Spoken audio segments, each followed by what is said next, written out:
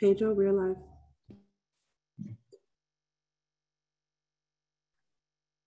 PC recording started. Cloud started.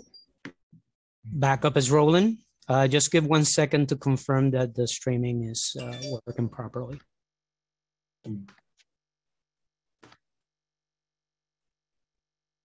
Yep, we're good. All righty, thank you. Good afternoon, everyone. Welcome to today's remote New York City Council hearing of the Committee on Environmental Protection. At this time, would all panelists please turn on your videos? To minimize disruption, please place electronic devices to vibrate or silent. If you wish to submit testimony, you may do so at testimony at council.nyc.gov. Again, that's testimony at council.nyc.gov. Thank you for your cooperation. Chair, we are ready to begin. Uh, Thank you, Sergeant.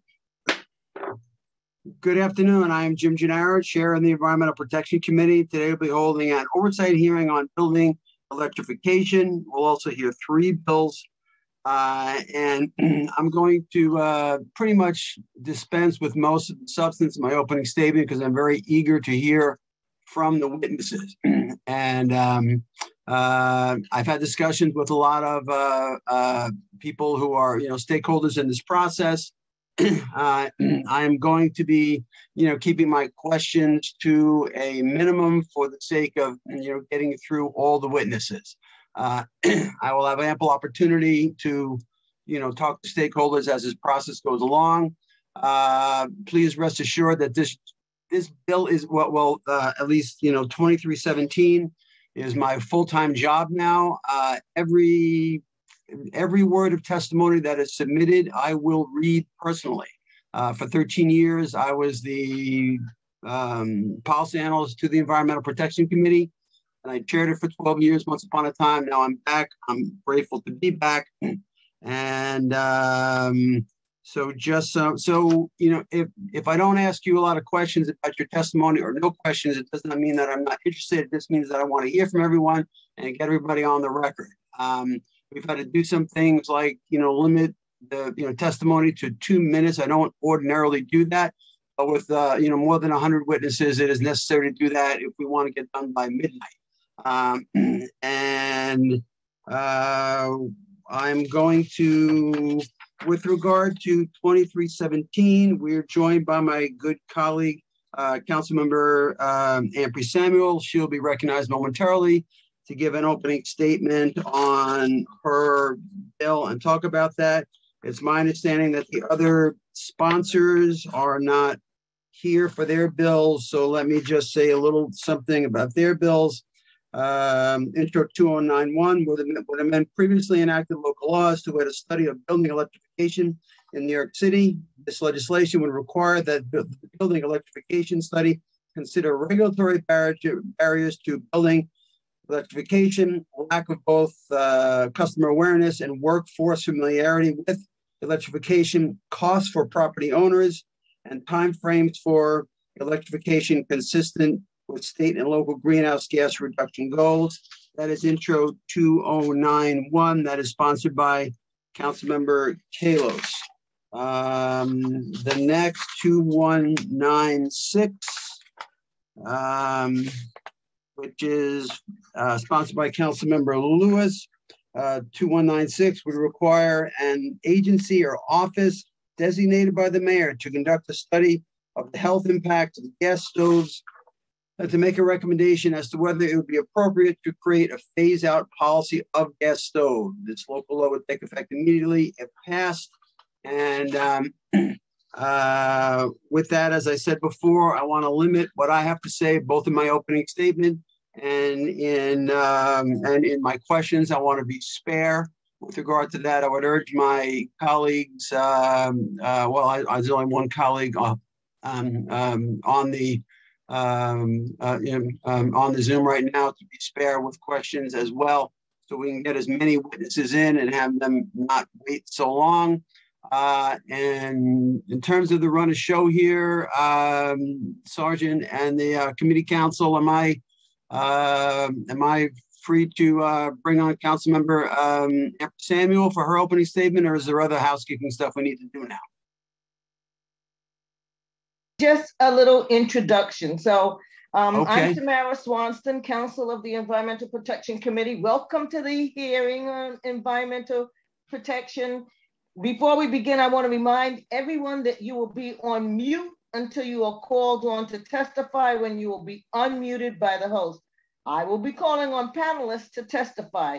Please be aware that there could be a delay in muting and unmuting, so please be patient. Please listen for your name to be called. I will be periodically announcing who the next panelist will- be. We will begin with testimony from the administration, which will be followed by testimony from members of the public. During the hearing, if council members would like to ask a question, please use the Zoom raise hand function and I will call on you in order. Uh, we will be limiting council member questions to five minutes, including responses. I will call on you when it's your turn to speak. During the hearing, if council members would like to ask a question, please use the Zoom raise hand function and I will call on you in the order that you raised your hand. Thank you, and now I will hand off to Chair Gennaro, and uh, he can also hand off to uh, Councilmember uh, Alika Ampry Samuel. Uh, uh, uh, Thank you, Samara. I, I thank you for your good work over the years. You were counsel to the committee uh, in my previous tenure uh, um, at the council, and your good work continues. And um, that, that you just reminded me that I am, you know, remiss in not doing something that's very important, which is thanking the really terrific committee staff who've done such great work in getting us to this good day. Uh, We just heard from Samara Swanson. We have policy analyst Nadia Johnson, Ricky Chawla, and financial analyst Jonathan um, Seltzer. And finally, uh, last but not least by any means, my own terrific legislative director, Nabi Kaur, for all of their hard work. I appreciate it very much.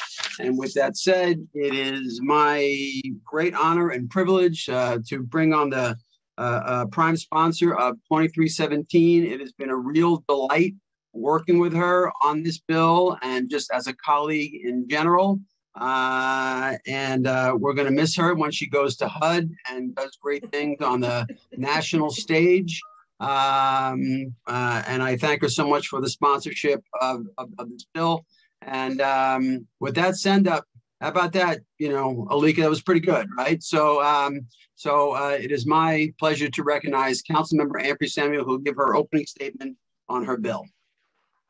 It's been an absolute joy, um, Chair Gennaro, to, to work with you um, just over the past uh, couple of months. I, I appreciate your leadership, and I do recognize your um, your years of hard work around environmental protection. So, so thank you, thank you, thank you for all you have done, and I look forward to working with you um, in the days to come. Thank you, Um, Alika. so I, I do also just want to thank you for having this hearing and um, and for the ability to discuss Intro 2317, commonly referred to as the gas ban bill. And I thank you for giving me the opportunity to address the committee today. The 41st Council District, which I represent, encompasses Brownsville, Ocean Hill, parts of East Flatbush, Crown Heights, and Bed-Stuy. And my communities and communities like mine have astronomically high levels of respiratory diseases and poor health outcomes, many of which are directly related to climate justice and injustices. This legislation, Intro 2317, would effectively prohibit the use of gas operated heating systems in new construction or gut renovations across New York City. The city has set a goal to be carbon free by 2050, and this bill codifies and creates the parameters to ensure we meet that goal. Ironically, the most affected communities are usually left out of conversations about climate change, although our residents are literally paying for the effects with their health and sometimes their lives. The illustration that I often use, y'all have heard me talk about this time and time again, is when other parts of our city were converting to clean energy buses, the old diesel buses were not taken out of service. They were sent to other depots like the East New York Depot, which services the bus lines that run through my district. It's ironic because our residents contend with some of the highest rates of respiratory issues that are direct related to environmental factors. The stakes for our residents are very high, and I'm proud to represent their interests and that of the entire mm-hmm. city as we look forward to eliminating aggressive and reduction in greenhouse gas emissions. Simple. As the experts have and will continue to testify, when space and water heating appliances such as furnaces and boilers burn gas or oil to produce heat, they emit several dangerous pollutants. We can make a major dent in these emissions in our atmosphere by prohibiting natural gas hookups in new buildings and gut renovations. Although other locations have already realized the goal, as New York City goes, the rest of the country follows. So I look forward to today's discussion. I look forward to the attention that will be placed on this issue. And again, Chair, thank you for recognizing this pivotal moment in history. So on behalf of the advocates and friends that have worked tirelessly with me to move this bill, we appreciate you. And today is the day to have this discussion that we've been waiting for for so long. So thank you, everyone. And again, I look forward to to the discussion. Thank you, Councilmember, for your very gracious opening statement and your kind remarks and your and your uh, tireless advocacy uh, on this bill. It is uh, uh, it is uh, it has really been terrific, and um, uh, thank you thank you for that. and I think I am clear to call on the administration, right? But and before I do that, just to um, you know, just a word to, to the people who will be testifying. Uh, you know, um, these bills consist of words on a page, and um, you know, the best kind of testimony, which really helps us the most to fashion the best bill, is is testimony that goes, you know, directly to the wording or you know essence of the bill. So you see the bills. They so you know if you had you know your druthers uh, uh, you know, the best testimony is what would you do uh, to, you know, add words to the bill, to take words away from the bill, to change words that are in the bill. This is what really helps us. Sometimes, you know, philosophical discussions uh, are great about how our planet is ailing, and like we all get that. But this is a, you know, legislative hearing, and we want to focus. We want to laser focus on, uh, you know, 2317 and the other bill. So try to be very succinct in um, you know giving us uh, you know your your best testimony that you know directly affects the wording of the bill if you are, are in a position to do that. And uh, with that said, it's my privilege to call the administration. I guess that's uh, I guess Samara, uh, you as the um, as the um, the uh, what's the What's the proper term of art that you're going to be playing? No, no, no. But in terms of your role here today, like you're you're the what do you call the I'm role? the moderator. The moderator, correct. Okay, yeah, moderator. So you as moderator, uh, you know, please, uh, you know, do your thing. Bring on the administration. Uh, you know, swear them in, and let's get this thing going. Thank you very much, Samara. I appreciate it. Oh, okay. Uh, and now I would like to deliver the oath to the administration. So I will call on them each individually to record your answers to be followed by your testimony. So please raise your right hand. I don't see, I see uh, Gina, but I don't see Anthony Fiore or Ben Fern. Oh. I'm here, I'm looking for Anthony Fiore or Ben Furness. Uh, I'm here as well. Hey, he's here. Um, um, um, Anthony's He's here. here? I see Ben. I see Anthony. Okay, please raise your right hand. Do you swear or affirm to tell the truth, the whole truth, and nothing but the truth before this committee and to respond honestly to council member questions? I do. I do. Okay, uh, thank you. And now let's hear your testimony. Thank you so much, Samara, and, and thank you, Chair Gennaro, for uh, for holding this hearing. And it's it's been really a delight to to to work with you in in, in the run up to this conversation. Thank you, Uh, Ben. Good, good afternoon, everyone. Uh, my name is Ben Furness, and I'm the Director of the Mayor's Office of Climate and Sustainability. I am joined today by Anthony Fiore, the Deputy Commissioner and Chief Energy Management Officer at the Department of Citywide Administrative Services, and Gina Bocra, the Chief Sustainability Officer at the Department of Buildings. I want to thank you, Chair Gennaro, and members of this committee for the opportunity to testify on building electrification and introductions 2317, 2196, and 2091. A recent report by the Intergovernmental Panel on Climate Change found that unless there are immediate and large scale reductions in greenhouse gas emissions, the world will continue to see increases in the frequency and intensity of extreme weather events and heat waves that would imperil global agriculture and health. New Yorkers are already too familiar with the serious consequences of extreme weather, most recently managing the impacts of Tropical Storm Henri and Hurricane Ida. As world leaders convened in Glasgow for the UN climate change negotiations over the past weeks, it's become clear that cities are leading the way in the fight against climate change. Uh, the Federal Infrastructure Investment and Jobs Act is providing support for major new investments in decarbonization and that and the big Build Back Better Act signal that cities will be critical in our country's work against climate change. Cities are taking ambitious action to confront the climate crisis and build a green and just world, and New York City is leading the charge. Together with the Council, we have taken bold action to cut greenhouse gas emissions from all sectors as fast as possible, including requiring buildings to undergo retrofits, transitioning to renewable electricity, accelerating the shift to cleaner modes of transportation and creating green jobs. But there is more we can do, and we must take every opportunity to reduce greenhouse gas emissions for our city and for our planet. New York City is committed to achieving carbon neutrality by 2050.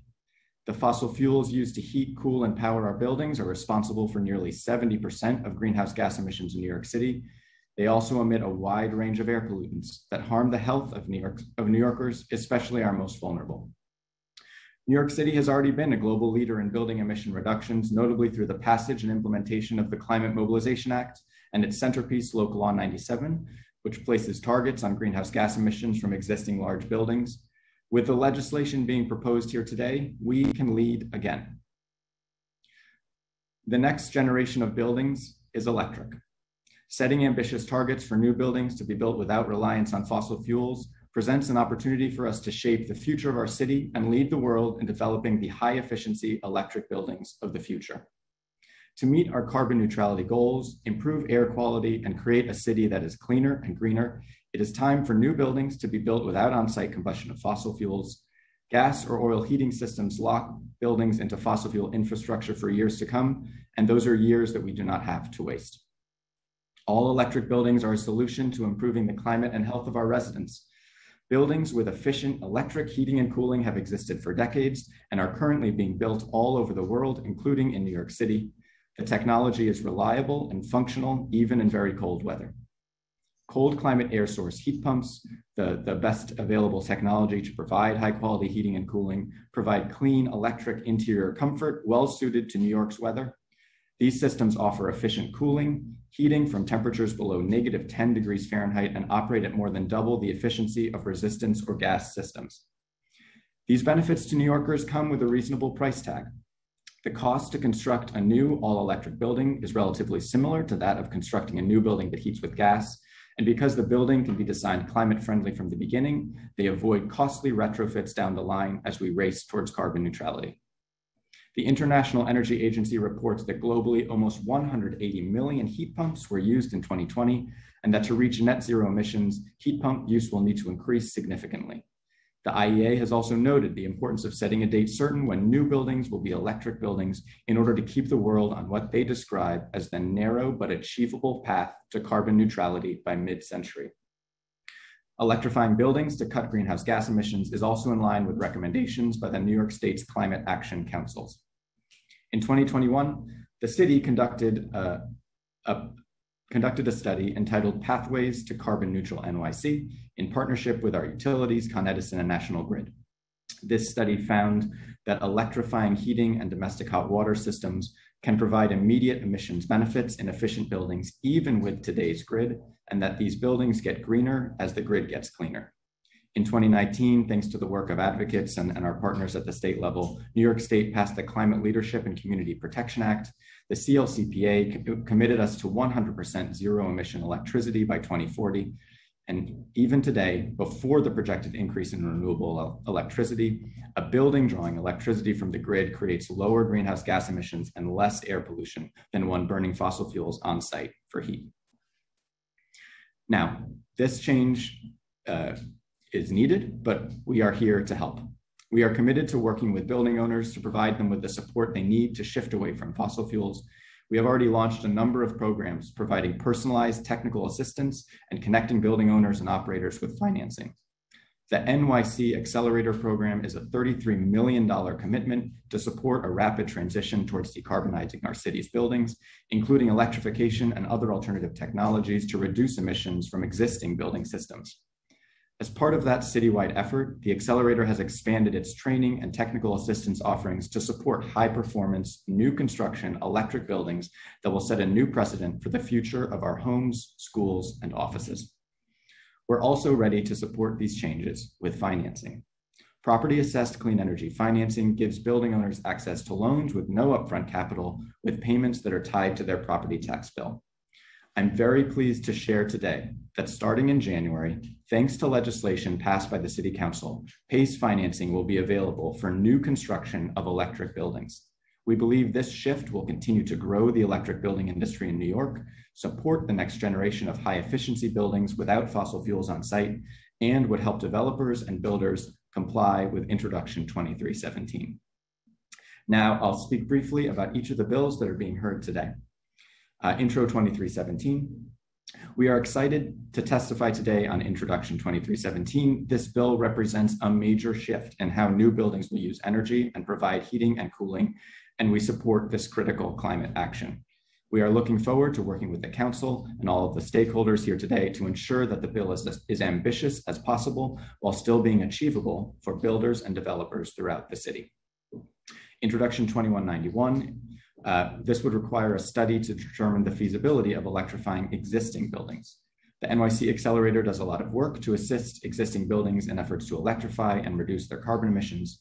We would like to continue to work with buildings to eliminate as much as possible their fossil fuels on site uh, the bill is currently drafted, adds this study to the long-term energy plan. Uh, we believe this is a critically important topic that warrants detailed study. However, the long-term energy plan is well underway, so we are happy to discuss with the council an alternative mechanism to get this work done. Introduction 2196 would require a study on the health impacts of gas stoves and a recommendation as to whether it would be appropriate to phase out gas stoves. Uh, robust research exists on the health impacts of gas stoves, and we support reproducing a report on, on, on this existing research, uh, both at the national and local level, and inclusive of any equity implications to inform policy recommendations and implementation in residential settings. Uh, to conclude, uh, we really look forward to working with the Council on leading leading the way on this critical issue. Uh, thank you so much for holding this hearing, Chair. It's lovely to see so many people so passionate about this issue at this hearing today. And now I'm happy to answer uh, any questions. Uh, thank you, Ben. Your testimony is most appreciated. Uh, uh, we've been talking uh, um, all along on this bill. and so um, I'm going to forego questioning for the sake of my colleagues who may have questions and also to get to uh, our, our, our hosts of, of, of uh, you, know, you know, scores of people want to testify. Uh, staff has, has just let me know that uh, uh, we have uh, other council members on the Zoom, uh, uh members of the committee. Uh, Councilmember Darma Diaz is with us. We thank her for being here. Councilmember Menchaca are, is, is here and Councilmember Steve Levin all members of the Environmental Protection Committee are here as well. Uh, uh, and so I, I, I, thank them for their um, for their attendance. And uh, uh I, I, I'm, uh, I guess I will pose one question. I'm sorry to, you know, sorry to kind of, uh, just, I'm giving myself a little, you know, latitude. but as um, because it's a little bit off topic, shame on me. when I passed the first, you know, greenhouse gas reduction bill, the, you know, near the, uh, you know, New York City Climate Protection Act of, uh, you know, 2008, that mandated a 30% reduction in, uh, in city-generated greenhouse gases uh, in the city sector. That'd be city buildings, city fleets, you know, city facilities like sewage treatment plants and other things. A, a you know 30% you know greenhouse gas reduction by 2017. that was not realized when, when then two years after that deadline and you know local uh, 97 was passed that that part of the that that that that deadline in 2017 was changed from 2017 to 2025 with a 40% reduction um, this is one of the frustrating things about you know passing good bills and making sure that they make their way down the tracks. and so because we're talking about climate reduction, this sort of points out that sometimes we pass bills and they are you know difficult. Uh, you know, difficult to achieve, and you know, the administration itself, this administration, the previous administration, has had difficulty meeting that and uh, uh, you, know, meeting that uh, mandate. So where are we now, and how are we looking for 40% by 2025 because we missed it 2017. and this will be the only question I ask all day that's a little bit off topic. I'm giving myself a little bit of you know latitude here um, to to ask that because you know the private sector is being asked to do something here, and the city hasn't lived up to what it was supposed to do. And so I, I I think it's important to tell people where we are on city reducing its own greenhouse gases um, and so, how are we doing? Uh, like, are we on path for um, uh, uh, um, on target for forty percent by twenty twenty five? And you know, uh, you can give a brief reply because I don't want to take too much time.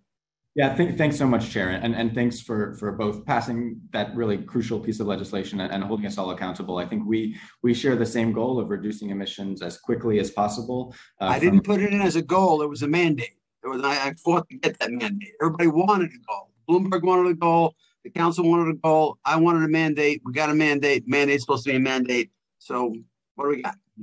So, so we've been investing uh, billions of dollars to to retrofit the city's uh, municipal buildings to electrify the city's vehicle fleet. And we're currently seeking to, to build two new transmission lines that would bring clean and renewable electricity in order to power city government operations. Uh, at this point, we're on path to, to hit that 40% reduction by, by 2025.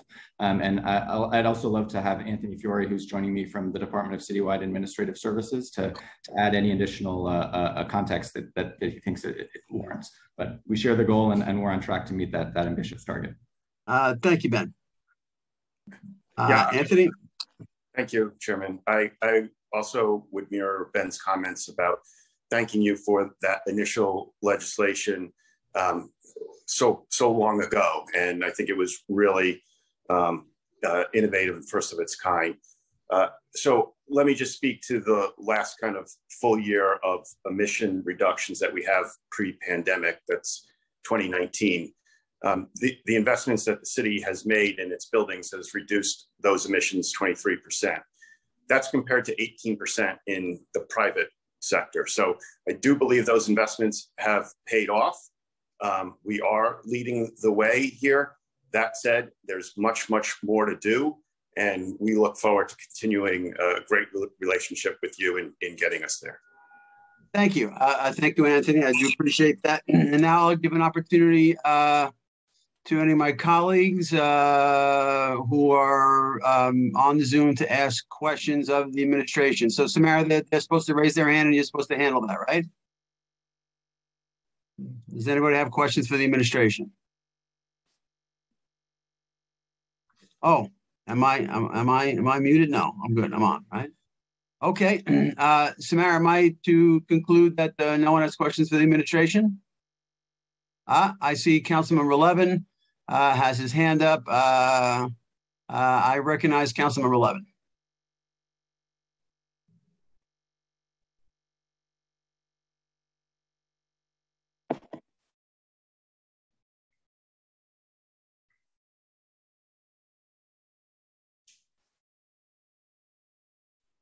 Uh, Steve, you're muted.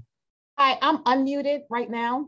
Um, okay. I had my hand raised before Steve. Hey. Steve. Oh, I'm sorry. I'm sorry. I didn't know. Hey, hey. Uh, uh, I'll tell you what. Just um, uh, um, um, um, why don't we do this? Uh, uh, Samara, like rather than me being the shot caller on who has their hand up, like you know, you're going to take care of that. Okay, Samara.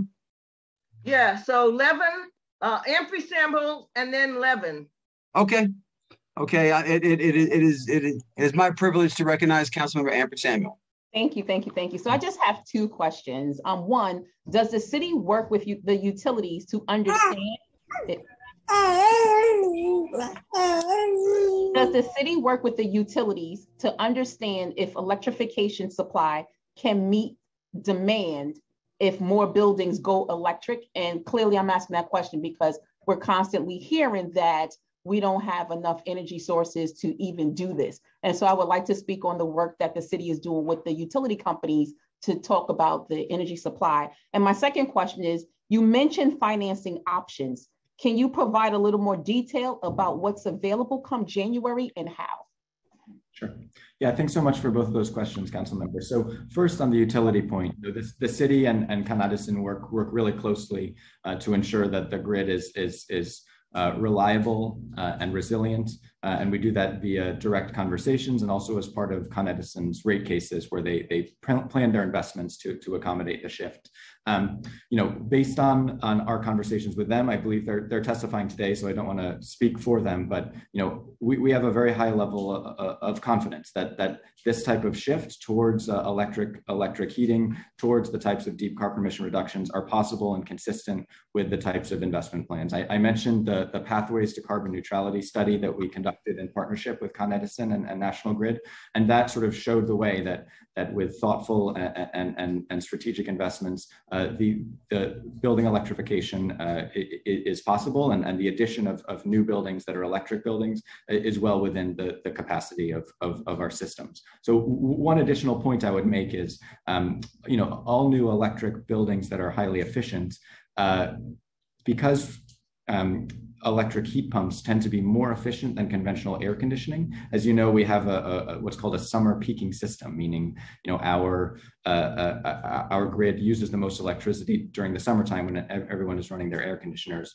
Um, heat pump systems are more efficient than conventional air conditioning, meaning that if a building is built all electric with a heat pump that provides heating and cooling, they actually create less strain during that during those summer months than, than they otherwise would. Um, and so that's just another piece of information that, that gives us a, a level of confidence here.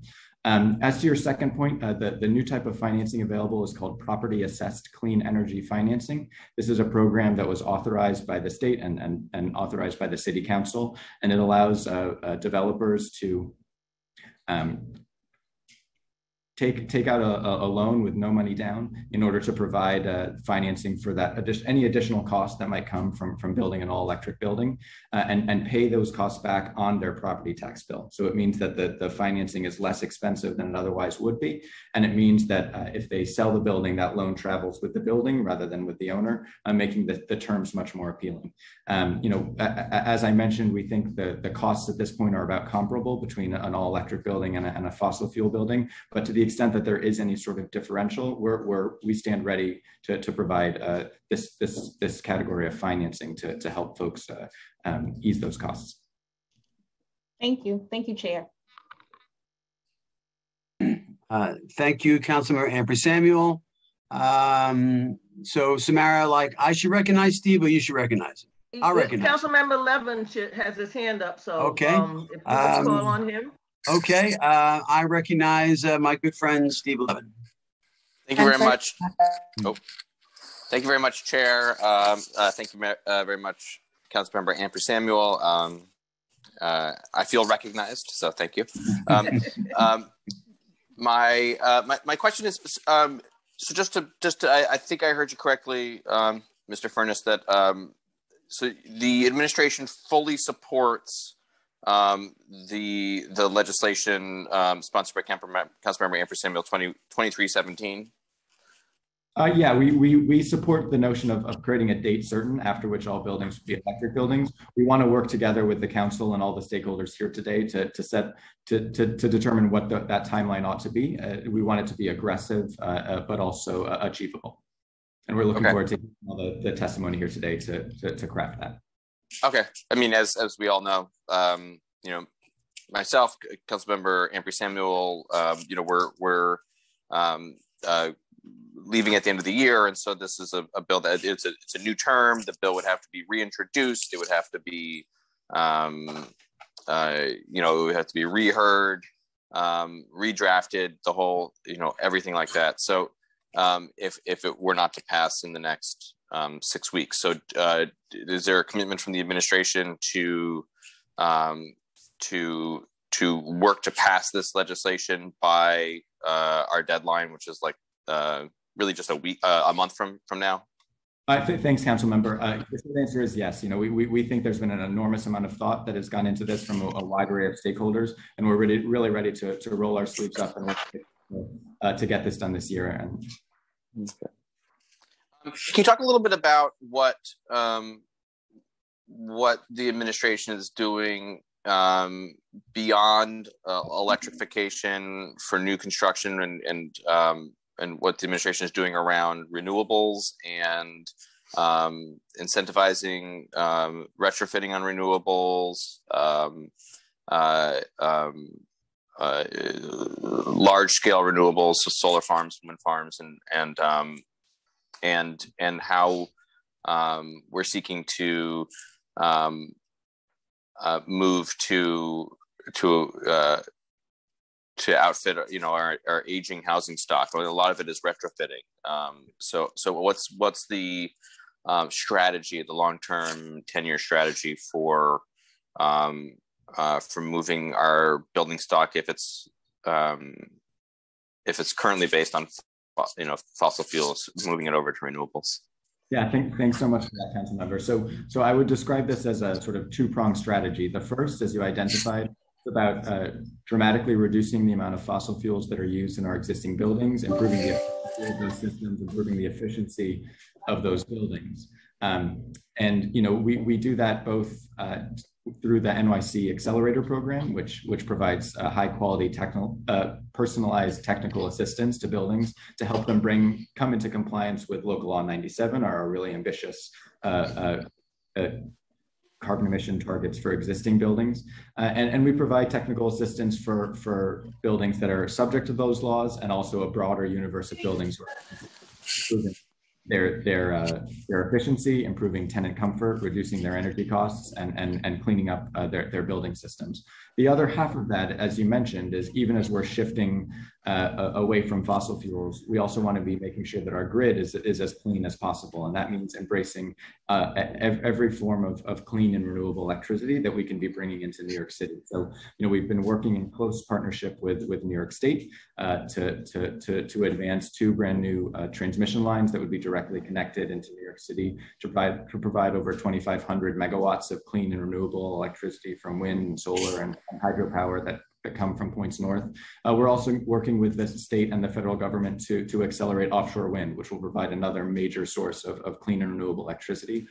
All this even as we want to you know be dramatically expanding solar on roofs across the five boroughs. You know another really important piece of the climate mobilization act uh, was this requirement that new buildings should take a hard look at putting solar uh, uh on on their roofs. And and and and we're we've also been launching a, a new program called uh, Electrify NYC, which provides uh, support for uh, one to four family homeowners who are uh, interested in, in putting solar on their roofs and, and, and shifting to electric systems for, for their work. So what yeah. kind of support or what kind of support does that take the form?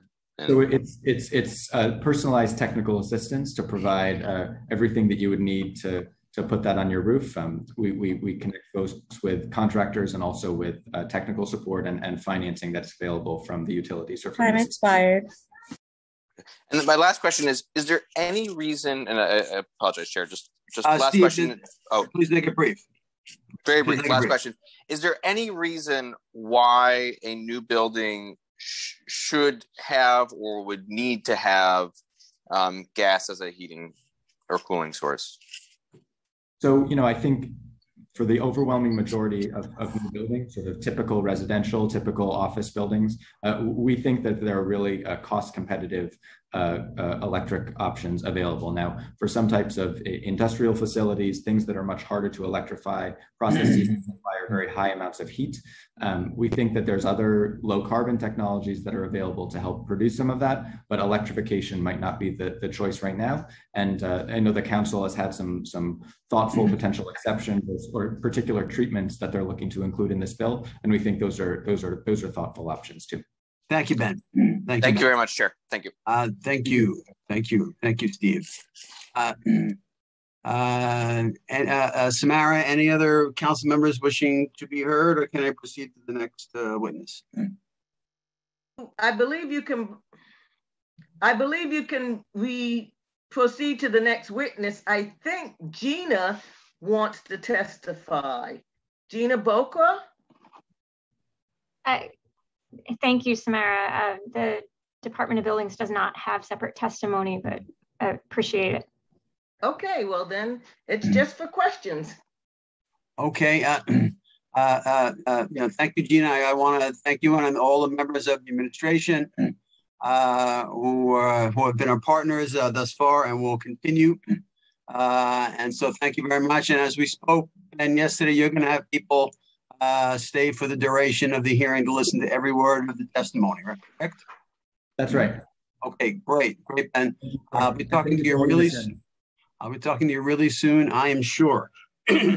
and uh, I'm going to call our next witness. Uh, this is a, a member of the State Assembly, um, Emily Gallagher. Uh, I know her by reputation. I know that she is you know, deeply involved in the issue of uh, building electrification. Uh, many people know that uh, she is the next uh, witness. Um, you know, being that she is an um, elected official, I'm not going to put her on the clock, but I uh, hope that um, uh, she will be um, um, economical in her testimony. And with that said, it's my privilege to call um, member of the Assembly, Emily Gallagher. Thank you so much, Chair. I'm really grateful to be a part of this hearing. And uh, I've taken into account your words about um, being economical. And so I am going to not read my beautiful poetry about um, the, the climate crisis. I will skip that. I, I know we all know that. Um, so at the state level, we've responded to threats of the climate crisis so far with goals. Um, but we really need so much action to be happening. And I'm really grateful for um, Intro 2317 because I think this really sets the tone for the rest of the state. And if New York City can lead on electrifying all of our buildings, as well as the other um, the other intros that we've been hearing about, we will be really able to move off the grid and there are other there's other smaller cities in the state that have done this already ithaca new york has been working on this and they've actually seen a decrease in costs for their um, their developments and it has been a very successful program.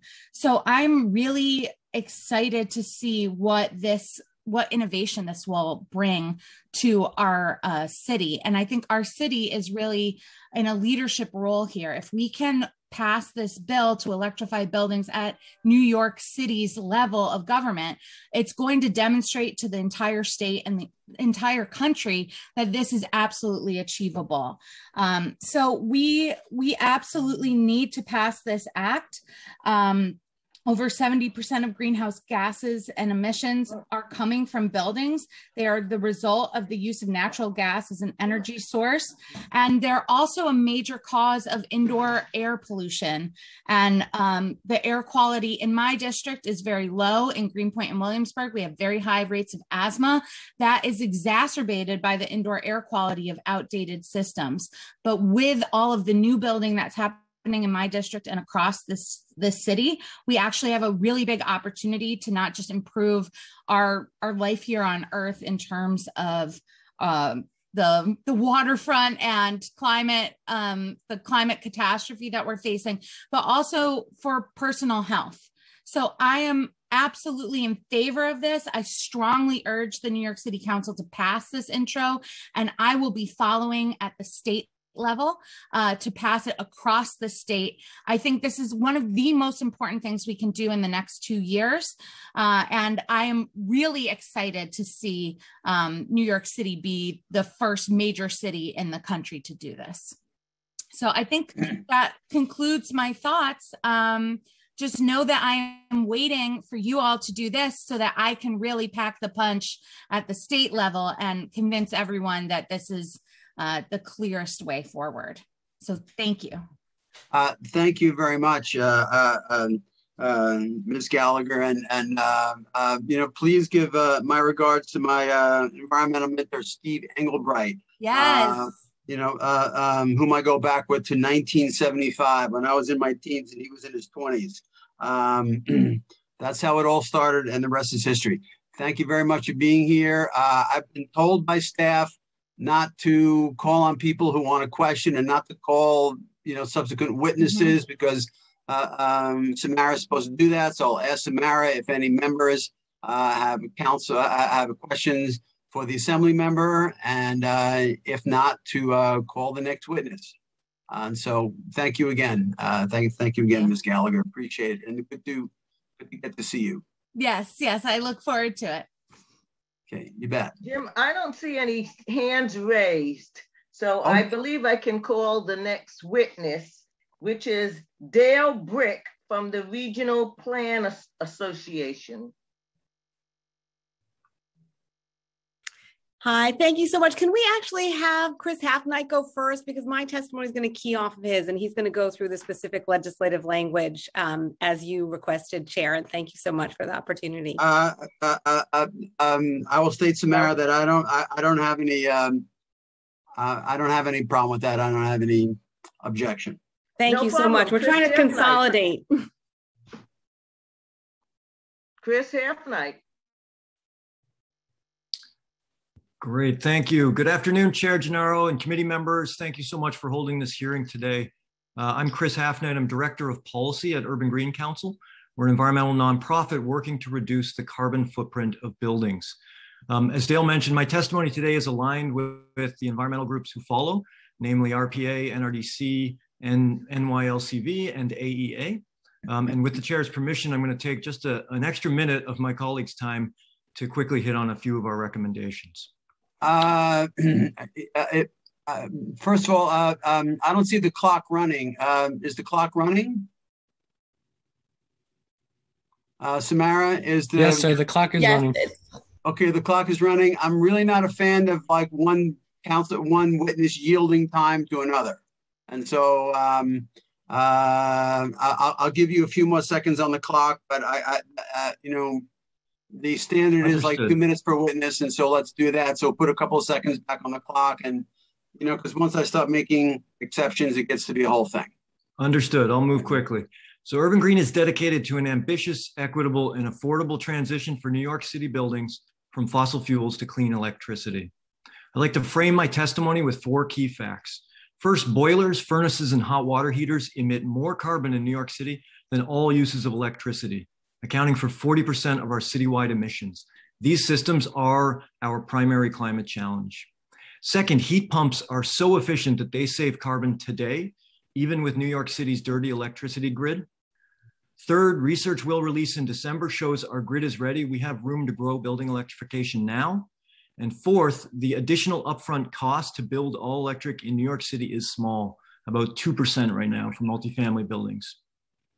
That's why Urban Green supports Intro 2317, and we recommend some important changes, and I'm going to quickly focus on two. First, we recommend phasing in the requirements, starting with buildings up to seven stories in two years and then adding buildings with eight or more stories in five years. We recommend this approach because electrification is easier in lower rise buildings and it's ready to go. Above seven stories, system design becomes more complex. And the biggest challenge is domestic hot water systems in the large residential buildings. There are limited equipment options on the market today, and there's minimal industry experience designing and installing efficient all electric hot water systems to meet the needs in those buildings. So, an ambitious but reasonable phase-in will yield a better result. Equally important, this phased approach allows time for planned updates to tighten the energy code. That's how we can ensure that new construction is not just all electric, but also highly efficient, which means lower utility costs and, and increased affordability.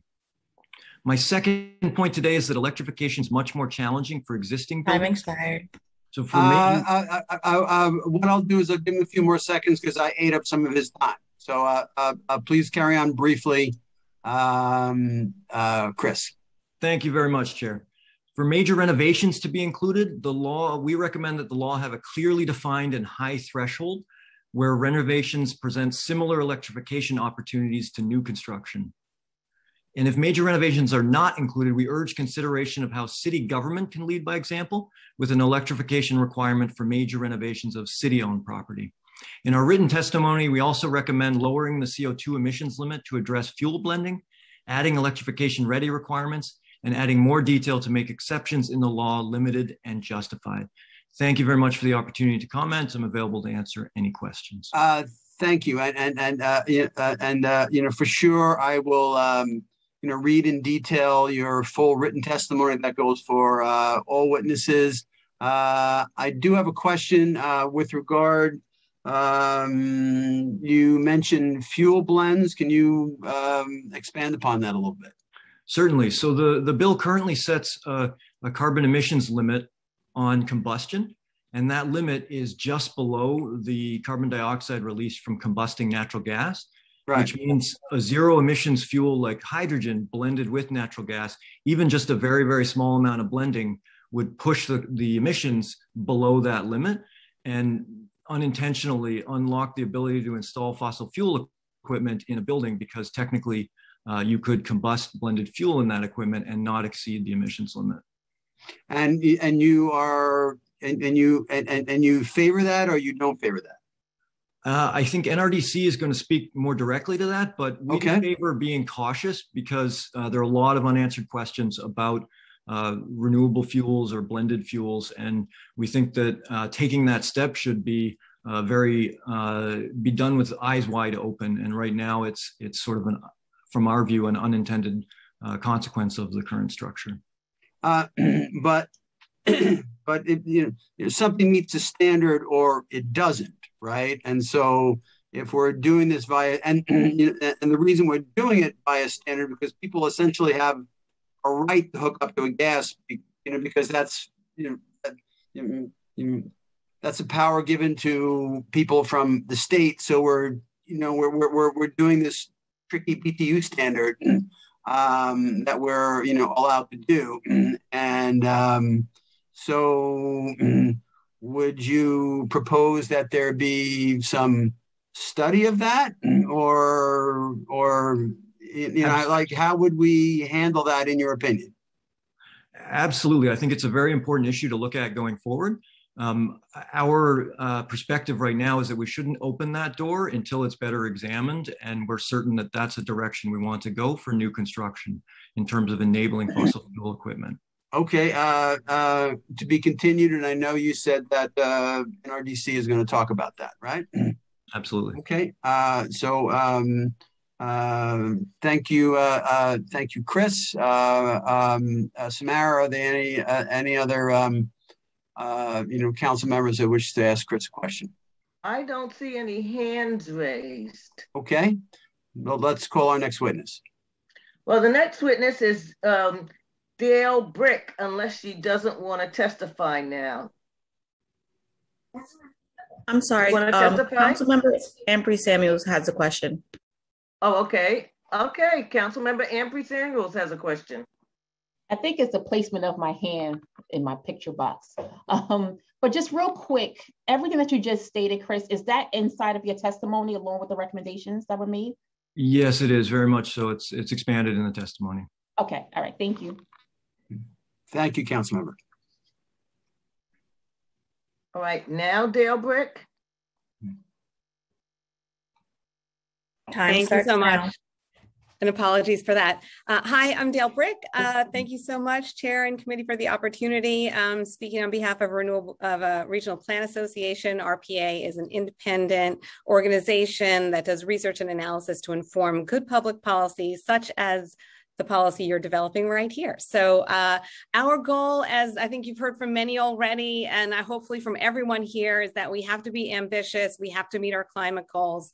We have to be pragmatic, or it's not going to work. And we have to center equity and make sure that we're making uh, sure low income and affordable housing is at the front of the line, not the back, uh, as we decarbonize our building sector. And we endorse all of the um, the adjustments that Chris just went through, and you'll see the details on that in all of our testimony as we hand it in. And we think that with those changes, this bill is going to deliver on those goals um, that I just mentioned, being ambitious, pragmatic, and equitable. I want to just touch on some of the context here because I think it relates to the questions, including the one you were just discussing.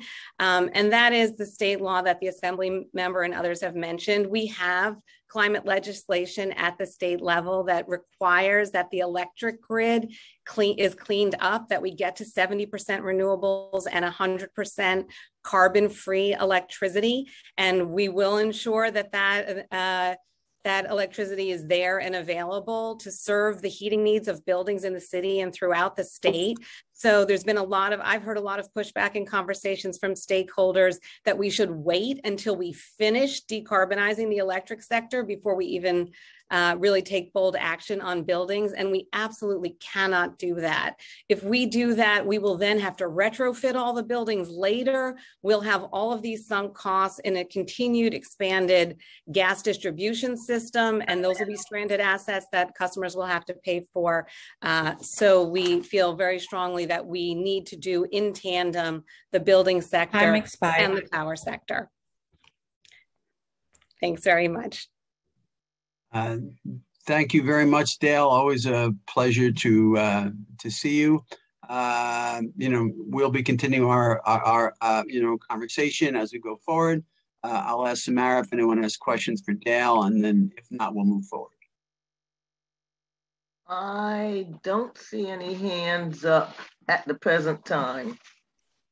Uh, thank you, Dale. And uh, if you call our next uh, next witness, please. The next witness is Donna DiCostanzo from NRDC.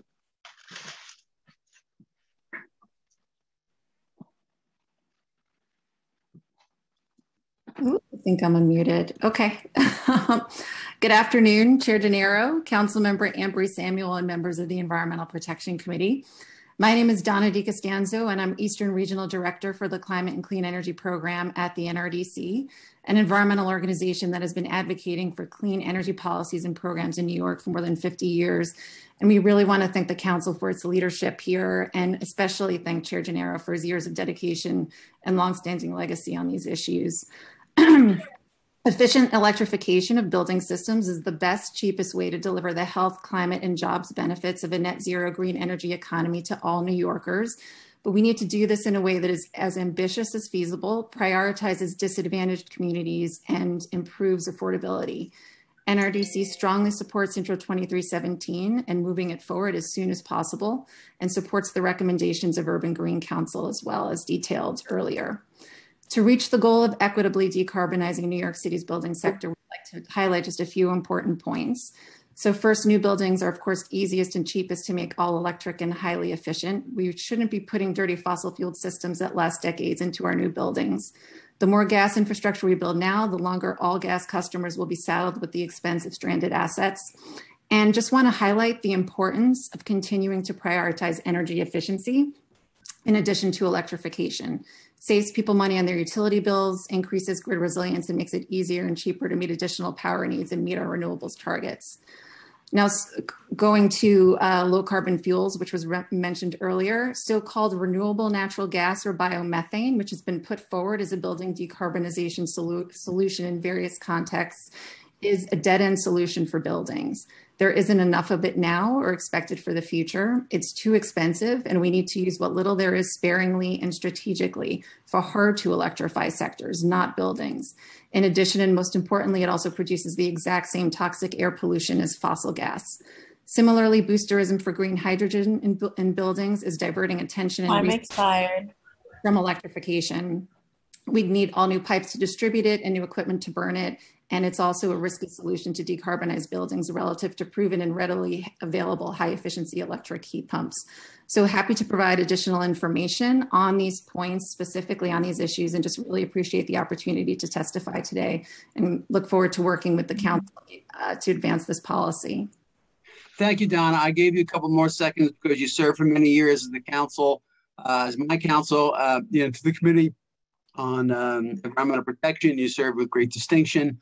And you've gone on to, um, you know, to become a, you know, national leader on environmental issues with um, NRDC.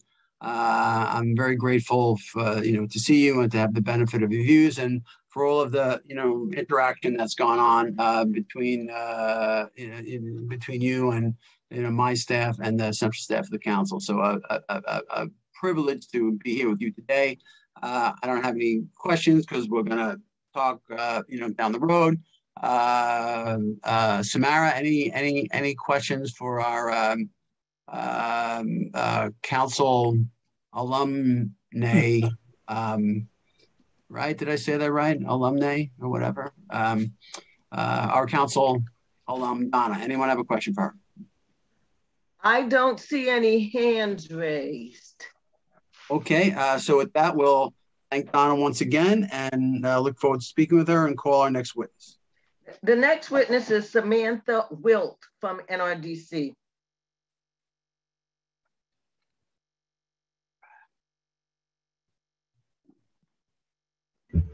So sorry, Chair and members.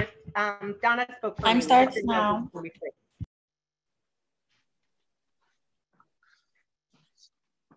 You need to un. Samantha Wilt. I'm so sorry, Samara. Donna testified. We just didn't know who was going to be available. So I cede my time. Thanks. Oh, okay. Uh, um, thank okay, you, Samantha. You're ceding uh, your time. The next witness is Carlos Castell Croke from the New York League of Conservation Voters. Uh, good afternoon. Time now. Uh, my name is Carlos Castell Croke. I'm the Associate for New York City Programs at the New York League of Conservation Voters. I'd like to thank Joe Gennaro and Councilmember uh, Ampry Samuel for the opportunity to testify today. Buildings are the number one source of emissions in New York City, which is why building emissions have been such an important policy issue over the past decade. However, we've only seen building emissions decrease 18% from the year 2005-2019, meaning that we are not on pace to meet any of our citywide emission reduction goals. New York City must implement ambitious legislation and programs to fight climate change, and a bill like Intro 2317 will help us get there by requiring a phase out of the use of fossil fuels. This legislation is important because building electrification will not only reduce emissions and fight climate change directly, but will also create tens of thousands of clean, green jobs. An overwhelming majority of clean energy jobs in New York are in the building sector, mostly due to policies and programs like this that focus on clean electricity and energy efficiency. We can rapidly increase the number of green jobs with policies that scale efficiency and electrification. Building electrification will also let us utilize local renewables for fuel and keep our energy dollars in New York State's economy. However, building electrification will not be an easy task. It will require thoughtful and pragmatic policy that considers multiple different variables, including the rate of technology advancement and lead times needed to implement a new way to build buildings. Therefore, we agree with our colleagues at Urban Green Council, NRDC, and RPA with the following list of recommendations for Intro 2317, which I'm not going to read, but Chris said them all. Um, we also support the passage of intros to uh, 2091 and 2196 to help us study the feasibility of electrifying existing buildings in order to further decarbonize and to study the health impacts of gas stoves so they can fully understand how important electrification may be not only to climate change, but to public health. Thank you. Thank you, um, thank you very much, Carlos. Um, uh, are there any questions for Carlos? Not seeing any hands up. Okay, well, let me let me thank Carlos and the League Conservation Voters. I have a you know long-standing relationship with that good organization.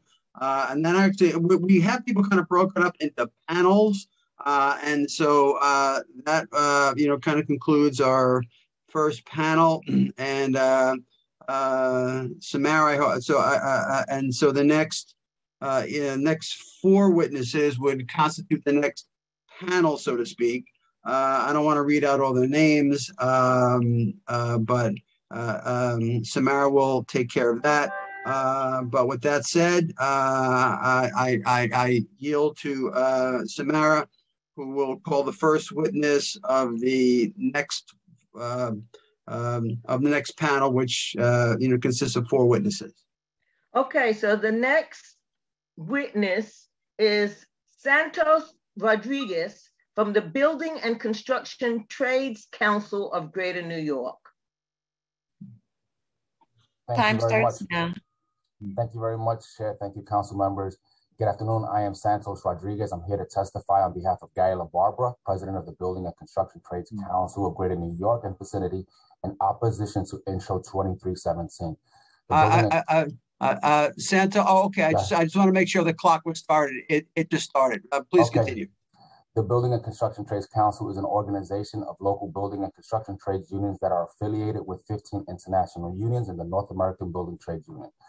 Our local unions, uh, our local union affiliates represent approximately 100,000 construction workers. The building trades mission is to raise the standard of living for all workers, to advocate for safe work conditions, and to collectively advance working conditions for our affiliates as well as all workers in New York City. We agree that climate change is real and that we must act to reduce carbon emissions. However, we must pay attention to details to ensure that we are acting prudently and not just acting so that we can make headlines. We need a policy that will successfully transition us to renewable power economy. Intro 2317 will not successfully accomplish its intended goals in our city under the timeline proposed in the bill. Pardon the phrase, but you can't simply flip a switch. This transition simply won't happen overnight just because we want to. We're opposing Intro 2317 because the existing buildings that would be impacted by Intro 2317 are not designed to convert to high performance electric systems. Additionally, high performance electric power systems are not fully proven in large buildings. Aside from difficulties this building impo- this bill imposes on buildings operations, it should also be noted that electric power grid in our city is already stretched and stressed. Our city is no stranger to power outages, and such an, an occurrence would have an even greater impact in electric buildings, and a multi-day power outage would render those res- residents uninhabitable. Similar to those, similarly, it does not appear that anyone has considered the impact Time policy expired. will have on the cost. Uh, uh, uh, uh, Please finish your sentence, Santos. Thank you. We'll have a, co- a cost on electricity. This bill will impose significant cost increase on the residents of an all-electric building. Uh, for this reason, it must be prudent that we're charting uh, the course of our future. We need bigger bridges to get from where we are to where we want to be. We need we need a just transi- transition. We oppose 2317 because it's bad policy. Okay. Thank you, thank you. Uh, and, and also, uh, I've been, uh, uh, uh, uh, thank you, Santos. I've been, uh, I've been you know, notified by central staff that the best way to proceed regarding questioning would be to wait for all of the members uh, of the panel to testify, and then we can visit the panel with questions. This came in Tamara from, uh, yeah, it came in from central staff to me. So why don't we, uh, follow that protocol? Let me just, uh, I'm also, uh, in, in, um, central staff is feeding me, uh, information. Um, I, I, I think I've just been texted that Councilmember, um, Ulrich is here as well. I ho- hope that is the case. Uh, happy to recognize him. And uh, so we will. Uh, I, I will. I'll. I'll do what I'm told, and I'll. I'll follow the protocol of having the uh, four witnesses from this panel uh, uh, each give their uh, statements, and then uh, you know, um, council members can question uh, whomever they wish in this four-person panel, and we'll keep that protocol for successive panels. Um, this is coming right from staff to me, Samara. So I guess we're going to do that. Okay. Okay. So there you go. We're just we're figuring this out uh, as we go along. We're one happy bunch of people trying to figure it out. And so um so we uh so I thank you Santos and then uh, we'll have the three other uh, witnesses from this panel and once we get to the end of the panel uh we'll open up the panel for questions from members. Thank Okay. Samara. The next witness is Charlie Samboy from the Building Congress. Oh, Time good starts now. afternoon. Good afternoon, Chair Gennaro. We have a much larger submission, which we will submit uh, online for your reading. Uh, to be brief, we support the intent of the bill to enhance the air quality that we breathe. However, we do not believe that this bill has been written in a manner that explicitly accomplishes that objective. And could have uh, tremendous consequences on our building industry. First, uh, this intro seems to ignore the status and complexity of bringing the entire energy grid onto a source that is much cleaner than fossil fuels. Much of New York City currently relies on burning of fossil fuels, and requiring that new or modified buildings convert to electric in the timeline that the bill calls for simply will divert the burning of fossil fuels further upstream. Uh, earlier this year, the governor announced uh, two projects that will bring 18 million megawatts of energy down to New York. However, those projects are not slated to come online until 2025 and 2027 for each of those. Uh, secondly, the bill may have uncon- unintended consequences given the broad application to new buildings and existing buildings that may go under that may undergo renovations. Uh, without an appropriate phase-in period for different building types and sizes, we think the existing energy grid will be taxed and will not provide for readily available technologies or cost-effective met- methods to be implemented. We believe a sound approach would be mandating for smaller single or multifamily buildings of a certain size and then scaling that to much larger and complex buildings over time. Uh, lastly, uh, we we support a greener city. We support uh, resiliency efforts. However, we continue to believe that this bill, as written, uh, does not provide us with enough direction to be able to accomplish its goals, uh, accomplish its stated goals. Again, we will submit testimony for your reading uh, at a later point in time. Uh, thank you, Mr. Samboy. Uh, uh, please stay on until the uh, um, um, end of the panel, and we will come back for questions if anybody has uh, them for you. Samara, next up. The next witness is Philip Skolaski from the Durst Organization and the New York Energy Consumers Council. Time starts now. Hi, thank you, Chair and committee members. I'm Phil Skolaski. I'm the Senior Vice President of Engineering and Energy Services at the Durst Organization and the co-president of New York Energy Consumer Councils. Uh, I'm supportive of the bill. However, I believe that significant changes are needed. Local Law 3217 should provide for hybrid heating options and an exemption for cooking gas in residential units. Heat pumps can heat buildings reliable, reliably only at milder outdoor air temperatures above 32 degrees Fahrenheit in modestly humid weather. When paired with natural gas condensing boiler systems, which can provide efficient heating at low outdoor air temperatures, a hybridized heating system would result in a more favorable solution that is economical, reliable, and sustainable.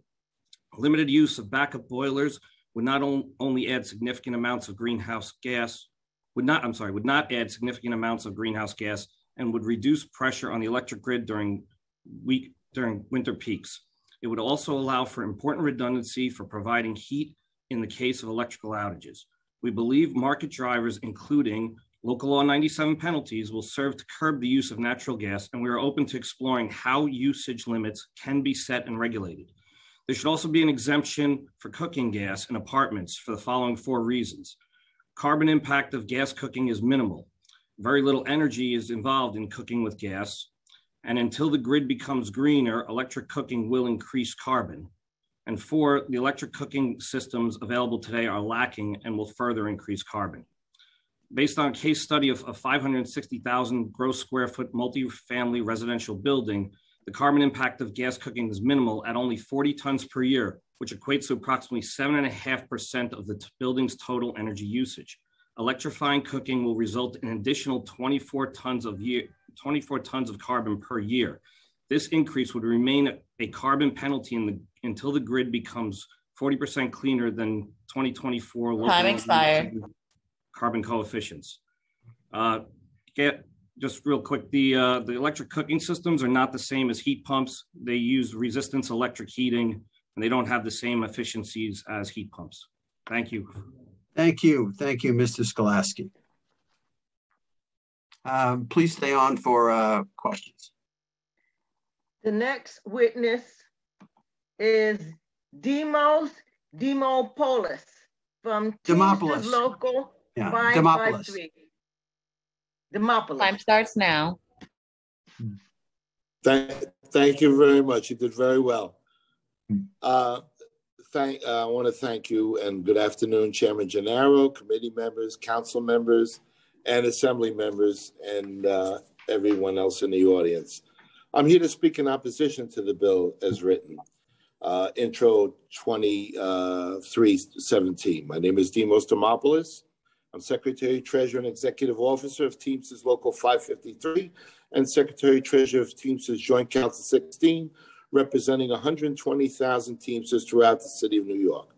Intro 2317, as it stands now, and if passed, will have a harmful effect on working families and an industry that is made up mostly of small or medium sized family owned businesses who have been serving customers in the five boroughs and providing good union jobs with excellent pay, pension, and medical benefits for their families.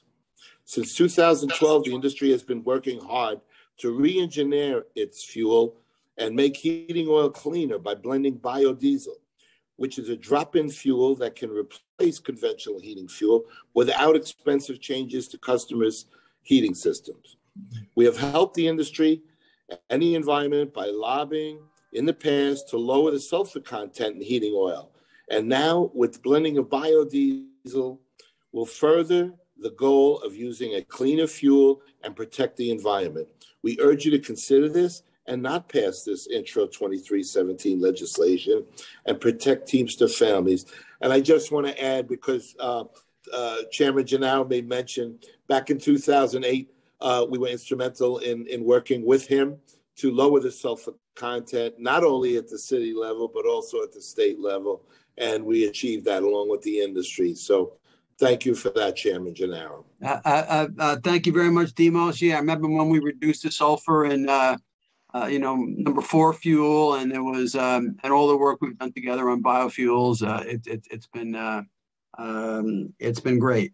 And, yeah, and and so uh, you know what, uh, uh, Samara, I, I've got a question. Um, so I'm going to um, um, I'm going to address my question to Mr. Skolaski of the Durst organization.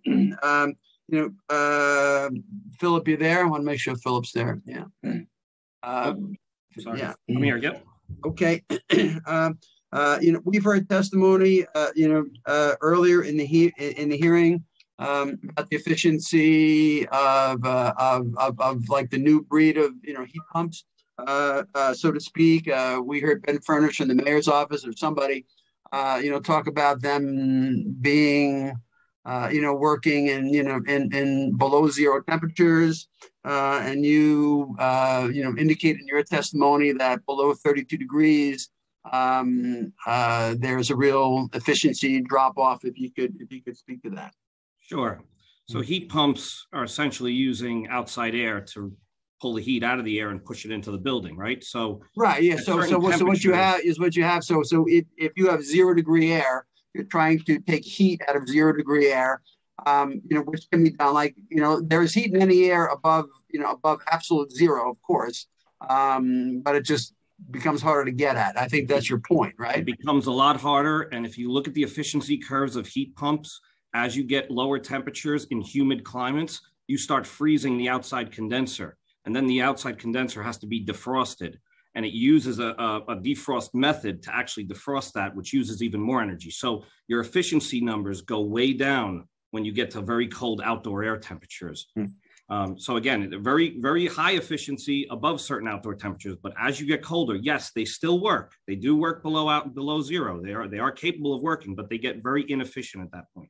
Uh, let me ask you this: uh, uh, you, you're with the Durst organization. I don't know how far flung the, the, you know Durst organization has buildings and what cities they have them in, or whatever. But you know, perhaps you're aware, uh, or, or maybe you have knowledge of you know other cities that have you know are climate pretty much. Um, um, and um, um, are these systems being installed uh, in large quantities in cities that you know roughly have you know New York City's temperatures? Now, I'm not talking about Chicago that's really cold. I'm not talking about you know Washington, you know D.C., which is a little warmer, but places that are about uh, you know our our uh, um, you know the, the temperatures that we have in the winter here in New York there are presumably other cities um, um, where where you may know whether or not there is a deployment of uh, you know heat pumps. I, I, can't speak to buildings outside of the Durst organization. We're more tri-state area, New York City centric. Right. Um, but that said, yes, heat pumps are much easier to deploy uh, in southern, you know, southern areas, less, less, you know, where we don't get into, you know, multiple, you know, multiple freezing days at a time um, below 32 degrees. It does, it does get deployed, but um, yeah, I, I, I can't speak for the other climates, but Okay, again, um, the COPs of the COPs of, of heat pumps go way down when you get below a certain temperature. And some you, you need to look at the efficiency curves of these issues and these uh, these units. And until the grid is completely green, it doesn't make sense right now in some cases. Uh, and, and, uh, and I'm uh, not saying I'm not saying on on on you know warmer temperatures, and that's why I'm looking at a hybridized option. Yeah, I, I, I, I, uh, Ampry Samuels has a question. Uh, Oh, sure. uh, Council Yeah. Member Ampry Samuels has a question. Yeah, yeah. I mean, can can we? I mean, I, I'm just finishing up my questions, and then Okay. I'll then, then we'll then we'll get to her. Okay. Uh, is is that a? Yeah. Okay. So yeah, let me just kind of finish up here, uh, and also, um, Mr. Skolaski, you're you, you know you um you, you mentioned a lot about uh, uh, you know, cooking systems and like the tonnage of carbon that goes up. Uh, uh, you know, this is all in your written testimony, I would, I would presume. It is yes. Okay, so we'll be taking a close look at that. Also, you know, because you're in the industry and you deal with uh, in a lot of entities, um, you know, you know, trade associations and whatnot. Um, uh, um, are you familiar with any trade association that that represents heat pumps? Is there a trade association that represents that industry? I'm kind of wondering why they're not here. I mean, if I were them, I would be here. Um, I mean, I, there, there are many manufacturers out there that represent heat pumps. There are, uh, I don't know about trade associations. There is a Okay. trade association and they're here. Oh, they're here. Okay, very good. Okay, so I look forward to that. And then I have my final, final and uh, uh, Santos had to go, but I do uh, have a question for uh, for for for uh, for Demos. Uh, Demos is my understanding, you know, based on uh, conversations with staff, that um, that um, uh, you, you know you, you testified against the bill upright. um, uh, it's my um, understanding by talking with the mayor's office and talking with staff uh, that uh, that that uh, bioheat blends, you know, greater than you know twenty percent. Uh, uh, greater than B20, you know, B30 uh, would meet the current standard in the bill. And if we were to have, um, you know, bioheat, because it, it, it does at higher blends, B20, B30, uh, you know, meet the standard, you know, what would that do to your, um, uh, you know, if that were the case, uh, you know, what would that do to your, you know, perception of this bill if bioheat uh, were to be included? Uh, as, as far as we're concerned, it would it would be uh, a, great improvement.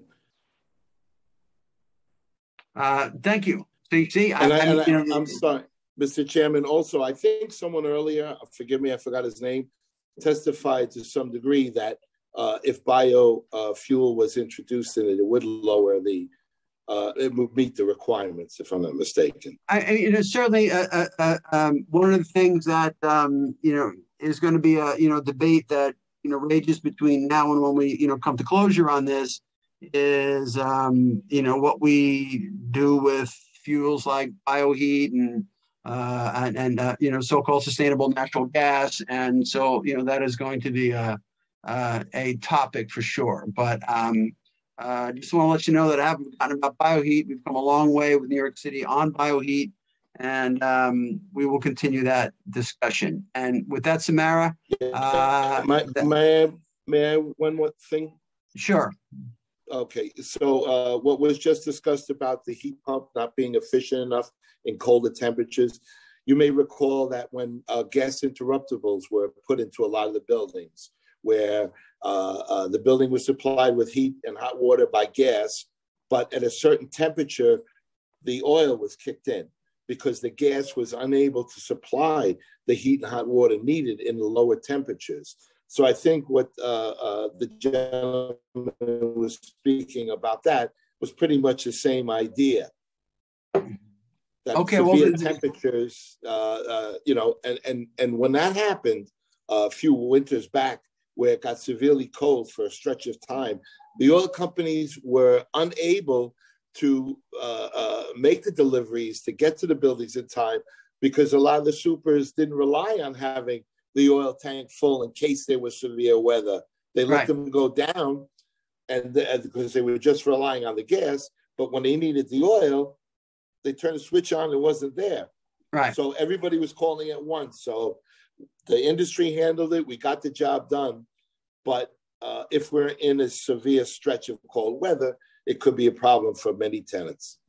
Thank you, Demos. I appreciate that. And uh, with, with, with uh, uh, I want to thank all the members of this panel. Uh, I know Samara. So, am I going to recognize uh, uh, uh, Councilmember uh, um, Ampry Samuel? Should I do Yes, that now? please Okay. recognize Council, Councilmember Okay. Ampry Samuel. Councilmember Ampry Samuel, thank you for your patience. Uh, the floor is yours.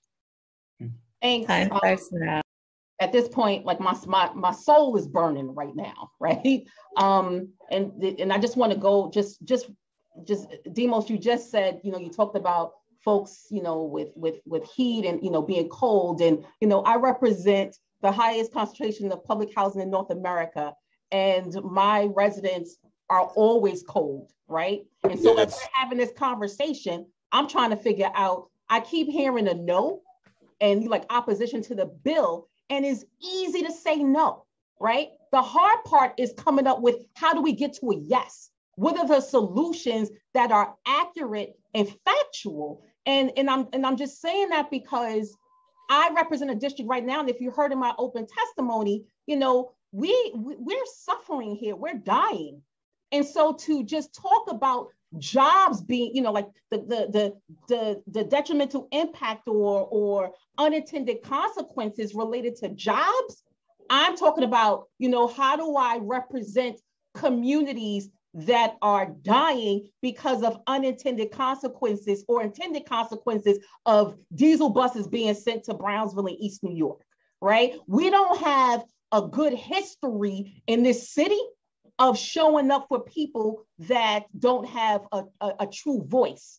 And so with my bill, I am trying to hear and listen for suggestions on how do we get to a yes, right? That that's what I'm looking for. Not the, you know, and thank you, Santos, you know, for your testimony. But I, I, you know, I heard opposition. I heard, you know, climate change is real, but you know, the transition is off, the timeline is off. Okay, but but what part of the, the bill and the transition would make sense for you to agree to it, right? That so that's where I'm coming from with this conversation. And then, you know, um, Chair, I uh, again appreciate the the hearing itself, but I would love to see a balance in who's testifying because that's also helpful in being able to to kind of go back and forth and having a discussion as to one person said this and well this is my suggestion to what that person just said. It's just helpful to have that type of dialogue. And um, one last thing um, heat pumps work in new york city i'm working with organizations that are testifying today right? Um, they work in new york city. They're, they're working on heat pumps across the state of new york. We're having conversations about the pumps right here in brownsville with the nehemiah homes. And so to say that they're not and that they don't work is just just inaccurate.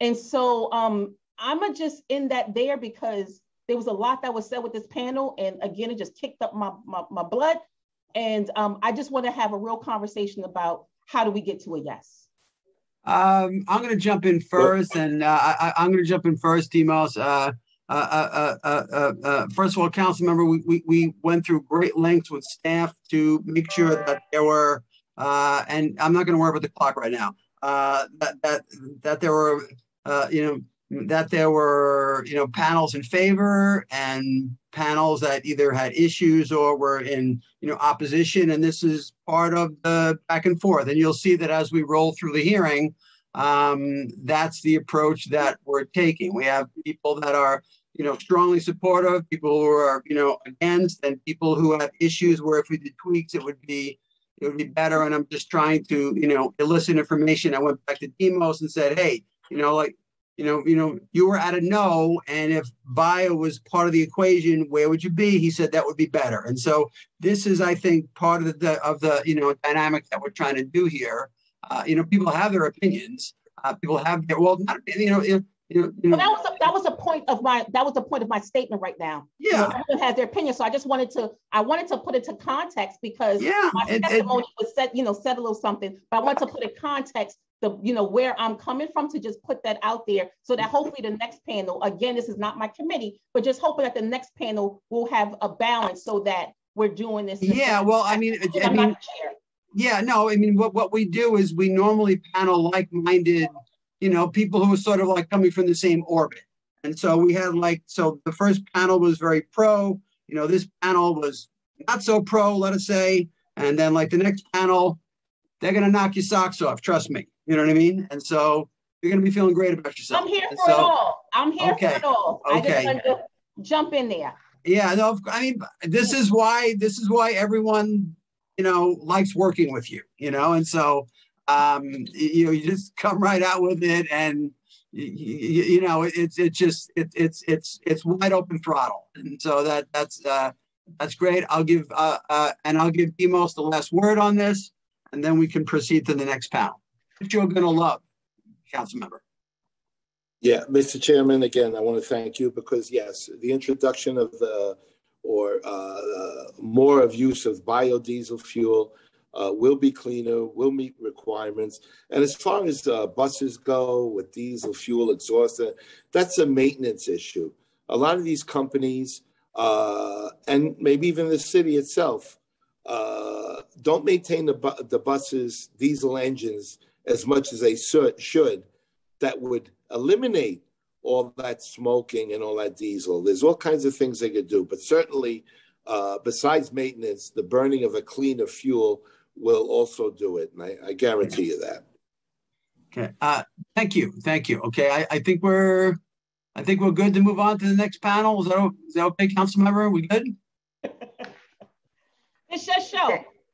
No, I'm just, I'm, I, you know, you're the sponsor. I want to work with you. I'm like your client. You know what I mean? I'm, I'm like, uh, I'm, I, I, I, I uh, you know, I'm trying to bring all perspectives in and, and like these people signed up. That's how it works. And so thank you very much. Okay. Yeah. Next panel. Okay. Samara. Okay. um, the next panel starts with Zachary Steinberg from the Real Estate Board of New York, and he will be followed by Whoa, whoa, whoa, whoa! Wait, wait, wait a minute! Wait a minute! I think um, I think you're missing the fourth panel that starts with uh, "We Act for Environmental Justice." Oh, sorry. Uh, the fourth panel. Excuse me. The fourth panel uh, starts with Sonal Sonal Jessel and uh, from We Act, and also Annie Carforo from We Act, and then we have Lonnie Portis from We Act. Then we have Pete Sikora and Rachel Rivera from New York Community. Yeah, that, and and you know, let me just jump in for a second uh, for just like a point of order regarding Pete and Rachel. Uh, you know, I read the testimony that came in from Pete, and um, he is he's kind of like sharing his testimony with Rachel. They're kind of like doing it together. So we're going to make a little accommodation for the last two witnesses on this panel. So like the two of them will have four minutes combined. They're kind of teaming up on their thing. They have it, it's almost like a play. They have two different, you know, you know, he starts and she goes and he starts. It's all part of the same testimony. So we have a total of five witnesses, and the last two are sort of coupled, so to speak. So Pete and Rachel will be kind of doing a four-minute thing between them. Okay, and I want to accommodate that. Okay, and so with that said, let us commence. All right, so now Jessel. Thank you, Starts now. Samara. Uh, good afternoon, Chair Gennaro. Thank you for the opportunity to, to testify regarding Intro 2317, and thank you to Councilmember Ampry Samuel for your championship of this bill. My name is Sonal. I'm the Director of Policy at We Act for Environmental Justice. Over the past 32 years, We Act has been combating environmental racism in Northern Manhattan. I'm here as a co-leader of the Gas Free NYC Coalition. Uh, we are championing Introduction 2317 because we believe it is important to prevent future indoor and outdoor pollution that hurts our health. Building pollution contributes greatly to poor air quality in New York City. It is communities of color that have older, under-maintained buildings that are energy inefficient, leading to more exposure to air pollutants that hurt our health. Higher rates of buildings in communities of color, and importantly, public schools, are still even using dirty fuel oil that must stop uh, very immediately. Introduction 2317 focuses mainly on limiting natural gas emissions. The use of natural gas emits dangerous air pollutants such as NOx that directly leads to respiratory and cardiovascular diseases. A 2020 report found that children are at the increased risk of illness from gas stove pollution, and their increased risk is at 42%. We need to see a bill that reduces emissions limit to 25 metric tons of carbon, includes major gut renovations, speeds up the timeline, and reduces exemptions such as for commercial kitchens. Commercial kitchens are a major source of neighborhood air pollution, one of the top sources in New York City. I want to underscore that reducing greenhouse gas emissions does not mean losing sight of other co-pollutants that consistently plague communi communities across the city. So far, no testimonies have even touched on local air quality as a motivation for the bill. The comments promoting hydrogen blending, biofuels, stating gasos or zero emissions, is doing just that. NOx pollution from natural gas from stoves, uh, as well as SO2, PM2.5, and other pollutants from energy sources have direct respiratory impacts, and that needs to be centralized.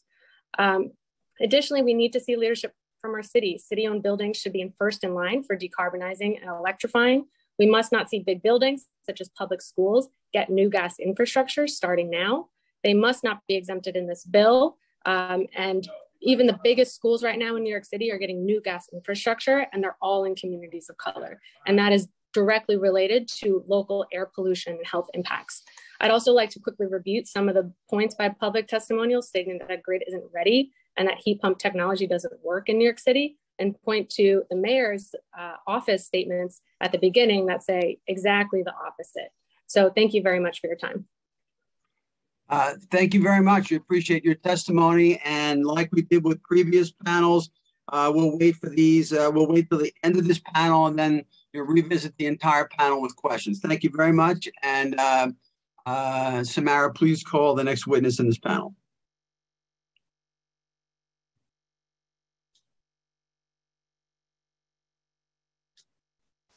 Samara. The next witness is Annie Carforo from We Act for Environmental Justice. Time starts now. Good afternoon, Chair, Chairman Gennaro. Um, thank you for the opportunity to testify today. My name is Annie Carforo, and I'm the Climate Justice Organizer at We Act for Environmental Justice.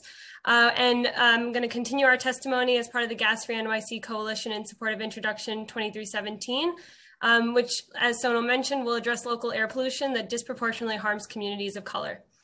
Um, a 2021 study confirmed that racial ethnic minorities in the United States are exposed to higher PM2.5 pollution associated with residential gas combustion, and in certain instances, facing 32% higher exposure. This has led to disparate health outcomes for communities of color, which experience higher rates of respiratory diseases like asthma. We must improve air quality in more vulnerable communities, especially as summer months continue to break record highs and trigger dangerous respiratory responses that lead to hospitalization and premature death. There's an opportunity here to ensure that neighborhoods like Inwood, Jerome Avenue, East New York, East Harlem, that are hit first and worst by air pollution and climate change, see development that is all electric and improves the air quality for the residents who call these places home. In the absence of global and national leadership after the COP26 climate summit, local governments with global influence, like New York City, can lead by example for cities around the world.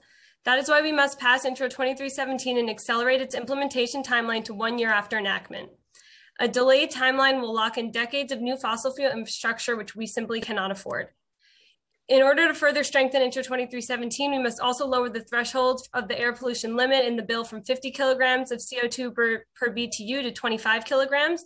This will prevent the use of biomethane and hydrogen blends and eliminate any possible loopholes in the law. We must also include a clear definition for gut renovations. Um, additional recommendations put forth by the Gas Free NYC Coalition will be included in my submitted uh, written testimony along with other um, partner organizations. Thank you. Thank you very much. Thank you very much.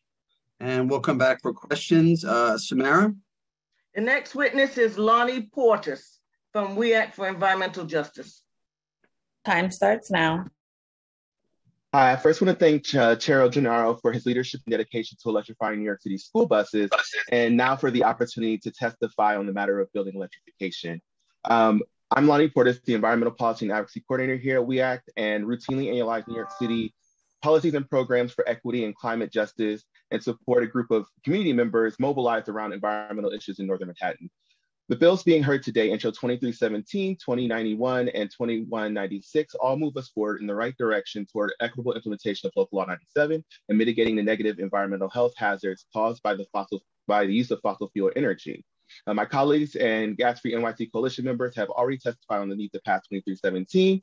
I want to add that the city needs a actionable plan for the city's existing buildings and homes. And this is why it's so why we support Intro 2091, mandating a comprehensive and holistic study of building electrification. The data and recommendations that would come from this study will be essential in accelerating the equitable implementation of Local Law 97 uh, with the emission reduction goals of 80% by 2050. Uh, we do recommend that the scope of the study be widened to include opportunities for and pathways to equitable um, electrification. Moreover, 20, Intro 2196's study of the negative health impacts of gas stoves will acknowledge on public record the harms and dangers associated with cooking with fossil fuels and catalyze a plan to further protect the health and safety of New Yorkers. Electrifying gas appliances would address the 52% increased risk of children experiencing asthma symptoms associated with gas stoves.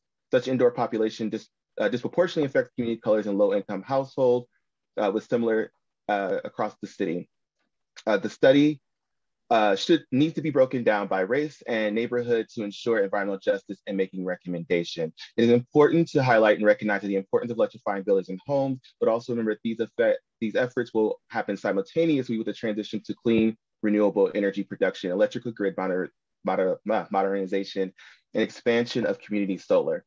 Um, Time expired. Reason, uh, WE ACT uh, for Environmental Justice supports 2317, 2091, and uh, 2096. Thank you again, Chair Gennaro, Environmental Protection Committee. Thank you, Lonnie. We'll come back with questions. Appreciate it. And we had a good time with that bus thing. That was a lot of fun. Yeah.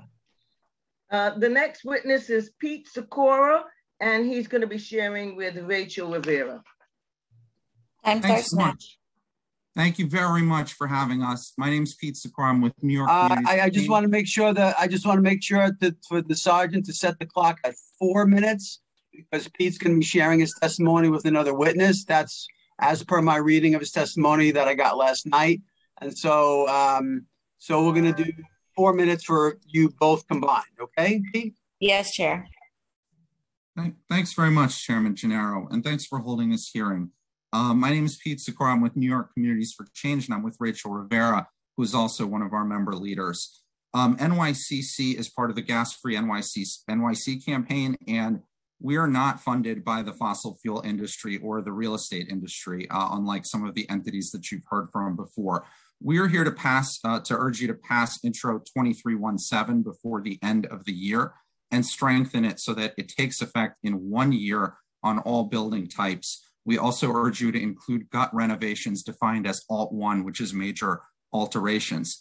Intro 2317 fights climate change and creates clean energy jobs. And there's no time to waste here in the climate crisis, as you've heard. The bill fights both inequality and climate change at the same time. New York City faces an existential threat, and there's no time to delay. So we appreciate your strong focus on this.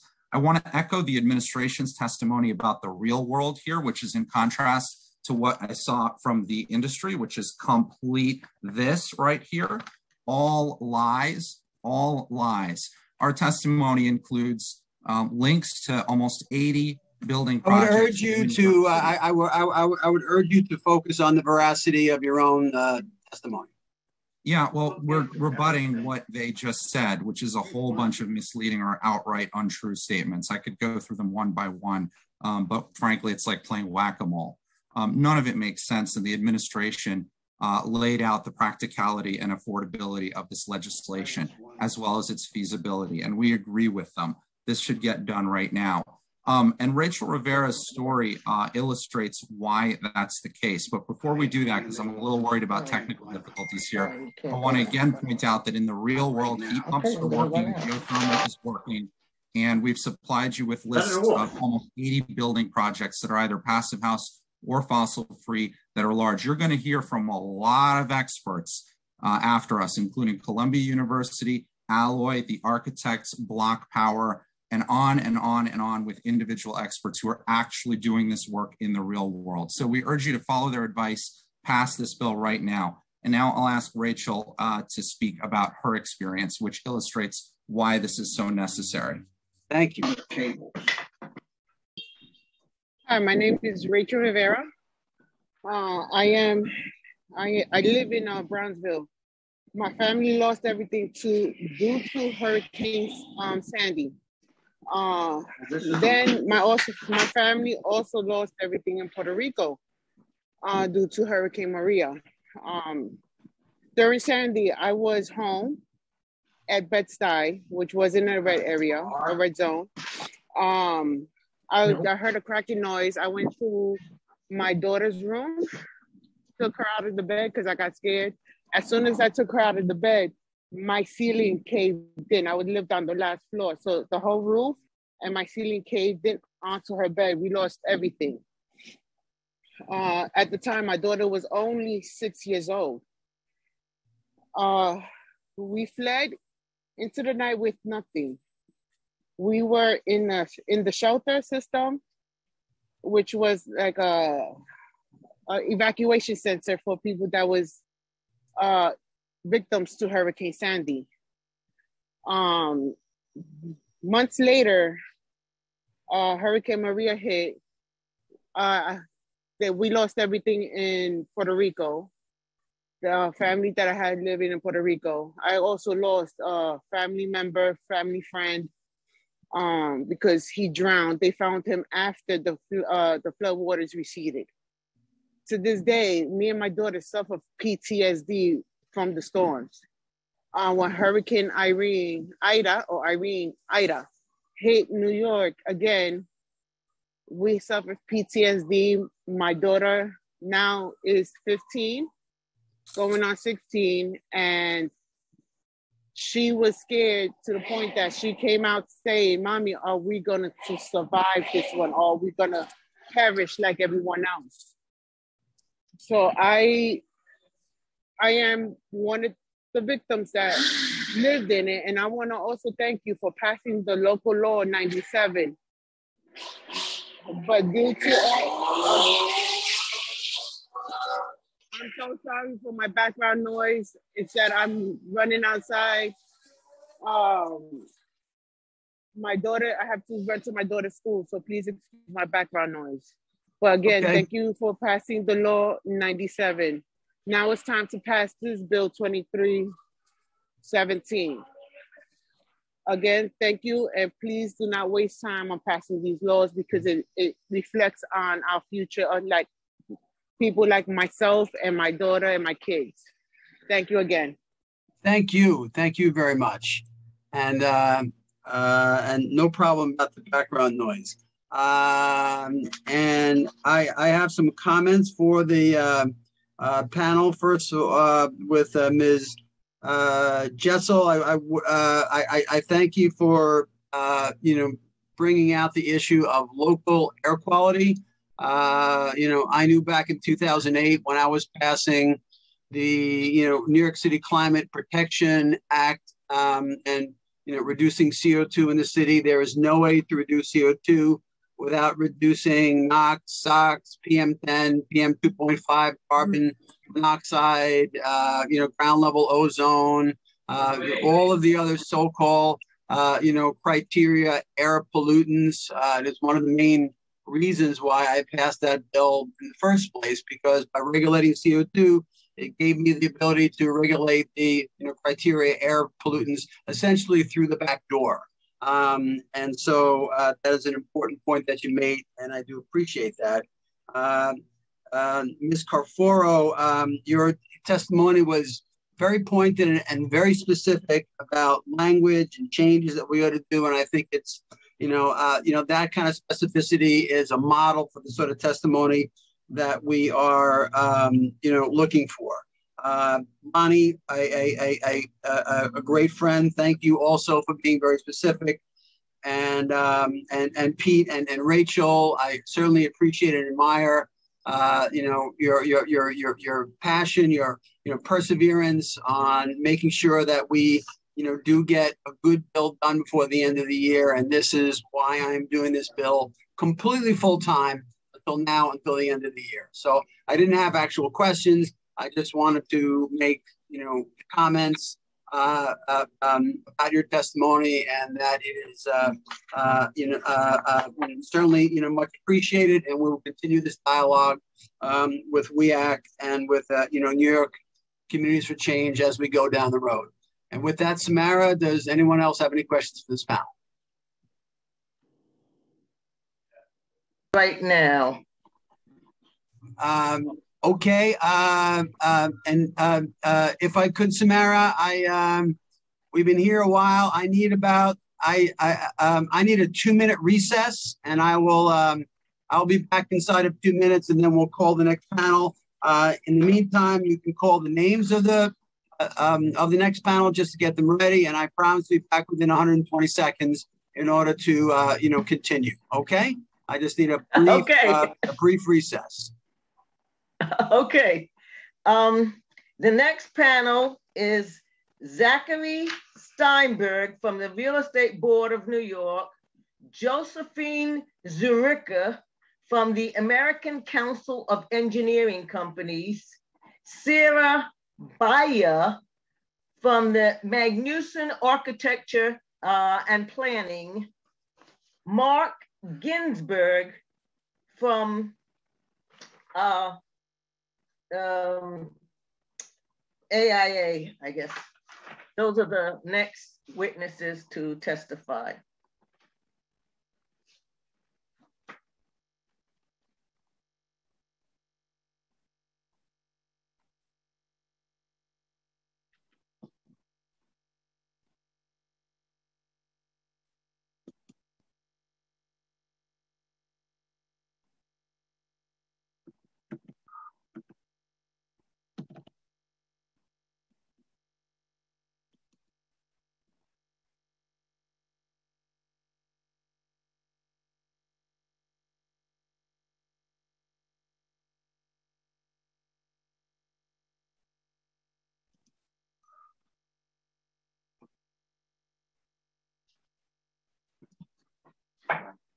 Freezing. I gotta get something else to put on.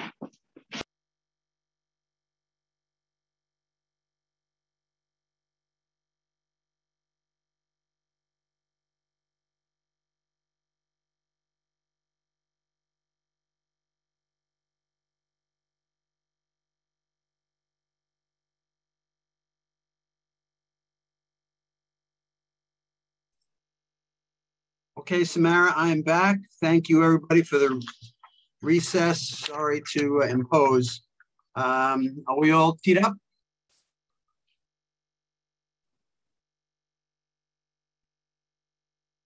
Get ready.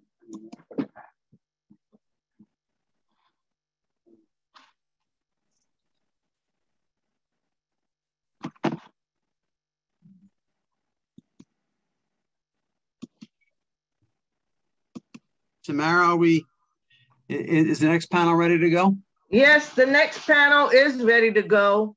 Uh, I called them and they were, um, they, right, uh, again, Zachary Steinberg from the Real Estate Board of New York, Josephine Zurica from American Council of Engineering Companies, um, Sarah Bayer from Magnusson Architecture and Planning, and Mark Ginsberg from uh, AIA.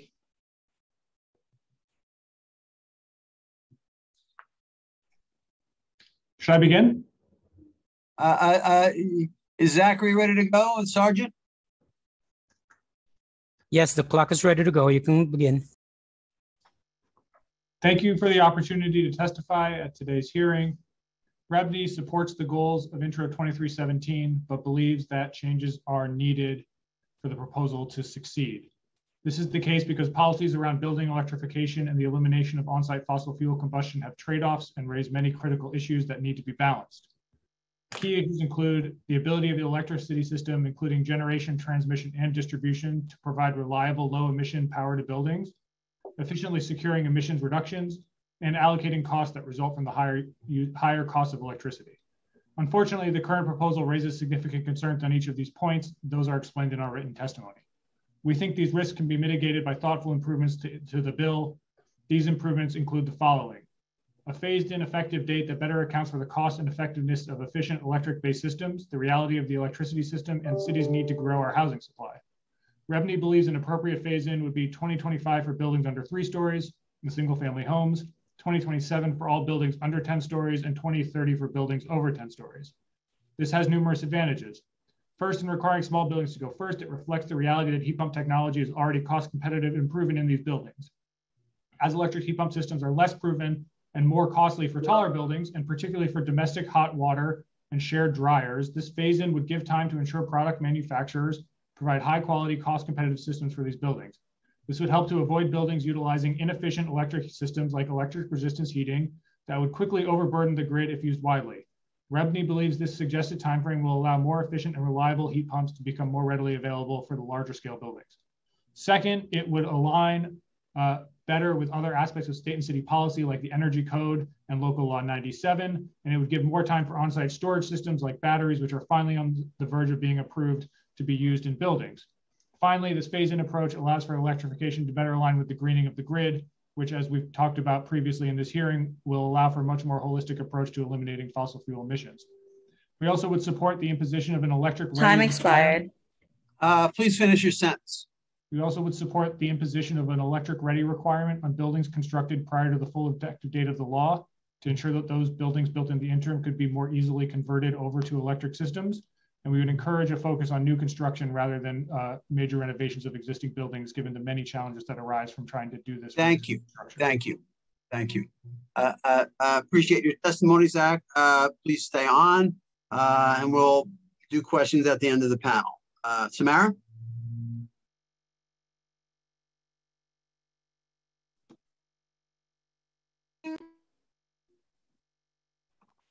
Josephine Zurica.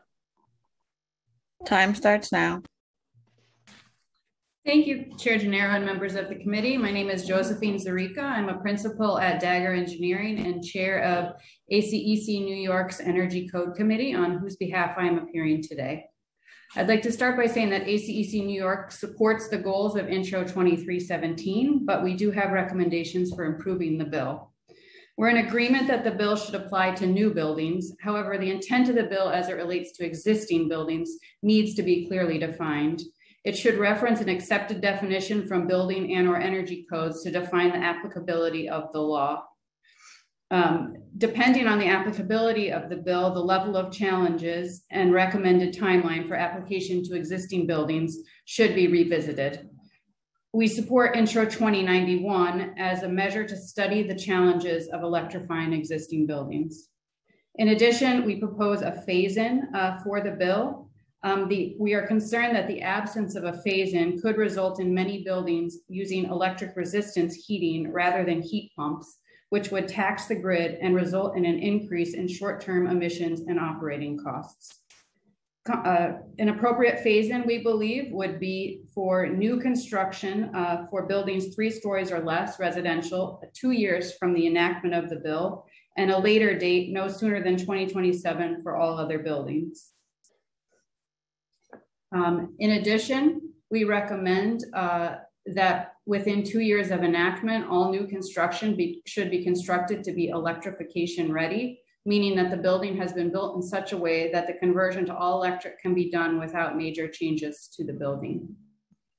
We also recommend that the city should commission a study by an independent third party to evaluate the preparedness of the electrical transmission and distribution infrastructure and whether it can support electrified building stock increases the bill will cause. The study should analyze any infrastructure investments that are needed along with the costs of such investments. Time expired.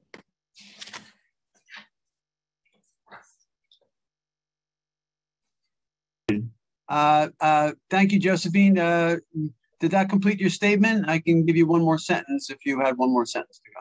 No. You good? Yep, I'm good. Thank you. Okay, thank you. Samara?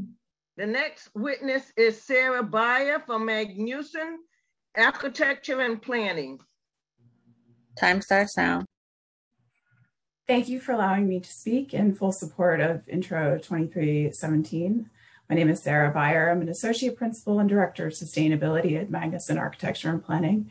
We focus on affordable, supportive, and senior housing in the greater New York City area. We are the architects for three new buildings currently in construction that are all electric, and another eight all electric new buildings that are in design. This represents a total of 1,500 units for both private and nonprofit developers. Many of our affordable and supportive housing renovations are also converting their old combustion systems for heating, stoves, and hot water to heat pump and all electric systems. The vast majority of our recently completed projects have all electric heating and cooling systems as well.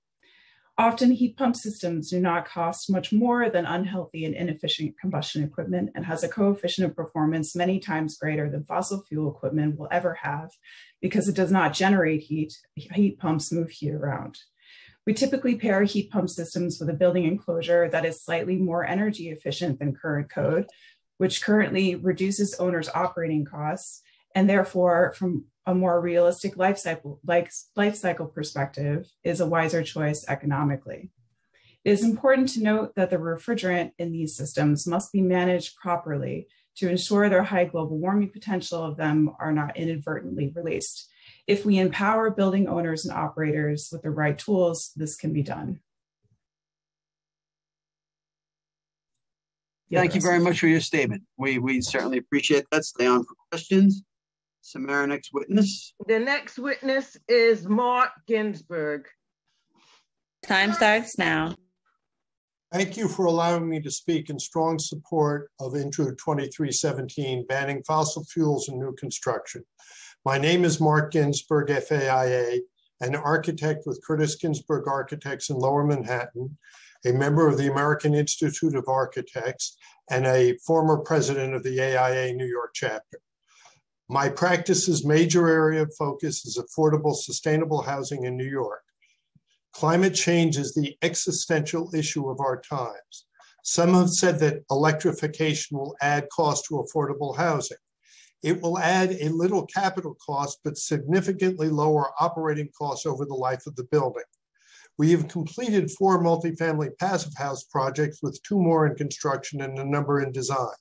These buildings reduce energy consumption 50 to 70% below a code compliant building, meeting the city's objectives of 80% carbon reduction by 2050 now. More importantly, our first two all electric buildings are two months away from completion, and we have five more in design in three boroughs for private developers and not for profits. If we are doing this now, I see no reason why others cannot. These buildings will have a much lower carbon footprint when they open. And in 2040, when the state has mandated a clean grid, they will be net neutral. I would add this legislation follows in the footsteps of 60 localities in California and the city of Seattle. This legislation is a cost effective and straightforward way to move us towards the low carbon future we need to get to as fast as possible. Thank you. Thank you very um, Thank you very much. I, I, I, appreciate all the testimony of this panel. I found it very specific, very um, um, and and very helpful. And I would urge uh, you, um, everyone on this panel to make sure that we have your full statement in writing so that we can continue to ponder that. Um, and and there will be you know ongoing discussions between um, our staff and everyone on this panel and all of the panels and so uh, I, I I know that the um, that the sergeant or someone had said at the outset for people who want to submit their testimony. Um, um, why don't repeat that again for the purposes of uh, making sure that people submit us their written statements? Whoever said that, I think it was a sergeant who came on at the beginning of the test. The beginning yes. Of- yes. So uh, you can send your testimony to testimony at council .nyc.gov. We have a slide up on the Zoom so anybody can see it. Okay, uh, uh, uh, thank you, Sergeant. And uh, with that, I, I, thank this panel very much. And I want to ask uh, um, Samara if there are any questions uh, for this panel from any council members who are in attendance. I do not see any hands up presently? No hands up. Okay, I, I certainly do once again appreciate this uh, uh, good panel of um, you know dedicated experts, and um, uh, and we're ready for the next panel, Samara. The next panel is um, Ben starts with Ben Prosky of AIA, and then Daryl Zarrilli Dan, of Columbia. Dan, Dan Zarrilli. Uh, Dan Daniel Zarrilli of Columbia, and then Keith Leonard Kitch of Block Power, and then Sadia Hoke of NYPIRG, and then Megan Ahern of NYPIRG. So okay, thank you. Starting with Ben Prosky. Time starts now.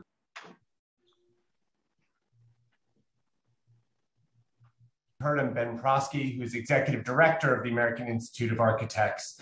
Uh, and you have heard from some of our members. Uh, we represent public and private sector architects who are passionate about buildings, uh, about building more sustainable city.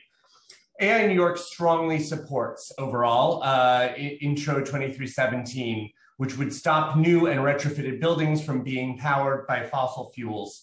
Architects, as you've heard, have been designing fossil fuel free buildings in Europe, East Asia, and many other parts of the country for years, even in our own city. We just heard some examples, um, ranging from new construction, uh, high rises in Brooklyn, to even uh, NYCHA's electrification program for existing buildings. Yet many public and private building owners in the city remain uh, insistent on continuing fossil fuel use. A mandate uh, is needed to move our city towards electrification of buildings. Eliminating fossil fuel use in buildings and transitioning to electric power would have many positive effects. Since most New York City's carbon emissions originate from buildings, cleaner power would mitigate climate change and improve air quality. Electric power provided by renewable uh, sources such as wind, solar, and geothermal uh, is also more reliable. A few years ago, our state's utilities company instituted a gas moratorium illustrating how limited supply of fossil fuels can be manipulated against the public's interest. Lastly, fossil fuels are incredibly dangerous. Too many New Yorkers have been killed or permanently injured from gas fires and carbon monoxide poisoning. Gas, gas puts architects, tradespeople, firefighters, and others at risk, and threat uh, of the risk becomes greater in violent storms and increasingly that increasingly disrupt our city's gas lines. So while this bill would cover many buildings in the city, most existing buildings will not be impacted by these requirements. Additional action should be taken by the City Council and the DOB to mandate replacement of outdated and hazardous equipment. Time expired. And adoption of safe carbon-free technology across the city. Thank you. Thank you very much for your for your testimony, your statement. Uh, please stay on and we'll have questions at the end of the panel. Zarrilli. Time starts now. Good afternoon. It's um it's really a pleasure to be here. I'd like to thank Chair Gennaro and all the members of the Environmental Protection Committee for this opportunity to testify in support of Intro 2317. My name is Dan Zarrilli. I'm the Special Advisor for Climate and Sustainability at Columbia University. Much has already been said about the climate crisis that's already arrived on our doorstep. In fact, at Columbia, we've led the way in understanding this crisis. Uh, it was our scientists at the Lamont Doherty Earth Observatory that first coined the term global warming based on the observations that they recorded. now we're marshaling all of our capabilities to address this challenge. Last year, we made an extraordinary commitment to confronting the climate crisis, creating a world leading Columbia Climate School, the first new school at the university in 25 years. Our commitment to this crisis shows up in our labs in our classrooms, and we're walking the talk on our campuses as well. The university in, in recent years has dramatically decreased its greenhouse gas emissions through ongoing investments in renewable energy, building retrofits, electric vehicles, shifts in commuter behavior, and composting of organic materials. And building on prior work, Columbia released in uh, April of this year our Plan 2030, which is our roadmap to, to achieve net zero emissions by 2050 or sooner. Most relevant to this hearing just this past September, coinciding with Climate Week, Columbia University announced it will no longer install new fossil fuel connections in any new construction, refresh, or renovation projects on our campuses. To support this transition, we're already in the process of evaluating how to, how to fully electrify our campus by replacing the on-site combustion of fossil fuels with clean, renewable energy sources. This work may sound challenging, yes, but it's feasible and it's necessary. By ending the expansion of fossil fuel infrastructure on our campuses pursuing electrification, we're taking the necessary steps to align the university with the goals of the Paris Agreement and the city to clean the air in our surrounding communities and end the world's addiction to fossil fuels. Um, all part of our commitment to empowering the next generation of climate leaders on our campus. Um, so we applaud the council and council member Ampry Samuel for taking on this important challenge and putting forward Intro 2317. It's feasible, it's necessary, and, uh, and this is how the city is going to achieve its goals and avoid the worst consequences of our climate crisis. Thanks again for the chance to testify. Thank you, Dan. Appreciate that. And we'll, we'll come back with comments and questions. The next witness is Keith Leonard Kitch of BlocPower. Time starts now. Good afternoon. My name is Keith Kinch. I'm the general manager and co-founder of BlocPower. I'm a supporter of Intro 2317. BlocPower is a clean tech startup based out of Brooklyn that makes buildings energy efficient, utilizing software to analyze, finance, and lowers costs for building owners. Last week, we were in, it was announced that BlocPower will be helping the city of Ithaca remove every building off fossil fuels. Um, as we think about where we are now in this city, um, we still battle a health and economic crisis. The question we have to ask ourselves is, how do we move New York forward? How do we make sure we move forward health-wise and economic-wise? And quite simply, the answer is not putting gas in new buildings.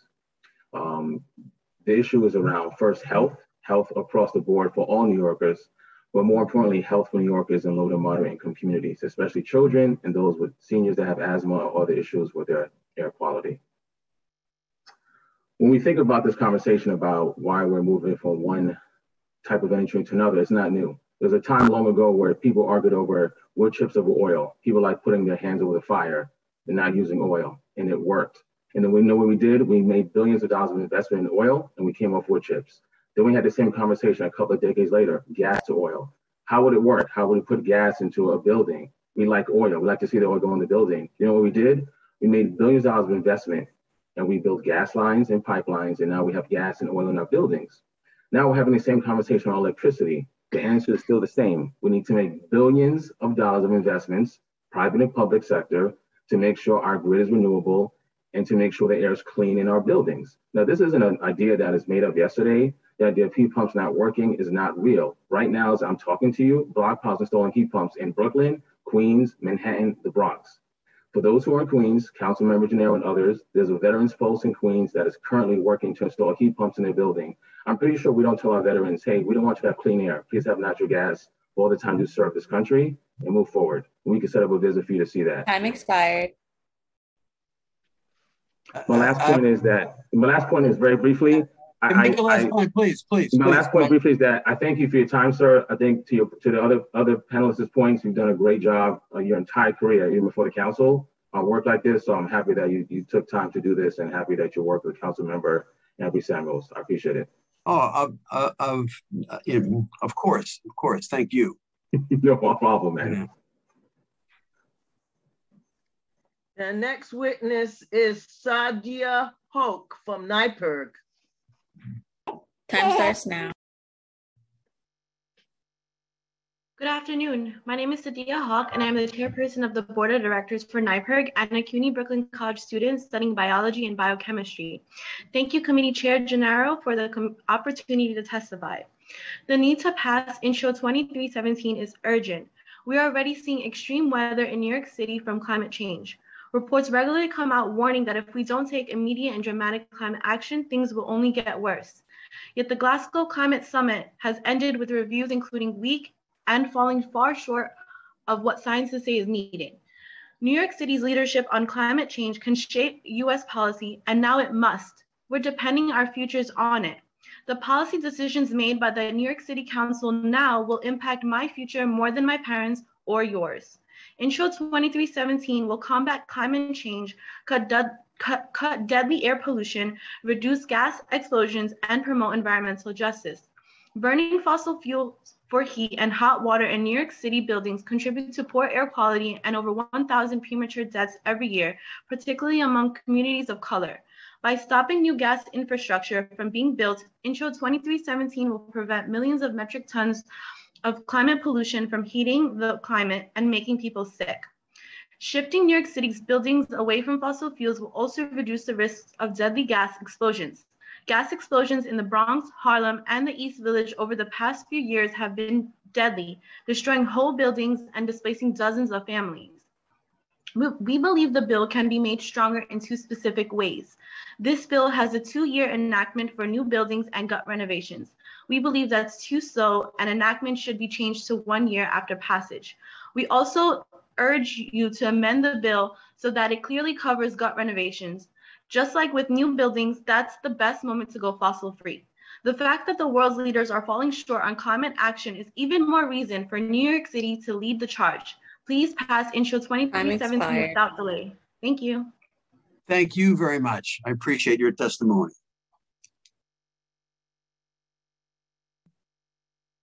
New York uh, Public Interest Research Group. Meg?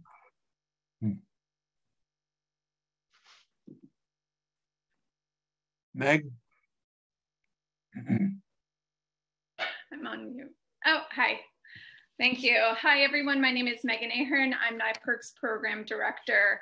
Um, and just to follow up on Sadia's testimony, I just want to underline two points, which are the specific changes we think need to be made to the bill before passage, which is to um, move from a two year after passage enactment to one year. And um, sorry, I just lost my place for a moment.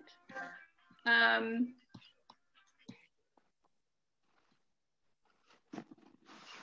no. There we go. So, um, no as we're hearing today, there are already, um, we think it's practical and, afford and possible and affordable to move from two years to one year because as we're hearing today from expert after expert, there are already fossil-free buildings and projects in New York City of all sizes and types, from skyscrapers to low-income housing being developed and built all electric. And NYSERDA is showing through their bids that construction costs, counting subsidies for projects have now effectively equalize costs. And thanks to high energy efficiency in these new projects, people pay lower utility bills. Um, we also urge you to amend the bill so that it clearly covers gut renovations rather than um, the other the definition that's currently in the bill um, for major uh, renovations this is the perfect time to go gas free when everything but the shells and joists are replaced, just like as for new buildings. Um, and there's a longer list of changes to the bill that we think would be really smart to make in our written testimony, which we're submitting now. Uh, I just want to also underline that the costs of not passing Intro 2317, what are they? Um, Superstorm Sandy caused $19 billion in damages to New York City and damaged over 300,000 housing units from flooding. I'm expired. Okay. Uh, please finish your sentence, please. Sorry. Um, thank you. And uh, after Hurricane Ida, the MTA alone estimated 100 million in damages from the storm. Deteriorating air quality is resulting in more costly emergency room visits, illnesses, and deaths. Um, and uh, heat and frequent severe weather will increase demands placed on the city's infrastructure from damage to our mass transit system to sewage overflows from increased precipitation. So please pass Thank Intro 2317 without delay. Thanks so much. Thank you. Thank you. um, uh, regarding this good panel, uh, I, I, I, I, you know, long work with uh, uh, uh, NYPIRG for you know many many years, and um, uh, and uh, you know Dan and I go way back. I want to um, you know thank Dan for his partnership um, over the years. Uh, you know, early in Mayor Bloomberg's tenure, uh, you created the, um, uh, you know, New York City panel on, you know, climate change for a limited scope of work that was going to look at city infrastructure. It came into existence, did its job, went out of existence. Um, and I thought it was wise to kind of bring that, you know, panel back uh, to uh, put that in law and to um, uh, and to widen its scope from just city um, infrastructure to um, uh, um, communities um, across the city that were uh, suffering from, you know, climate injustice. And, uh, you know, Dan was a big part of um, us figuring out what the New York City on, uh, on you know, climate change was going to be uh, in that bill. And so I want to take this opportunity to give a public shout out to Dan for, you know, all he did for the city when he was working for, and all his partnership uh, with me. And, uh, you know, regarding everyone else on the panel, um, Ben, Dan, Keith, Sadia, and Meg, um, I appreciate your testimony. And as Meg just said, uh, she's going to be, uh, you know, submitting her testimony in, in, in, writing, and I hope everyone else uh, does that. And uh, with that said, I am grateful that this panel has shared the benefit of its good views with us. And I'm ready for the next panel if there are no questions. I don't see any questions. So the next panel uh, is um, Rocco Lacertosa from the New York State Energy Coalition and Michael Trunzo from the National Biodiesel Board. Uh, uh, uh, um, I've got um, uh, Floyd Vergara and Stephen Dodge of the National Biodiesel Board as well. Are they not testifying? They are not testifying. Okay, fine. Okay, let's do it. Okay. Thank you, Chairman Gennaro and the rest of the committee members for the opportunity to testify before you today. My name is Rocco J. Lacertosa, and I serve as the Chief Executive Officer of the New York State Energy Coalition, NYSEC. NYSEC serves as the voice of the renewable biodiesel and heating oil industry in New York City and Long Island. Today, I would like to focus my testimony on Intro 2317, sponsored by Council Member Ampry Samuel. Samuel. Uh, since 2012, NYSEC has worked tirelessly with our state and local partners to ensure a cleaner and more re renewable liquid fuel was being used in buildings throughout New York City and state. Beginning with the Bloomberg administration, we have worked to phase out dirty fuels in New York City with the goal of having all heating oil at a B20 or 20% or higher level by 2034. In order to achieve this goal, the biofuel industry has invested tens of millions of dollars in infrastructure in New York to ensure that there is a larger and more accessible supply of biodiesel for New York customers. Next year will mark 10 years since we set out to create a cleaner and more sustainable heating fuel, and I am pleased to say that those efforts have resulted in the removal of millions of gallons of petroleum from the market or the equivalent of over 500,000 cars being taken off the road. It is this success that makes us excited for the future of biofuel in New York, and the reason some of our members have strived beyond the B20 target. In fact, some of our members have recently begun supplying B50 to their customers. With regard to Intro 2317, we are deeply concerned about the potential impact this legislation could have not only on the biofuel industry in New York City, but the city's fuel diversity. Again, let me say that again the city's fuel diversity. What worries us more, however, is the chilling effect this will have on the biofuel industry and the signal it sends about the value of future investment. We are committed to getting to higher blends of biodiesel. We cannot do this without future investment. We look forward to discussing this further with the council. Thank you for your time today. Thank you. And our next witness. Thank you, Rocco. You're welcome. Michael Trunzo of the National Biodiesel Board. Time starts now. Good afternoon. Um, I'm Michael Trunzo. Can you hear me okay? Yeah, I got you.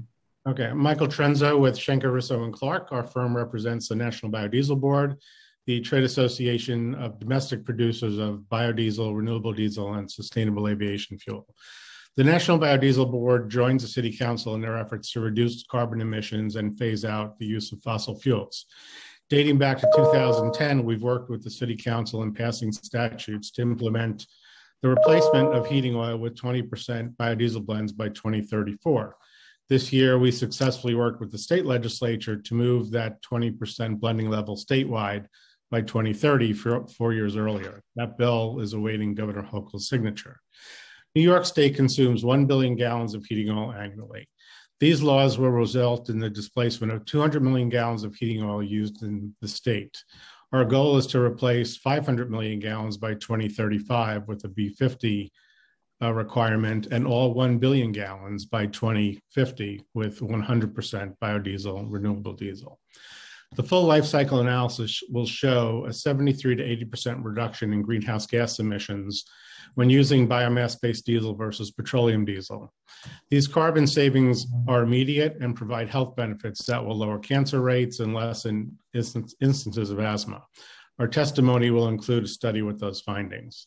Relative to Intro 2317 does not take into consideration the full life cycle analyses, but only tailpipe stack emissions.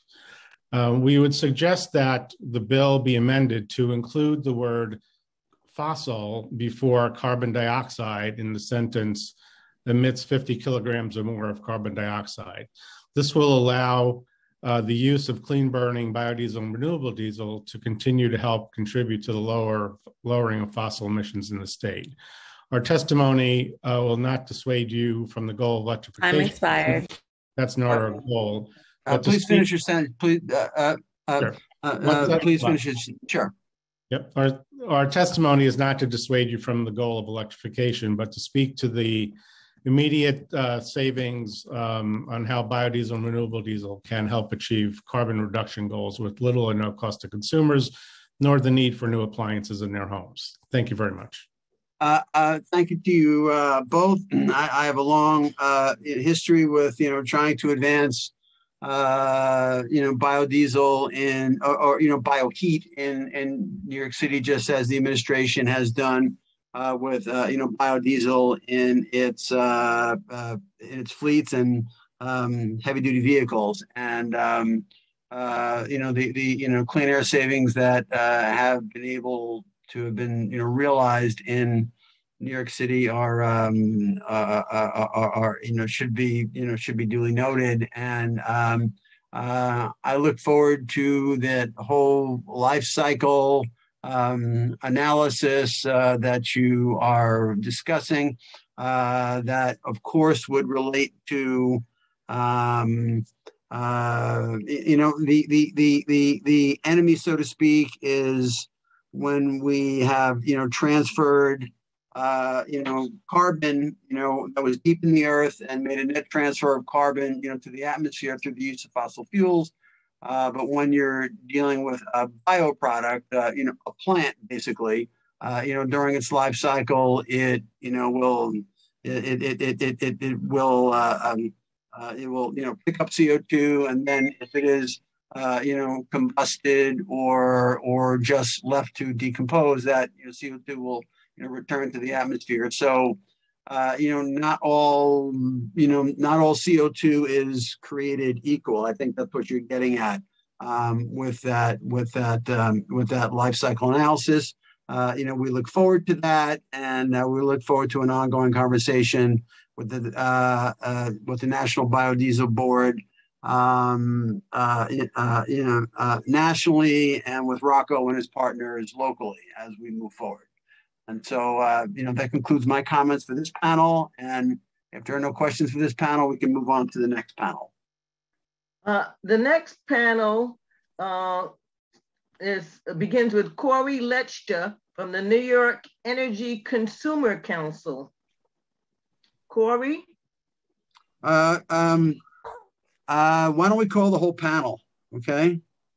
So Okay, know. and Diana Sweeney from the New York City Energy Consumers Council, John Rice from the New York City Energy Consumers Council, Wendy Hios from Consumers Energy Alliance, and Lauren Moss from the New York Energy Consumers Council. Thank you, Samara. Time starts now. All right. so, good afternoon. Um, thank you for having us for this uh, hearing today. Uh, my name Thank is you. Corey Letcher from the uh, Energy Consumers Council in New York. Um, we were supportive of uh, the bill and the spirit, uh, but we believe there's some significant changes we'd like to recommend. One of the concerns that we have is the impact this legislation is going to have on the current electric grid as it stays today, with the phase out of gas and other fossil fuels that this bill aims to achieve. electric options are going to be needed to replace these fuels. Uh, this in turn will increase the demand and the stress on the current electric grid. Uh, given these implications to the electric grid, uh, we'd like to propose that um, the utilities, uh, namely locally here, Con Consolidated Edison, should be directed to commission a study by an independent third party to evaluate the current preparedness of the electrical transmission and distribution infrastructure throughout the impacted service territory so that we can determine whether the grid can currently support electrified building stock under the specified timeline that is outlined by the bill. Uh, this study should analyze whether there are any additional infrastructure investments that are needed, along with the cost of such investments and how these costs would be allocated. This study should also be made publicly available for review and public comment. Uh, the necessary infrastructure upgrade project timeline should also be made public so that it can assist with proper planning by developers. The effective timing of the fossil fuel ban should track the timing of the completion of such infrastructure projects. Uh, this is aligned with uh, intro number 2091, which calls for the assessment of possible timeframes for the electrification of existing buildings of various types and sizes. Uh, this is a study that we would propose should include the impact of newly developed electrified building stock. Uh, thank you, Chairperson Gennaro and committee members for giving me this opportunity to testify and for addressing this important issue. Thank you. Thank you very much. Uh, Diana Sweeney. Time starts now. Good afternoon. Hi, I'm Diana Sweeney, uh, President of Energy Watch and also the Executive Director of the New York Energy Consumers Council. Um, we are supportive of the bill. Um, however, we do recommend the following six amendments to the bill. Uh, one, with regard to the bill applying to buildings undergoing renovations, there should be clarity as to what type of renovations would trigger compliance with the bill. The clarity is needed because if small renovations that are unrelated to systems that consume fossil fuels would trigger compliance, that could present an economic hardship to many buildings. We propose that the bill would apply to buildings that undergo renovations that have a value of over 50% of the property value. Um, second, we believe there should be language added to allow for an exemption in the event Consolidated Edison cannot cost effectively provide electrical service to a new building. Third, with regard to the undue hardship exemption, there should be an explicitly defined process with guidelines in order to claim this exemption. Fourth, New York City owned buildings should also be included in the bill as required to comply to lead by example. Fifth, standby generators used for curtailment uh, activities, which bolster the grid resiliency, should be exempted. And finally, nothing should prevent a newly constructed building from connecting to a district heating and or cooling system, including Con Edison's district steam utility. Um, per the bill, prohibited emissions are those due to combustion with quote within a building. When a building utilizes the district steam, steam, steam system, combustion is off-site. We would like to clarify that a building will have the option to utilize district steam as a thermal energy source. Um, thank you, Chairperson Gennaro and committee members for giving us this opportunity to testify and for addressing this important issue. Um, we are very willing to work with you further to further um, finalize the bill. Thank you. Thank you. Thank you very much. I appreciate that. Uh, the next uh, panelist is John Rice from the New York City Energy Consumers Council. Good afternoon, everyone. Uh, Chair Gennaro, uh, Councilman Ampry Samuel, and Moderator Samara. I'm uh, John Rice. I'm the president and principal of Legacy Engineers, New York City's premier Black-owned consulting engineering firm. I'm a board member of the Urban Green Council, and I'm a member of the Energy uh, Consumers Council. Uh, part of this question may have been answered earlier, I, I, believe I heard that when Councilman Ampry Samuel spoke, that she said this legislation was for new buildings and gut renovations. Uh, I, am here to uh, in favor of. We're supportive of the bill, and we're in here in favor of a phased-in approach, similar to what Chris Halfnight uh, presented earlier in his testimony. Uh, the most efficient technologies for buildings today are heat pump uh, units, air source heat pump units, which require significant roof space for existing high-rise buildings due to the limitation of the building footprint. The roof setbacks are typically not large enough to accommodate the necessary equipment on the roof. Therefore, without a phase-in, many buildings are are opting to go just towards strict uh, electric resistant heat rather than heat pumps, which would actually increase emissions uh, given the inefficiencies of those systems. Thus, uh, we would propose a, um, a phase-in approach over time based on the square footage and or the building height to provide more time for products to come online that can meet the needs of all segments of the building stock. Uh, as an example, uh, for buildings that are 50,000 square feet, three feet or less, a two-year phase-in. For buildings that are 500 square feet, uh, 10 stories or less, five years. And for buildings that are, and all other buildings, uh, eight-year phase-in approach. I thank you for your time today. Thank you very much. Uh, the next witness is Wendy Hios from the Consumers Energy Alliance. Time starts now. Good day, Chief Gennaro and members of the Environmental Protection Committee. My name is Wendy Ehos, and I'm the New York Executive Director for the Consumer Energy Alliance. I appreciate the opportunity to share our comments today. Founded in 2006, CEA is a nonpartisan nonprofit organization with more than 350 member companies more than 550,000 individuals in our national network, our nationwide network. Our mission is to help ensure American families and businesses have access to reliable, affordable, and environmentally sound resources. We believe in an environmentally sustainable energy future that includes both traditional and renewable resources that create the energy mix to meet the needs of our nation's families, businesses, environment, and economy. We support U.S. energy in all forms so we continue to meet our climate expectations, continue progress towards net zero, and maintain our energy security while keeping the cost of reliability needs of families and businesses in mind. As the committee considers its legislative agenda today, it's important to highlight New York's incredible environmental progress while natural gas use and infrastructure have expanded across the state. According to state data, total emissions from the electricity generation sector fell 42%, while natural gas use for power generation increased more than 150% from 1990 to 2015. Additionally, the Department of Energy reports that New York's energy related carbon dioxide emissions decreased a remarkable 18% from 1990 to 2018. CEA is concerned about the harmful economic impacts that the suite of bills being considered today could have on working families, small businesses, and those struggling to get by, especially with today's inflationary environment and soaring energy prices the latest Department of Energy Winter Outlook projects with 30% increases in natural gas prices, 54% spikes for propane, 43% surge for home heating oil, and winter gas heating bills could be $746 and $1,268 for electric heating. I'm expired. Uh, uh, uh, please finish your sentence, please. CEA recently issued a heat or eat report that found that consumers would pay over 13.6 billion in additional higher winter energy costs as a result. Um, I, I, do have a few more sentences. Um, it'll probably take me about 15 more sentence, seconds to finish. Uh, uh, please be brief.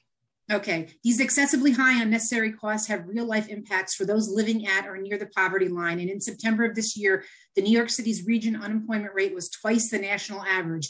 This is why CEA shares its concerns with the suite of bills being considered because they could potentially lead to higher energy costs and reduce consumer choices.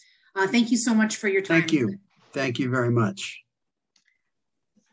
The next witness is Lauren Moss of the New York Energy Consumers Council.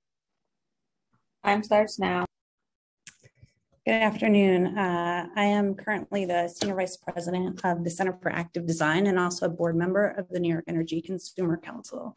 We are supportive of the spirit of the bill. However, I believe that significant changes are needed. A case study was performed on an existing NYCC members multi-tenanted residential building to review the impacts of eliminating natural gas combustion if the legislation had been implemented as it currently is written at the time the building was developed. The study was performed on a recently constructed 560,000 square foot multifamily residential building built in 2019. Currently has a natural gas fired condensing hydronic heating system. The findings, which are rough estimates, are summarized below. The installation of electrified heating systems would have resulted in an increase in first costs of about $4.5 million or $8 a square foot. Annual operating costs would increase by $75,000. Uh, the loss in annual revenue of $120,000, consisting of $100,000 in lost rent from a reduction in views associated with the exterior mechanical equipment placed on roof setbacks, as well as $20,000 in lost amenity fees due to a reduction in outdoor terrace amenity space. And the initial carbon savings from electrifying the heating systems vary between 250 and 300 tons of carbon per year, depending on whether E-grid or local law 97 coefficients are used. The impact on the cost of new development of a large building further supports the NYECC's position that large buildings over 500,000 square feet should be phased in over eight years following completion of necessary infrastructure upgrades. This will allow time for new technologies to enter the market, which should make the cost of development more feasible. This will also avoid many buildings installing electric resistance heating rather than heat pumps, which would actually increase emissions given the inefficiencies of these systems. Thank you, Chairperson Gennaro and committee members for giving me this opportunity to testify and for adjusting for addressing these important issues. Uh, uh, thank you uh, very much, Lauren, and I, I, I thank this entire uh, panel. Uh, as I'm urging all panels, uh, you know, make sure that we have in all of your testimony in writing. Um, this is what I do for fun. I read testimony, and then I make little lines and circles, and I bother staff. And this is this is this is what I do. Yeah, you, you know, it's it's it's you know, it's my life. What can I tell you?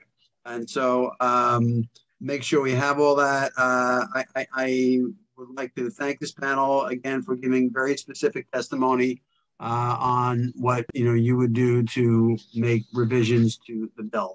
Um, this is always the kind of specificity that we're looking for. I ask that you, uh, you know, send this along. I want to make sure from the sergeant that I will have the ability to um, to actually watch the uh, hearing again. Will I have that ability, Sergeant? Uh, can I have a tape of this? Yes, once once it's uh, uploaded to the uh, council website, you can watch it there. Okay, uh, I, I, would uh, um, ask my legislative director, Nabi, to be in touch with the council when that will you know be available because I will be watching this again as well as looking through all the testimony. Um, so I, I, thank this panel, and if there are no questions, um, we can move on to the next panel. Are there any other questions for this panel, uh, um, Samara? I don't see any council person questions or any other okay. questions. Uh, okay, then let me just jump in right now for the sake of for the sake of balance. Um, you know, the next panel to testify was going to be panel number nine. I'm going. Uh, we're going to, uh, you know, um, with my apologies, go to panel number 10 first, for the sake of sort of balance. Um, you, you, know, we we've had a couple of uh, panels in a row that have had a certain perspective, and so I think for the sake of balance, we're going to do panel 10 and then follow that with panel nine. My apologies to panel nine. As I was talking to Council Member uh, Samuel before, it's very important to have balance. Some people think this way, some people think the other way. And so we're going to, um, uh, you know, put panel 10 before panel 9. Okay? You got okay. that? Marissa will do that. Panel 10 Eric Weltman of Food and Water Watch, John Pope, General Contractor, AJ Pyers, President of Alloy, Amy Turner of Columbia University Sabin Center for Climate Change Law, and Leah Stokes of the University of California at Santa Barbara. Time starts now. My name is Eric Weltman, and I'm a Brooklyn based senior organizer with Food and Water Watch, a member of the Gas Free NYC Coalition. On behalf of Food and Water Watch's nearly 100,000 supporters in New York City, we urge the City Council to pass Intro 2317 now. Seven years ago, New York declared a ban on fracking, striking a blow against the fossil fuel industry. It was a necessary measure to protect our water, communities, and environment from this dangerous drilling process. And Chairman Gennaro, you played an important role in that effort for which we are grateful. Since then, we've continued the fight to move New York off fossil fuels, with Governor Hochul taking a major step forward by blocking frac gas power plants in Queens and the Hudson Valley. Now, New York City must continue to lead the way by banning gas hookups in new construction and gut renovations. This policy, folks, this policy is bold, practical, and necessary. The evidence on the ground is clear. We have the technology and we have the skills to use it. Now we just need the council's leadership. Of course, ExxonMobil is scared of this legislation, and they should be. What happens in New York doesn't stay in New York. We fully expect that New York's leadership, your leadership, will be elevated, and let's be clear, we need it to be. The stakes could not be any higher. higher. Hurricane Ida was another tragic reminder that the painful impacts of climate change are already hitting home. More extreme weather events supercharged by climate change, as well as deadly heat waves, will continue to devastate our communities. Any delay, any delay in moving off fossil fuels means more death and destruction. To be blunt, folks, delay equals death. New York City would reap a multitude of benefits from Intro 2317 good green jobs, cleaner air, and improved public safety. Firefighters and other first responders are on the front lines of disasters caused by gas in our buildings are made even more deadly and dangerous by its presence. Google New York City gas explosions and you'll know what I mean. Finally, Finally, we join New York Communities for Change and other allies in the Gas Free NYC campaign in calling for Intro 2317 to be strengthened.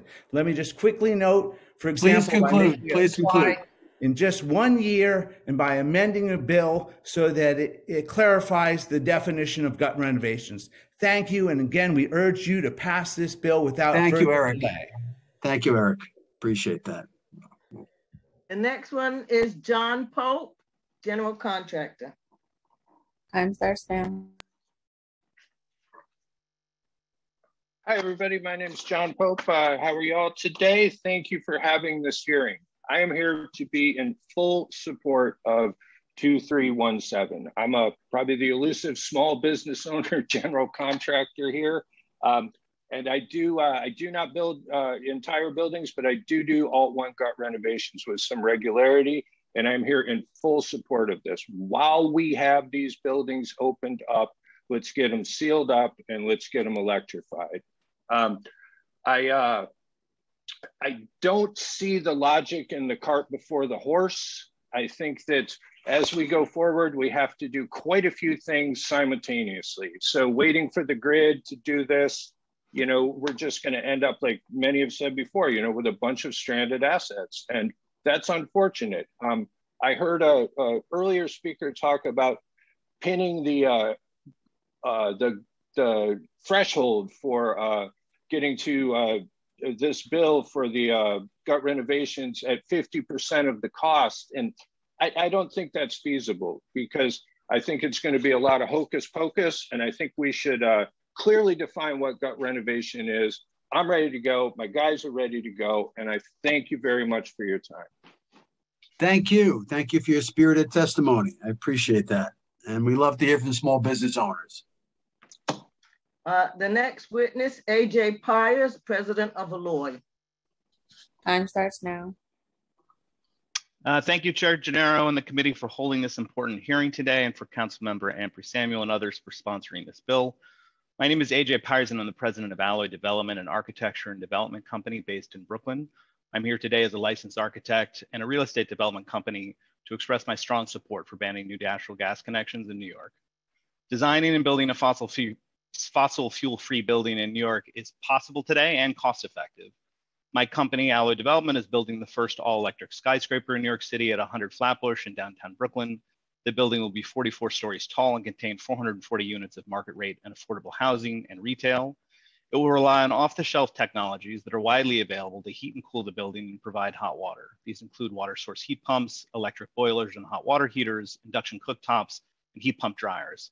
And will do so at a similar cost as conventional buildings. When it's operational in 2024, it will be 20% more efficient than a conventional new building. And by 2030, relying on the electrical grid's transition to renewable energy, it will be 200% more efficient. It will have superior indoor air quality, an airtight building envelope, and most importantly, it will be future proofed. That is designed to operate in a carbon free future we must start planning to live within.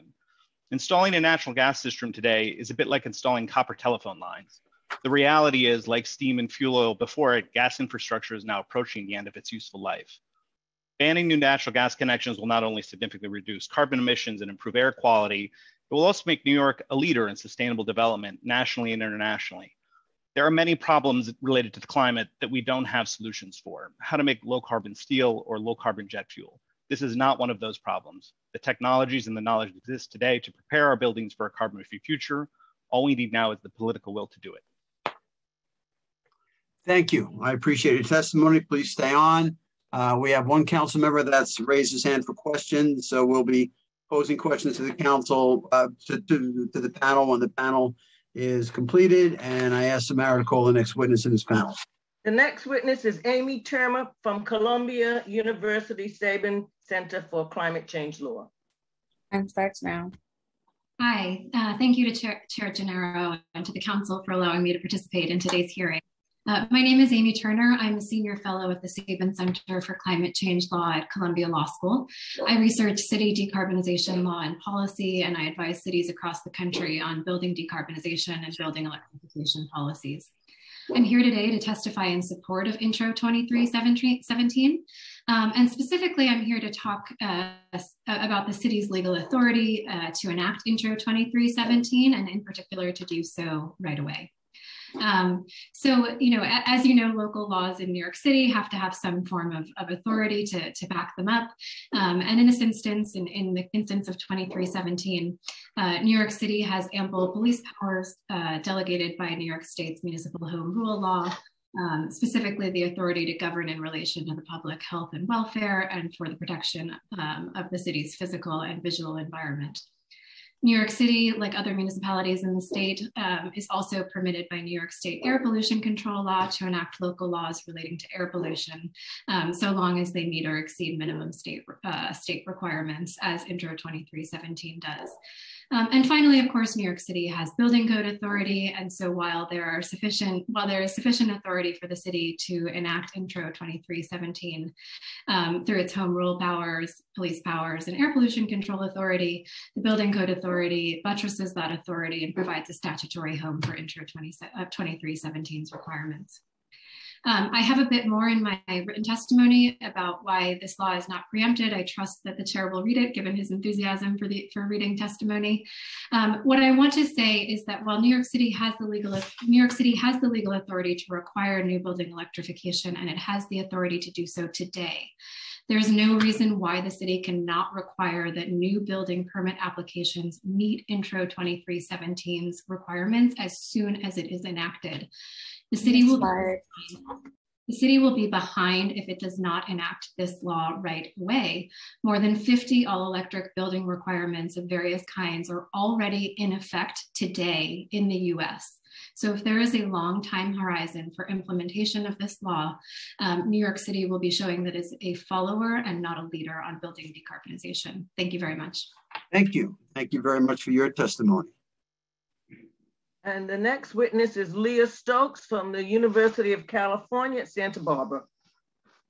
Time starts now.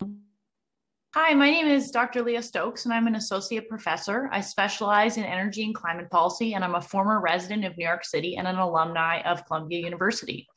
New York City has a really big chance right now to join with over 50 other cities across the country who have taken bold steps to stop installing new gas in buildings. 2317 being discussed today would be a landmark change that would deliver big public health and climate benefits while creating jobs in the city.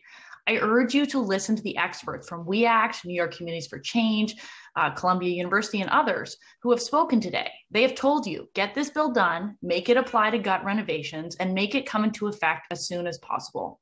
The good news is that building electrification will tackle climate change, create jobs, and deliver public health benefits. Scientific research has shown that we cannot build any new fossil fuel infrastructure and limit warming to 1.5 degrees. That includes putting new gas in buildings. And we don't have to do it anymore. We have heat pumps, we have induction stoves.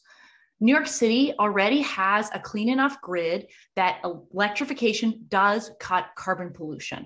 Anybody who has testified today, and I've heard several people do it, who has said otherwise is being factually inaccurate. I am an energy policy expert and I looked it up myself today. If you put in an electric stove or an electric heat pump, it has a lower carbon footprint today with the electricity mix in New York City today. In addition, other factually inaccurate statements that have been made have been around how heat pumps are not possible in New York City.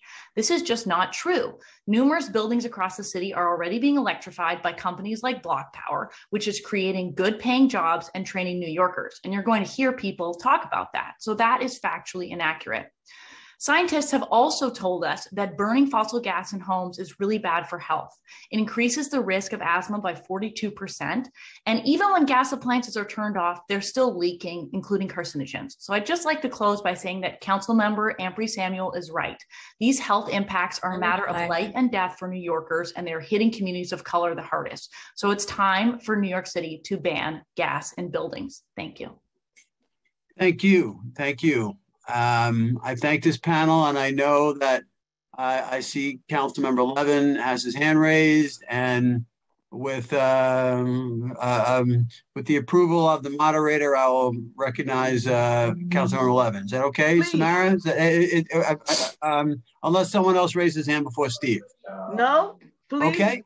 Please okay. recognize Steve. Yes, it is my uh, it is my pleasure to recognize uh, Councilmember Levin. Thank you. Thank you very much, Chair. Um, uh, my first question is for um, uh, for AJ. Um, uh, you know, I was the council member who um, approved that project that you're speaking of uh, in my. I district. remember. Yep. Right. Um, and um, you know, we had a you uh, Alloy as a developer, you guys want to make a profit, right? You guys are looking to uh, have a, uh, you know, a, a, you're in, you're not a not for profit, you're a for profit company, so you have every interest in trying to um, make a cost effective development. Is that correct? That's correct. Sure.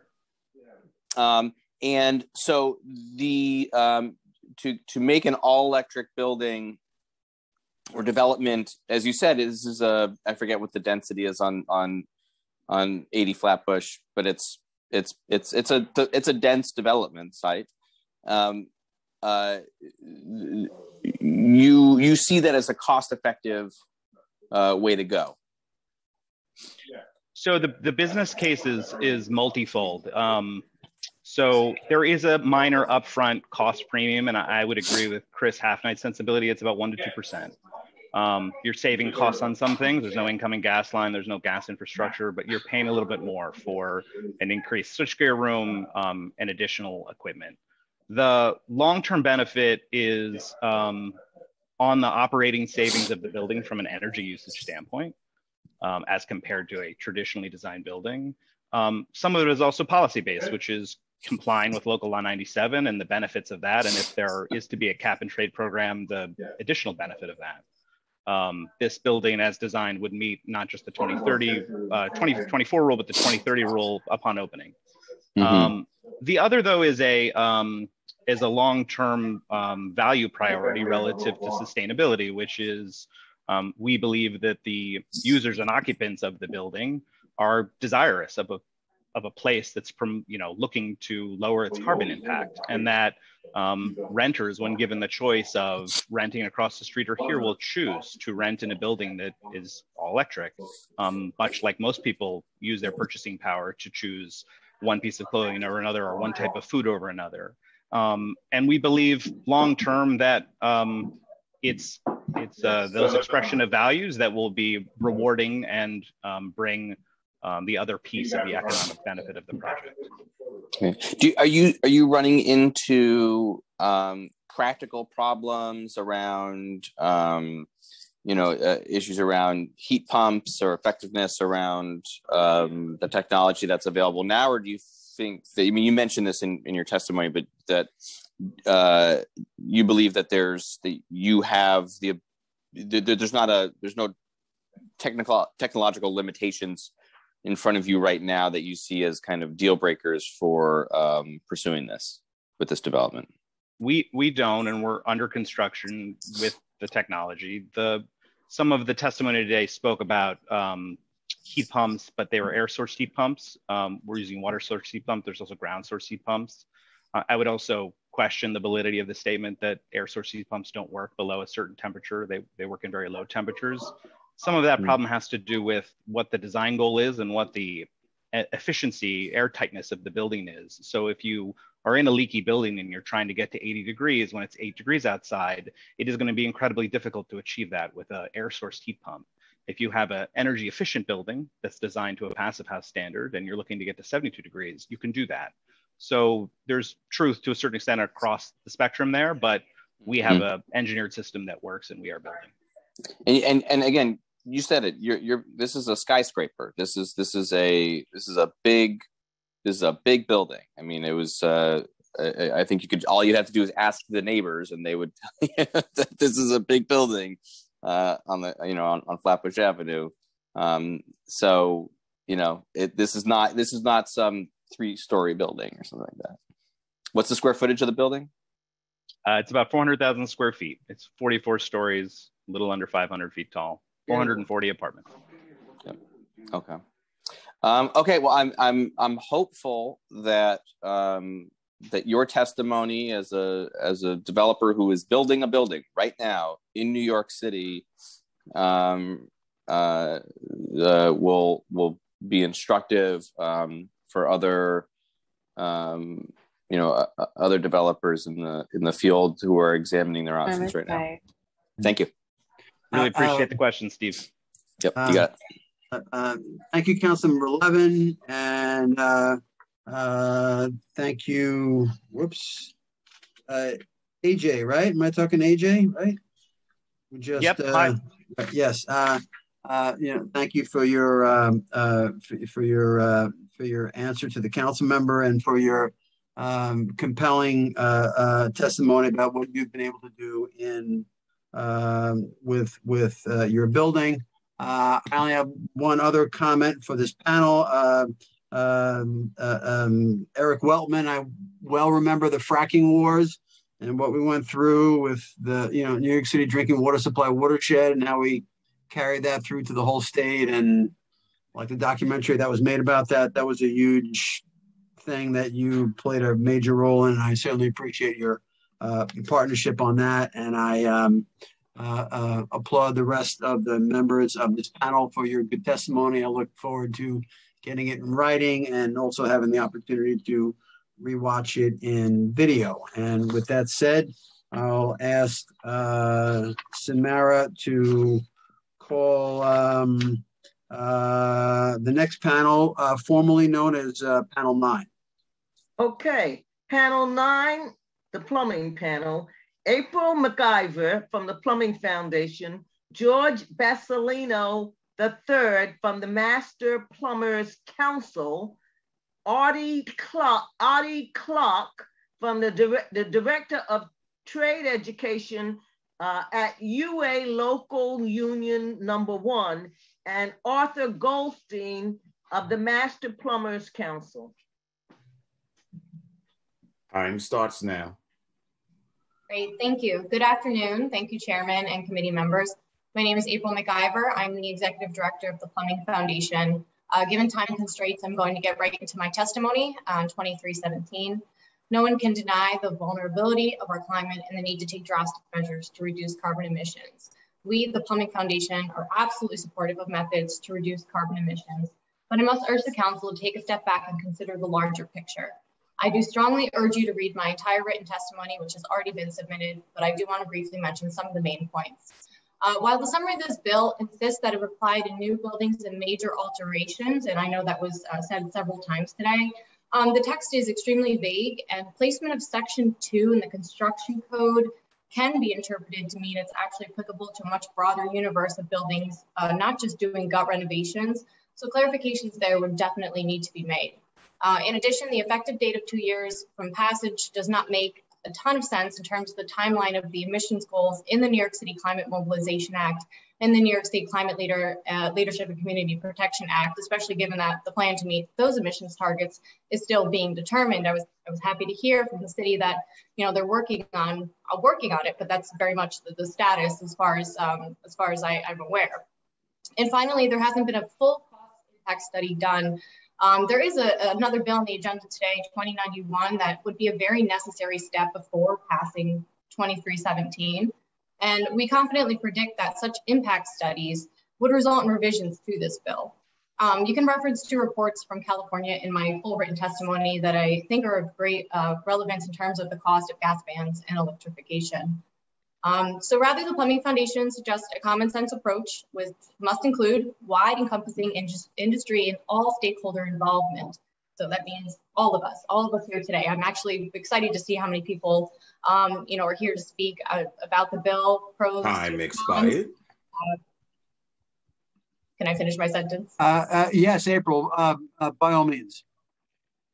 Great. So two other points are just uh, a diversified, meaning sources, an incremental approach to phasing out carbon emitting energy sources, as well as educational campaigns aimed at explaining the fact, science, and data behind the diversified approach. So we look forward to continuing this conversation with the council and all stakeholders. Thank you. Thank you, April.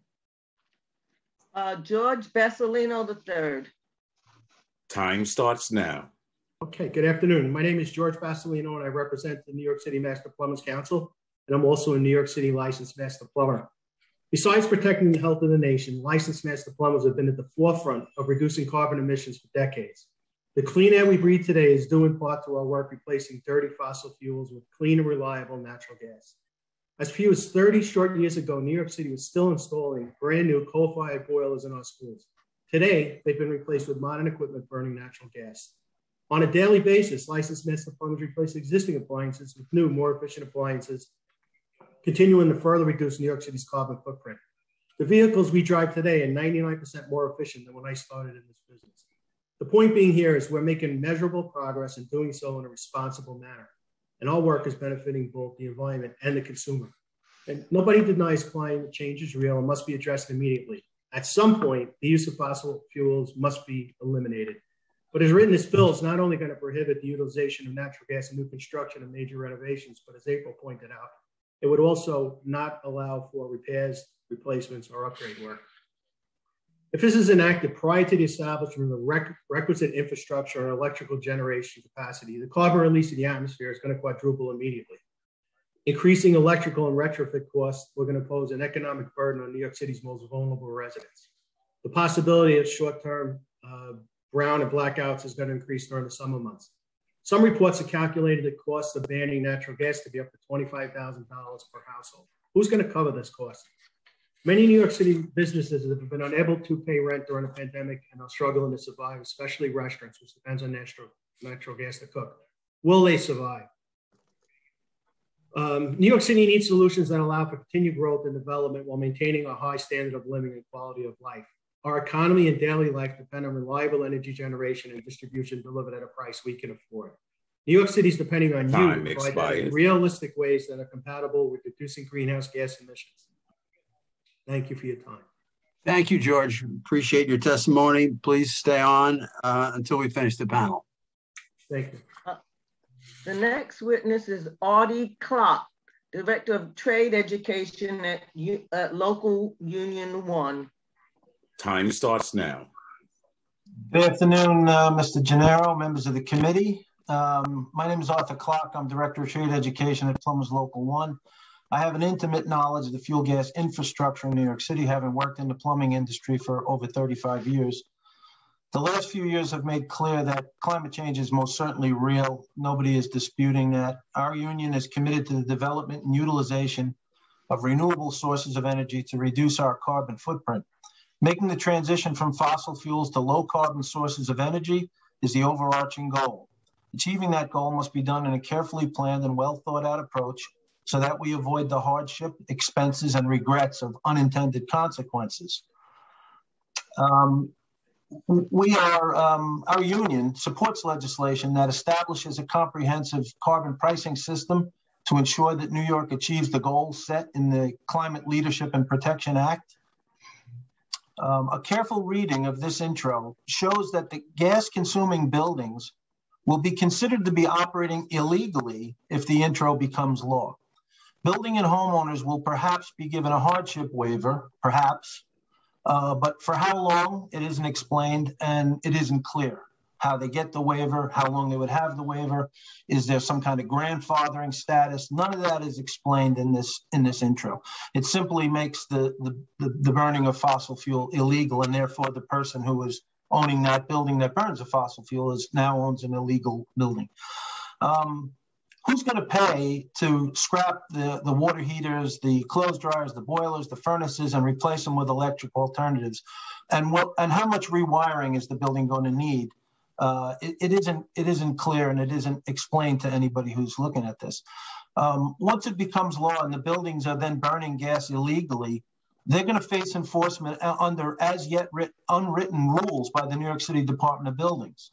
Time we haven't expired. seen the rules. The rules aren't part of the law. They come after the law.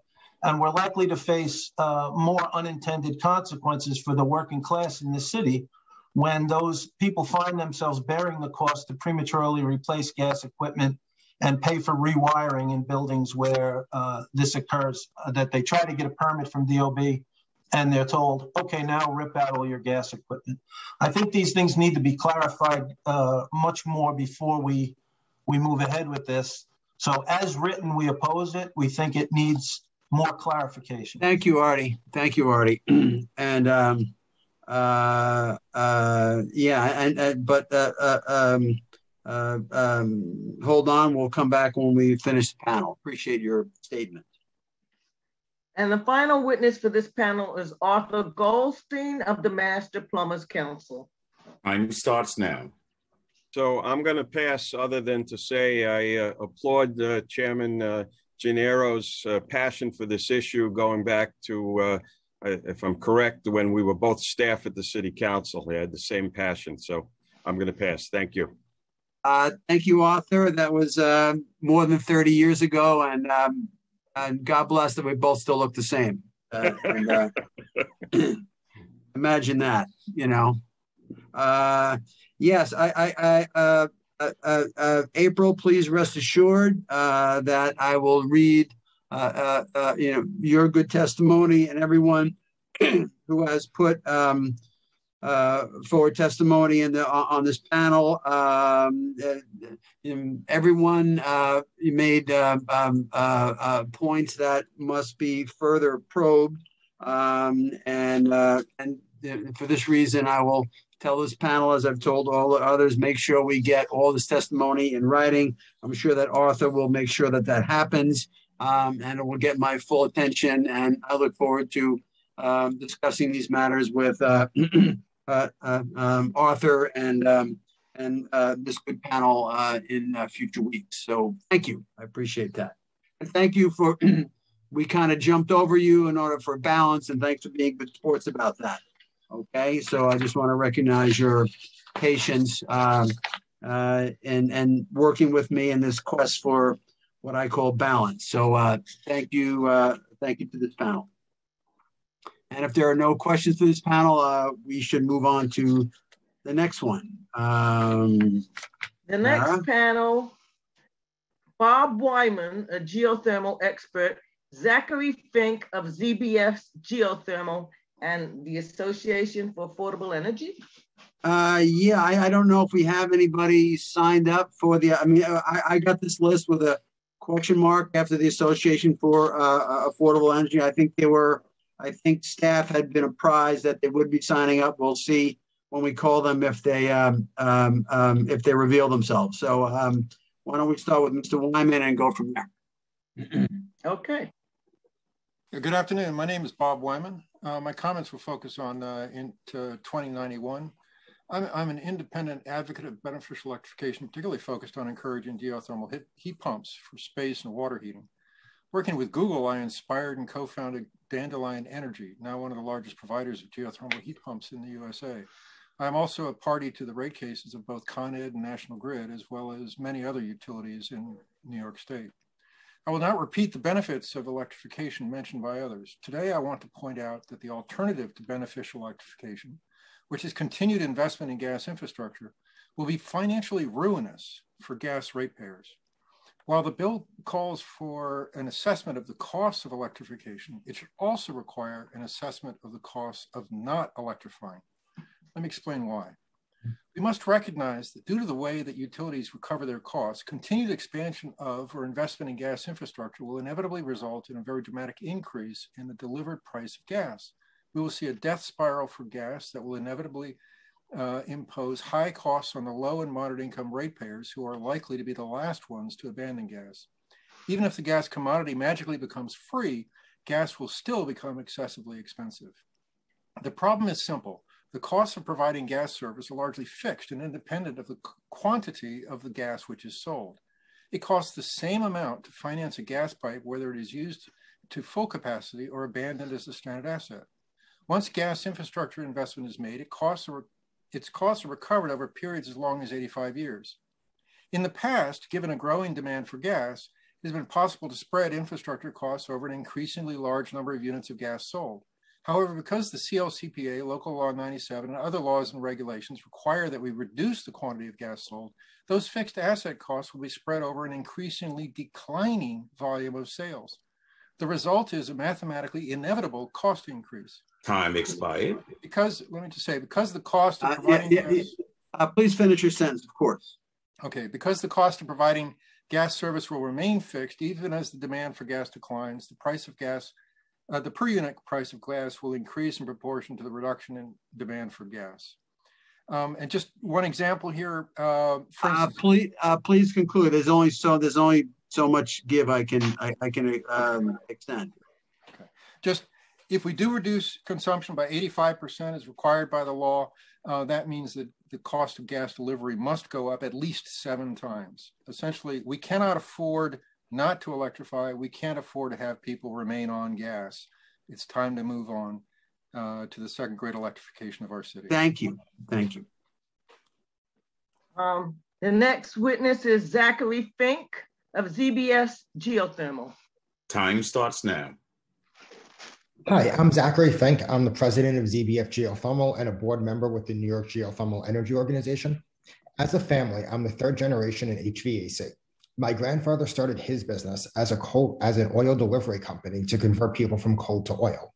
And now I'm working on electrifying some of the same homes and businesses. In New York City, we have four operational multifamily buildings with geothermal, each at least seven stories. Um, and we have dozens of projects in various stages of design and construction, representing over 3,500 apartments, over 3 million square feet of space, ranging from affordable housing to market rate buildings to our office buildings and buildings as high as 36 stories. Um, geothermal systems do not use the outdoor air. Um, so the concerns about what happens for heat output in a polar vortex or when it's zero degrees outside are not a concern. The ground temperature in New York City is constant. Geothermal systems also reduce environmental noise, eliminating the need for condensers, dry coolers, and cooling towers on the roofs. Um, others have mentioned the higher operational costs. So I just want to address that for a second. Uh, one of the first large scale geothermal projects we did in New York City was uh, a passive affordable housing project in Far Rockaway. That project has air conditioning costs for the tenants of under $10 a month, uh, which increases the affordability, increases the indoor air quality for the residents that in affordable housing in New York City wouldn't necessarily otherwise run air conditioning because of the affordability concern. Um, and then the other big thing that was mentioned was domestic hot water not necessarily being ready for prime time. Um, since we've started large scale geothermal designs in New York City in 2017, I know of at least a dozen new projects that have come to the market, um, including, and these are new to the New York City market, not new to the market as a whole. Um, and a lot of those were driven because of local law 97. So the phase time, the phase timing would allow additional products to come out as well. Time expired. Uh, thank you. Thank you very much for your for your testimony. And um, uh, Samara, let's see if uh, the Association for Affordable Energy is uh, around. I don't see them. Is anyone representing the Association for Affordable Energy? Uh, okay, why don't we, uh, uh, uh, then let me just give my comments for this panel. I, uh, I, I was the one that, um, uh, you know, did my best to get the ball rolling on, you know, geothermal um, back with, I guess it was John Reiner who worked for PW, I, PW Grossman, I think. That's right. And, and uh, um, that was a long time ago to do like the geothermal map. So I certainly applaud, um, you know, like the, you know, the most renewable of all, you know, renewable. And speaking as a geologist, I'm a little, um, you know, I, I, I'm a little partial and biased, uh, you know, with regard to my affinity for uh, geothermal. And I thank these two witnesses for, um, you know, giving a, a, this broader audience the, uh, you know, benefit uh, of this, uh, you know, technology that I would like to see, um, um, uh, you know, multiply, you know, many fold in New York City and make sure that you send us both your, you know, copies of testimony in full so that we can benefit, so that we can get the most benefit from it. Uh, thank you. Thank you very much for your statements today. Group 12. Group 12, John Rath of New York Geo. This is the statewide geothermal uh, organization. Bill Nowak of New York Geothermal. Um, Rachel Grace, Rewiring America. Amar Shah, Rocky Mountain Institute, and New York Passive House. Thank you, Samara. Time Thank starts Chief. now. Thank you, Chair Gennaro. Uh, I've been itching for over an hour to answer the question of Council Member Ampry Sam, Samuel about how do we get the yes, and also answer your question about whether there's a trade organization involved. And, and uh, so I would be one of those people from the trade organization, New York Geothermal Organization. We represent designers, installers, drillers, manufacturers and education people responsible for the installation of energy saving ground source heat pumps. And, and I was, I'm pleased to know that you're an expert in that. Uh, so uh, it, it's good to hear. As you heard uh, Mr. Fink say, we already have real life examples of healthier and cost competitive buildings in New York City that don't use fossil fuels for space heating and they don't use them for cooling or hot water heating. We already have contractors that are providing excellent wages for ground source heat pump, pump work in New York City. And our members have uh, unfortunately lost cost competitive projects simply because developers do not understand and are not familiar with, with uh, heat pumps. So this uh, number 2317 will send a much needed uh, market signal because frankly, education isn't going to be enough. And in closing, I just want to let you know that uh, the New York GEO members support uh, Intro 2317, and our members are able and willing to move New York City to a cleaner, healthier, and electrified environment. Thank you very much. Thank you, John.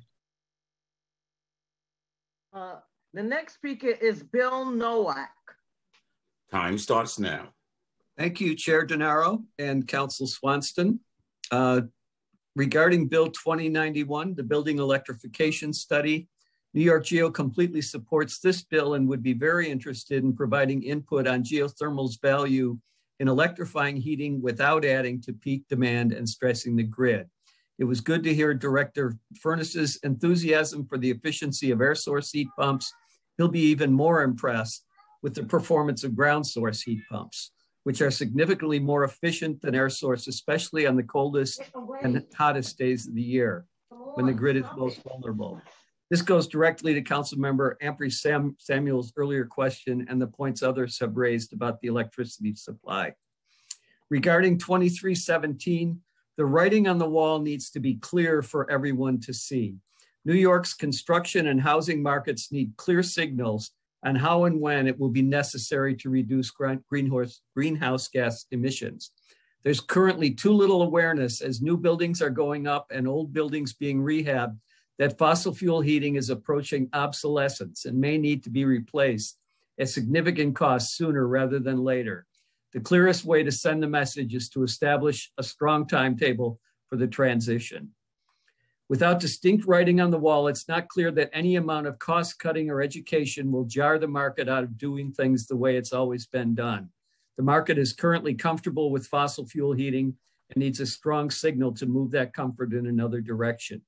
We also face an enormous challenge transforming the HVAC industry itself to one that's working to meet our climate challenges.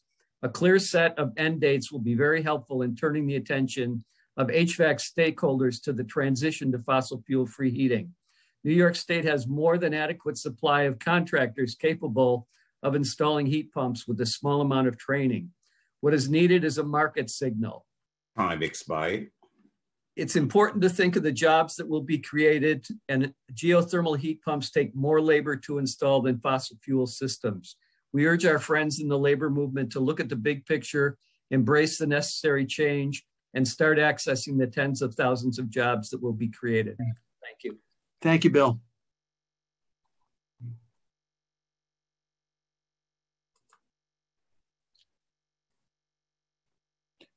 Uh, Samara, we're calling, uh, yeah, uh, the next uh, person on this panel, please. Amar Shah from the Right. Rocky Mountain Oh. Institute. Oh, what happened to Rachel?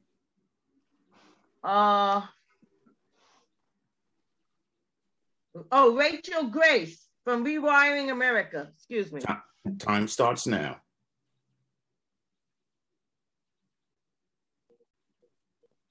Thank you.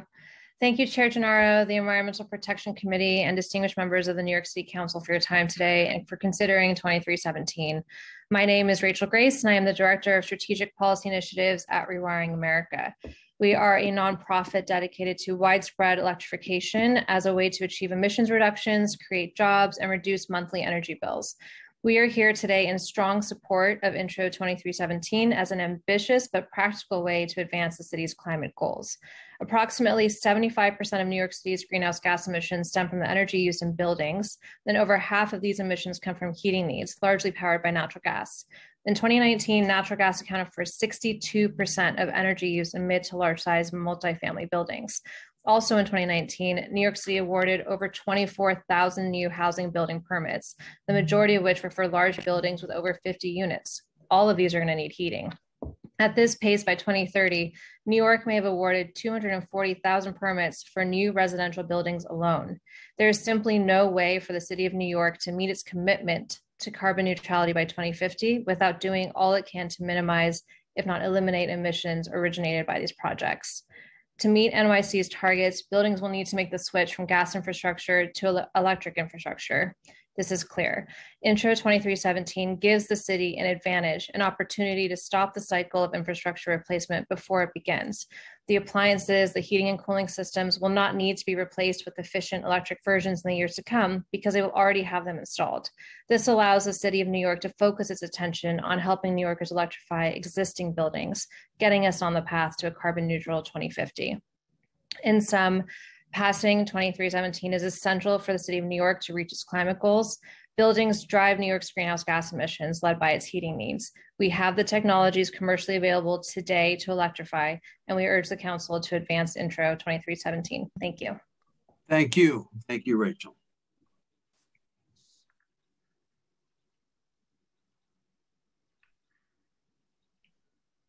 Uh, Samara, I think now we're going to um, to um, um, Amar Shah, or are we not?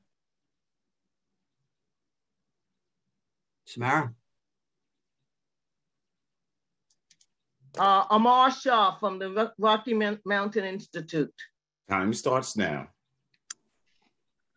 Good afternoon. My name is Amar Shah, and I'm a manager at the Rocky Mountain Institute, an independent nonprofit focused on just, prosperous, and zero carbon energy transition globally. I join today to testify in support of Intro 2317 and to urge the Council to pass the bill this year. New York City needs to stop digging its climate hole and stop deepening its reliance on fossil fuels in buildings. I also want to lift up the revisions proposed by Urban Green Council in written testimony, which are specific, ambitious, and feasible in implementation. And these changes can be accomplished this year. Three themes that I'd hit on in this live testimony. First, as noted earlier, reliance on gas in buildings is not just a climate issue, but a public health one. A recent study out of Harvard Chan Public uh, School of Public Health found that New York is the worst state in the country for premature deaths stemming from air pollution from buildings. It's not just oil, gas use was a lead culprit in the study. Second, continued new construction with gas is expensive and risky for New York City. Every building built with fossil fuels today will very likely need to be retrofitted at higher costs down the road. To make matters worse, downstate ratepayers are currently subsidizing the addition of new buildings to the gas system by an estimated $120 million per year, according to research by New York Geo. One more year, $120 million more of ratepayer spending on gas buildout that may not even be used for its full useful life. Third, in contrast, new all electric buildings are cost effective. Research from RMI, NYSERDA, and others has shown that developers can build all electric and save money doing it. These cost savings will only increase as the market develops. In conclusion, with more than 100 million square feet of projected building area growth this decade, Intro 2317 is an opportunity for New York City to claim a leadership. Time expired. Please conclude. Uh, spur the market and have a significant climate and health impact. We encourage this body to act today. Thank you. Thank you very much. Um, we have the, the next guest is New York Passive House. I don't know if anyone's here from New York Passive House. Do we have anyone here from New York Passive House? Uh, uh, yeah, uh, uh, um, why don't we uh, save that and and and and if the the uh, and if the representative is around, they can uh, testify later. but let's not hold things up. Okay. many, many, more people that want to uh, uh, testify.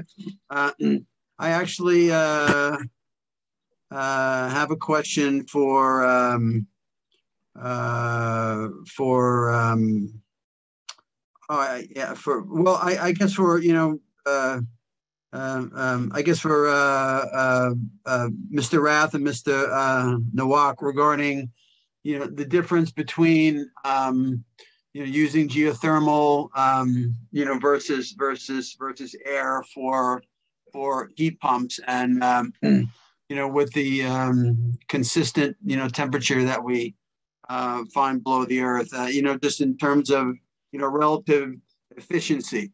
so there's that on top of, um, uh, there are probably areas in the city. Uh, this is the whole um, um, thrust behind my um, uh, quest, you know, years ago to do a, a full, you know, geothermal map for New York City where it could be best utilized because I'm sure that um, utility companies and other entities who have wires under the ground or um, you know sometimes can um, impede the you know deployment of geothermal. So that's like the second part of my question. Sort of like the the first part is like the relative efficiency of you know cold weather um, you know heating you know, you know, you know very cold weather heating versus uh, uh, is that and um, um, uh, uh, areas of the city that uh, you know geothermal cannot be well utilized because of red tape and other um, impediments to deploying the technology. I hope that makes sense. And that's for Sure. for for for um, for uh, uh, John or Bill, whoever wants to take that on. Thank you very much for that question, Mr. Chair. And, and that's a- an extremely important po- point. You know, air source heat pumps at um, relatively mild temperatures can be fairly efficient. There, but ground source heat pumps, because they rely on the temperature underground, which is constant year round, uh, are much more efficient on the coldest and hottest days of the year. And this is really going to play out. A number of people brought up the point about, you know, the grid and, and the impact of electrification on the grid. If you're dealing with an air source heat pump and it gets down to a coefficient of one or one and a half uh, on the coldest days of the year, that will be problematic for the grid. We Uh, realize uh, that uh, gonna- uh, uh, If you just back up on, uh, when you say a, a, a, a coefficient of one or one and a half, like what does that mean? that means essentially uh, the, the same as electric resistance heat, that you're getting 100% of what you're putting out into the uh, electrically into the heating system. Whereas with geothermal, on that same day, you'll be at 300 to 400%. Um, for every unit of electricity you're putting in, you're going to be getting uh, three or four units of heat. And this Right. really makes a difference when we when we come to those coldest days. It is going to be important that we utilize air source heat pumps, but wherever possible, we should be working with ground source heat pumps because of that dampening effect on peak demand. You know, you you mentioned the the areas of the city where geothermal might not work because you can't drill through uh, a subway tunnel or a water tunnel.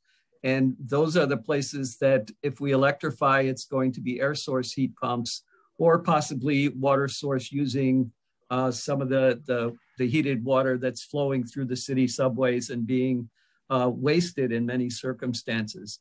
But, uh, you know, we really need to focus as much as we can on ground source and make that the go-to technology supplemented by air source where it works out better in more limited circumstances. That that would be really important advice and really important information for this panel to take, particularly as you consider the electrification study bill.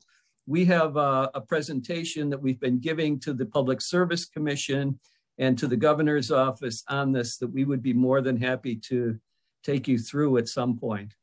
I- Uh, I- uh, Sure, I, I, I, I, uh, um, I would direct staff to make sure that, uh, that, that, uh, connection is made and that I do, um, uh, and that I do get the benefit of, uh, it, it, it's Bill, right? I'm talking, I'm talking to Bill, right? Yeah. uh, um, Yes, yes, that- sir. That, that, that, that, that I get the, uh, you know, benefit of that presentation. This is something I want to, pardon the pun, kind of like drill down on because I think this is, uh, you know, very important. So, I, I, I thank you for that, uh, you know, clarification. I, you know, urge all members of the panel, as all panels, to send, uh, uh, you know, all of the, you know, all the good testimony you've given in writing, so I can study it further. And I really appreciate uh, this panel being here today, talking about geothermal. And uh, Bill, you, uh, particularly for shedding light on the question that I posed. Thank you so much. Okay, thank you. Uh, and now going forward, uh, Samara, I mean, um, I don't know, uh, uh, these are, um, uh, folks with, uh, you know, various affiliations and are not actually paneled together, like, so to speak. So should we do one at a time on these or how should we Sure, proceed? Why not? Okay. Uh, Patrick Boyle from uh, NYSAFA. Time starts now.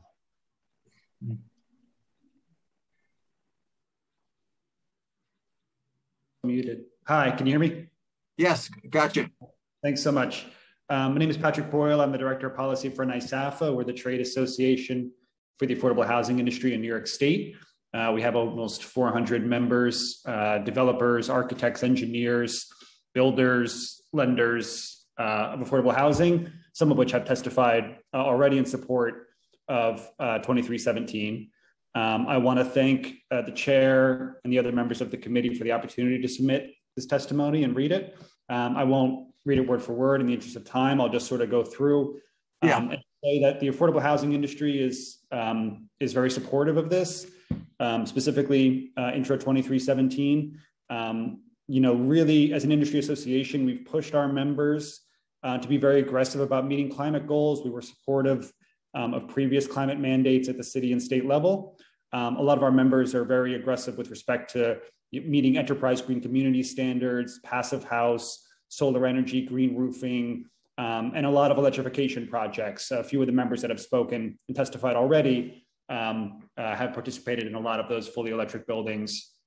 The NYSAFA members have uh, have contributed to the affordable housing portfolio. Um, so we're supportive of it. Um, we appreciate uh, the council making it a priority. Um, we do echo sort of two comments that uh, a number of previous um, speakers today touched on. Um, greater clarity is needed in the legislation on what exactly is meant by the, uh, the rehabilitations. Uh, the definition in there now doesn't conform to the to the exact DOB code. We understand it to mean sort of major Alt one uh, renovations, but that needs to be sort of made more explicit. Um, and number two, as has been said sort of repeatedly, uh, heat and hot water are sort of very different in terms of what's available out there now. So we support the, the phase in as it exists in this bill with respect to heat. We recommend a five year phase in with respect to, to electric hot water. Uh, thank you for your time.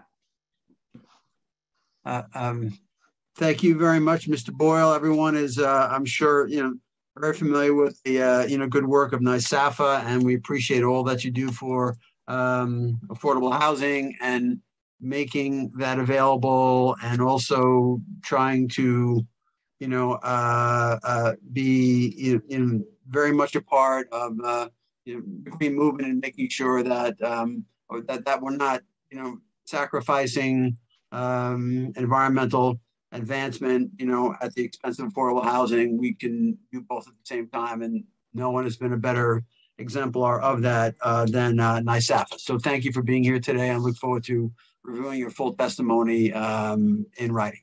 Thank you. The next witness is Atalia Ho. How Times. from the Community Preservation Corporation. Time starts now. Thank you, Chair Gennaro and other distinguished members of the New York City Council for the opportunity to speak today. My name is Atalia Howe. I am the Assistant Vice President of Initiatives and Impact Investing at the Community Preservation Corporation. We're an affordable housing and community revitalization finance company. Over our 47 year history, CPC has deployed nearly $12 billion for affordable housing and community de development, leading to the creation and preservation of nearly 220,000 units of residential housing. CPC supports the intent of Intro 2317 and shares the desire to significantly reduce the city's greenhouse gas emissions. Whole building electrification represents an important step towards reaching the city and state's established climate goals. However, there are two main areas of concern. The first is that while electric solutions exist and are reaching cost parity with conventional building systems, large buildings are complex and appropriate solutions for large loads are not yet widely available. As such, we stand with our affordable housing industry partners and recommend the council adopt a five-year phase-in period for large buildings to electrify specifically domestic hot water systems. Our second concern is that the bill uh, references major renovation, however, it is not defined and it should be clarified in the bill text. In the event that the council decides to include ma major renovations based on an unambiguous and, and reasonable definition in the legislation, CPC has outlined the following issues for consideration. Adequate infrastructure and adequate resources.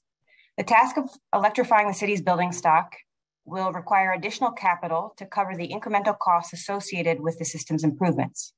Owners of small buildings and others who operate on thin margins and lack the requisite financial and technical resources, including many owners of rent regulated properties and unsubsidized affordable multifamily, will be particularly affected by a law like this and least able to comply. The council must make it financially feasible for building owners to retrofit their properties, something that is a clear precedent in our city's past. When New York City needed to revamp its housing stock in 1955, the council created the J51 tax abatement to offset costs and, encourage building owners to renovate their properties. It worked. Electrification of the building stock, particularly the existing building stock, is no different. City Council should look to the early success of J51 as a blueprint and recognize that it will not be enough to mandate electrification, particularly in existing buildings. Uh, uh, uh, thank you, Ms. Howe, for your uh, for your compelling testimony, and um, um I, I, I, I, look forward to getting that in writing. And uh, you, you, make several points that are, um, um, you know, will get my full attention. So thank you for that. Thank you. Uh, the next witness is Eric Liftin of Mesh Architectures. Time starts now. Hi, uh, I'm Eric Liftin of Mesh Architectures. I'm an architect and our firm is based in Brooklyn. Um, at Mesh, we've been capping gas lines and converting cooking and heating over to electricity for several years with great results. Uh, this year, so far, we've completed two all electric row houses. We're doing a new six story building on Union Street, which is new, nearly complete. We will have no gas in it. Our heating and cooking will be done by electric heat pumps. We will heat our water with heat pumps and our cooking will be done on amazing induction cooktops. These systems work very well and are not particularly expensive. We will have solar panels on the roof as well, by the way. The key thing to keep in mind is that today's buildings are different from old buildings.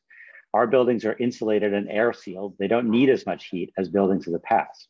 Burning fuel in our buildings is an obsolete practice. It requires exhaust flues and a steady supply of oxygen, which greatly detract from a building's energy efficiency. The old model of air leaking in and out of the building while a huge furnace blasts heat into it is long over. Today's heat pumps are incredibly efficient and effective. Cooking on induction stovetops is much safer, easier to maintain, more reliable than gas, and is a pleasure to cook on. Going all electric is very easy to do. It doesn't cost too much, it's healthier, and it prepares a building that will be around for many decades to use increasingly sustainably produced electric power. The bill should prohibit all combustion in new buildings and in renovations that replace heating systems and have an opportunity to modernize insulation. Thank you. Thank you very much for your good testimony and for all the work that you're doing uh, to show how this can be done. I look forward to uh, you reading your um, uh, remarks, which I hope that you will send along to us. And um, uh, best wishes in all your good works. Thank you. Thank you very much. Thank you.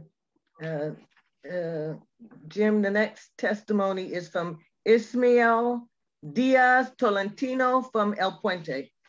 Time starts now. Hello, thank you for the opportunity. My name is Ismael Diaz Tolentino, and I'm the Environmental Justice Coordinator at El Puente. El Puente is a human rights institution that promotes leadership for peace and justice through the holistic engagement of the community in the arts, education, scientific research, and environmental action. We operate mainly in Williamsburg and Bushwick, two low-income communities of colors that have been historically vulnerable to environmental injustices, with poor air quality being one of the most dangerous.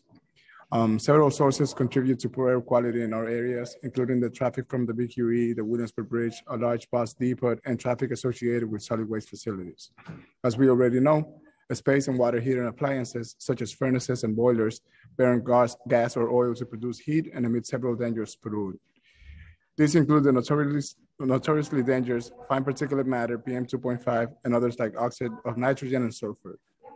This polluted air takes a toll on our neighborhood, and as a consequence, the rates of asthma and asthma-related hospitalizations are double across Brooklyn.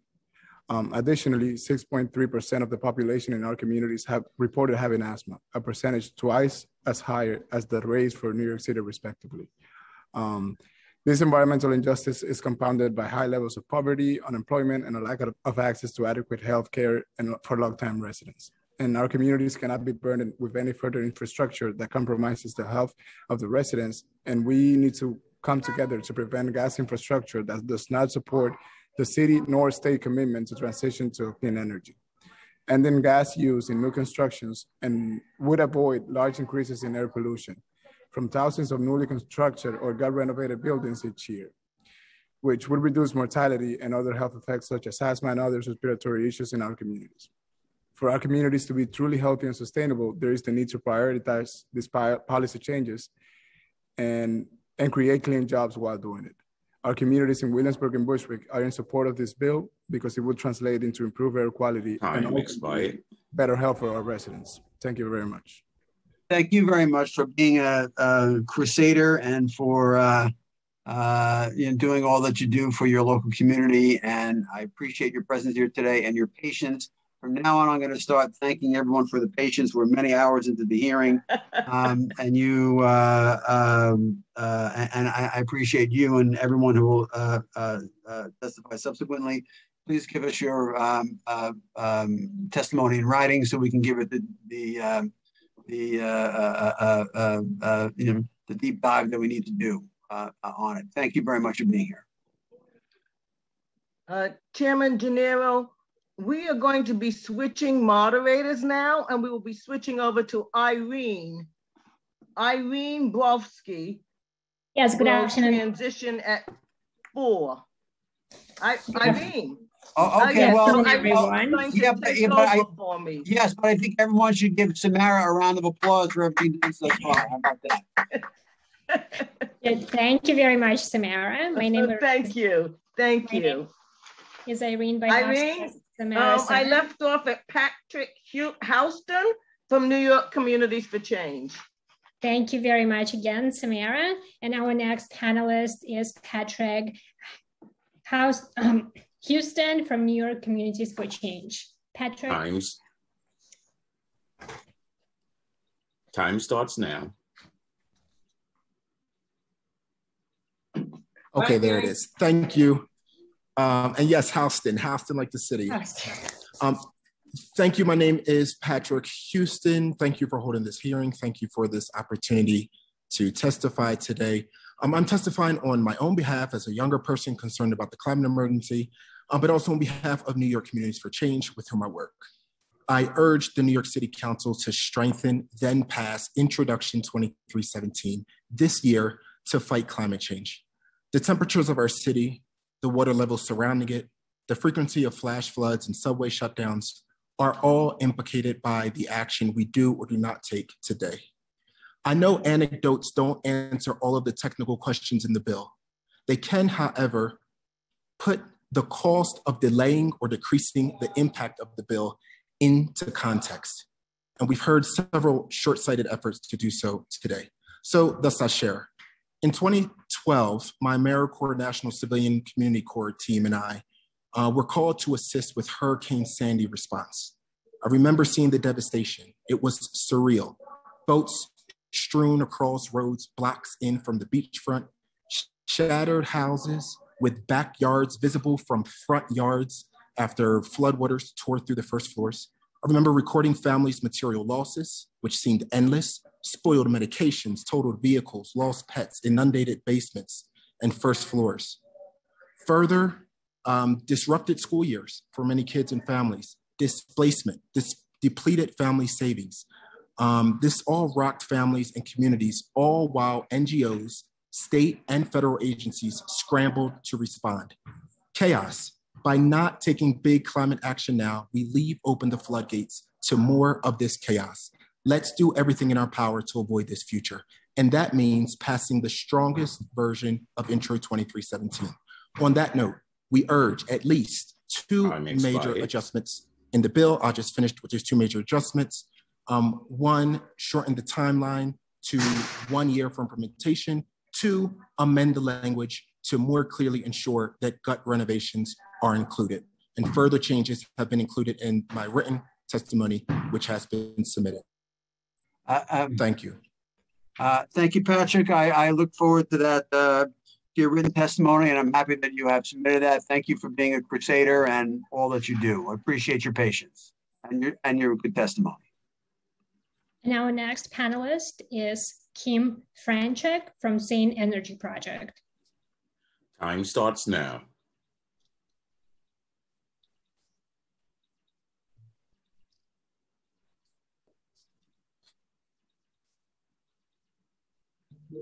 Kim Franchek?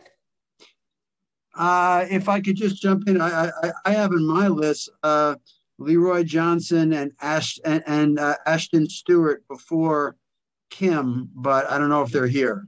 I mean, uh, I- I'm just going off my list. Yeah, currently I do not see them on the list. If they Oh. will join us again, uh, we'll definitely call their names. Let's go to the next panelist, uh, Edith Kantrowitz.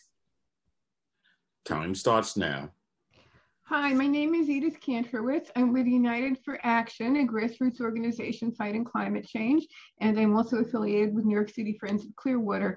I would like to add my voice to those who have uh, thanked the committee for having this hearing and to those who have urged in the strongest way possible that we passed Intro 2317 in this session this year and without delay because climate change is not delaying.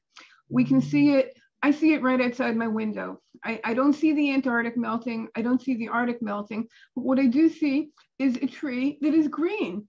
And every other year at this time, it already turned yellow, bright yellow.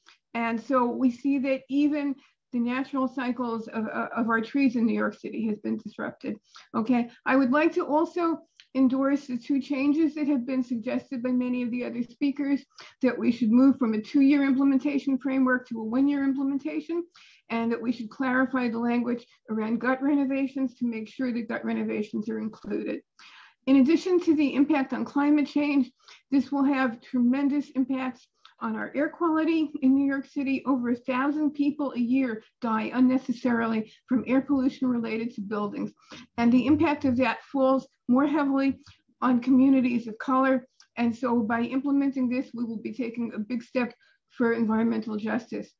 Not to add that there will be also tremendous creation of green jobs and there will be elimination of some of the dangers that we have associated with gas explosions in buildings, providing a safer environment and a healthier environment, and a tremendous step towards containing, to whatever extent we still can contain, climate change.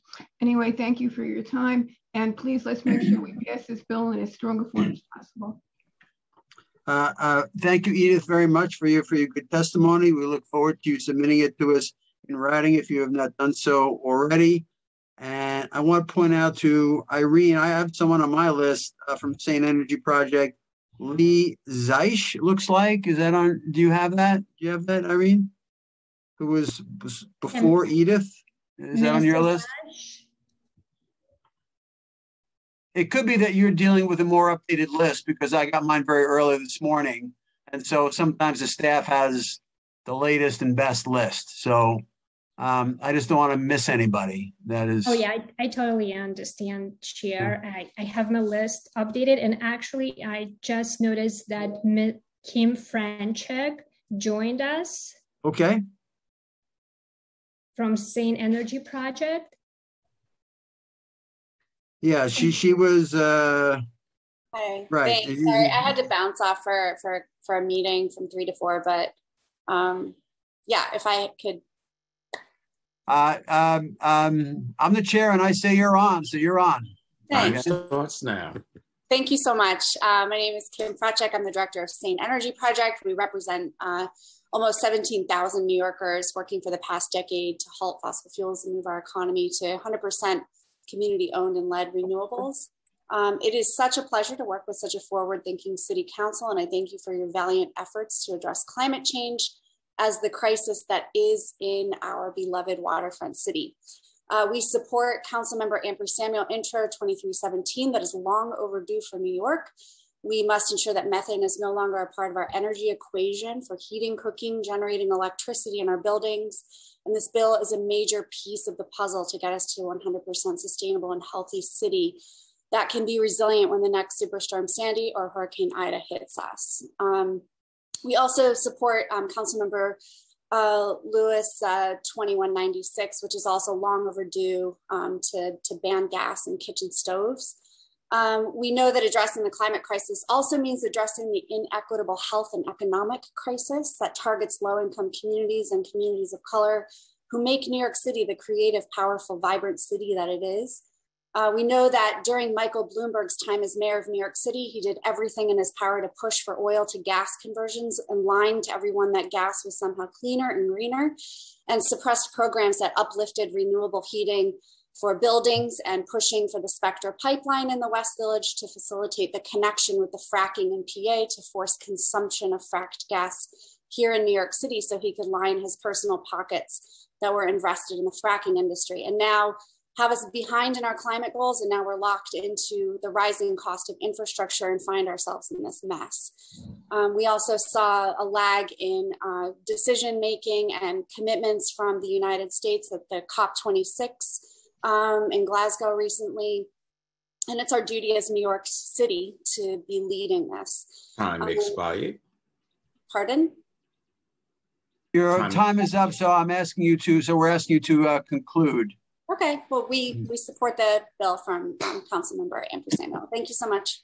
Thank you. Thank you, Kim. Please submit your testimony in writing. Grateful that you were able to pop back in with us. Yeah, our next panelist is Lee Zick. Ziz. Yeah, like if I mispronounced the name. yeah, it's like Zeish, maybe. I don't know. I don't know. We'll, we'll, we'll find yeah. out. How do you say it? Uh, Ziesche, like rhymes Oh, with fishy. Ziesche. Okay. Yeah. Okay. Uh, yeah, so I am um, Lee Ziesche. I am the Community Engagement Coordinator for Sane Energy Project.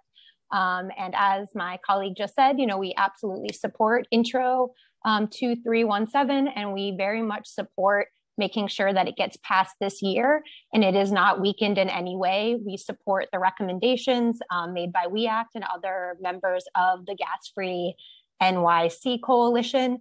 Um, and you know we cannot push this down the line anymore. Sane Energy, as Kim said, has been fighting frac gas infrastructure for a decade, and for a decade, this city has been going in the wrong direction, um, believing the fossil fuel lies that gas is cheap, that just that gas is clean, and that is good for our climate. Um, but what we've really been doing over the last 10 years is connecting our homes um, here in New York City through pipelines to fracking fields in Pennsylvania. Um, that is one of the most radioactive shale plays in the country. And so we are creating pathways for unhealthy gas to come directly into our city, and that is leaking all along the route. And what the actual cost of that has been is hundreds of millions of dollars on us as ratepayers. National Grid, Con Edison have continued to build pipelines um, like the North Brooklyn Pipeline, which is in Council Member um, Ampry Samuel's district. And you know, this time last year, community members put their bodies on the line to shut down that pipeline because they understand that we have no time left. Um, so please do not weaken this bill at all we have such little time and we have spent so much of it going in the wrong direction. Um, we know that this gas is not clean, that when it's being burned in our homes, it is unhealthy for us.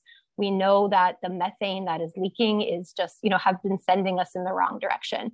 Um, so please stand with these communities. You know, it really has been New York City communities that have led the fight to get us where we are today. And it's just so crucial that we do not waste any more time, time going in the wrong direction. Thank you so much.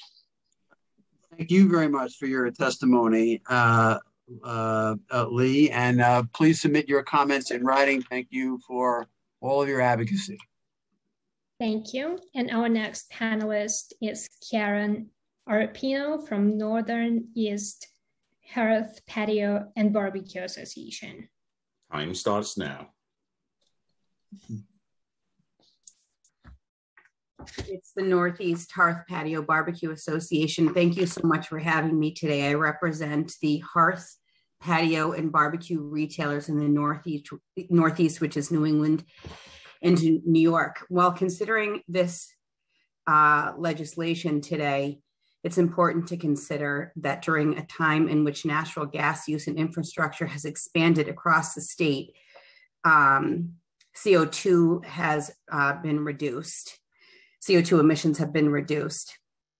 This season, we've already had four weather related power outages that have had homes and businesses, business owners relying on gas, oil, and wood for heat. Additionally, the economic impacts of full electrification on working families and small businesses, as well as those in environmental justice communities, would be costly with today's rising costs and increasing and increasing energy prices. prices.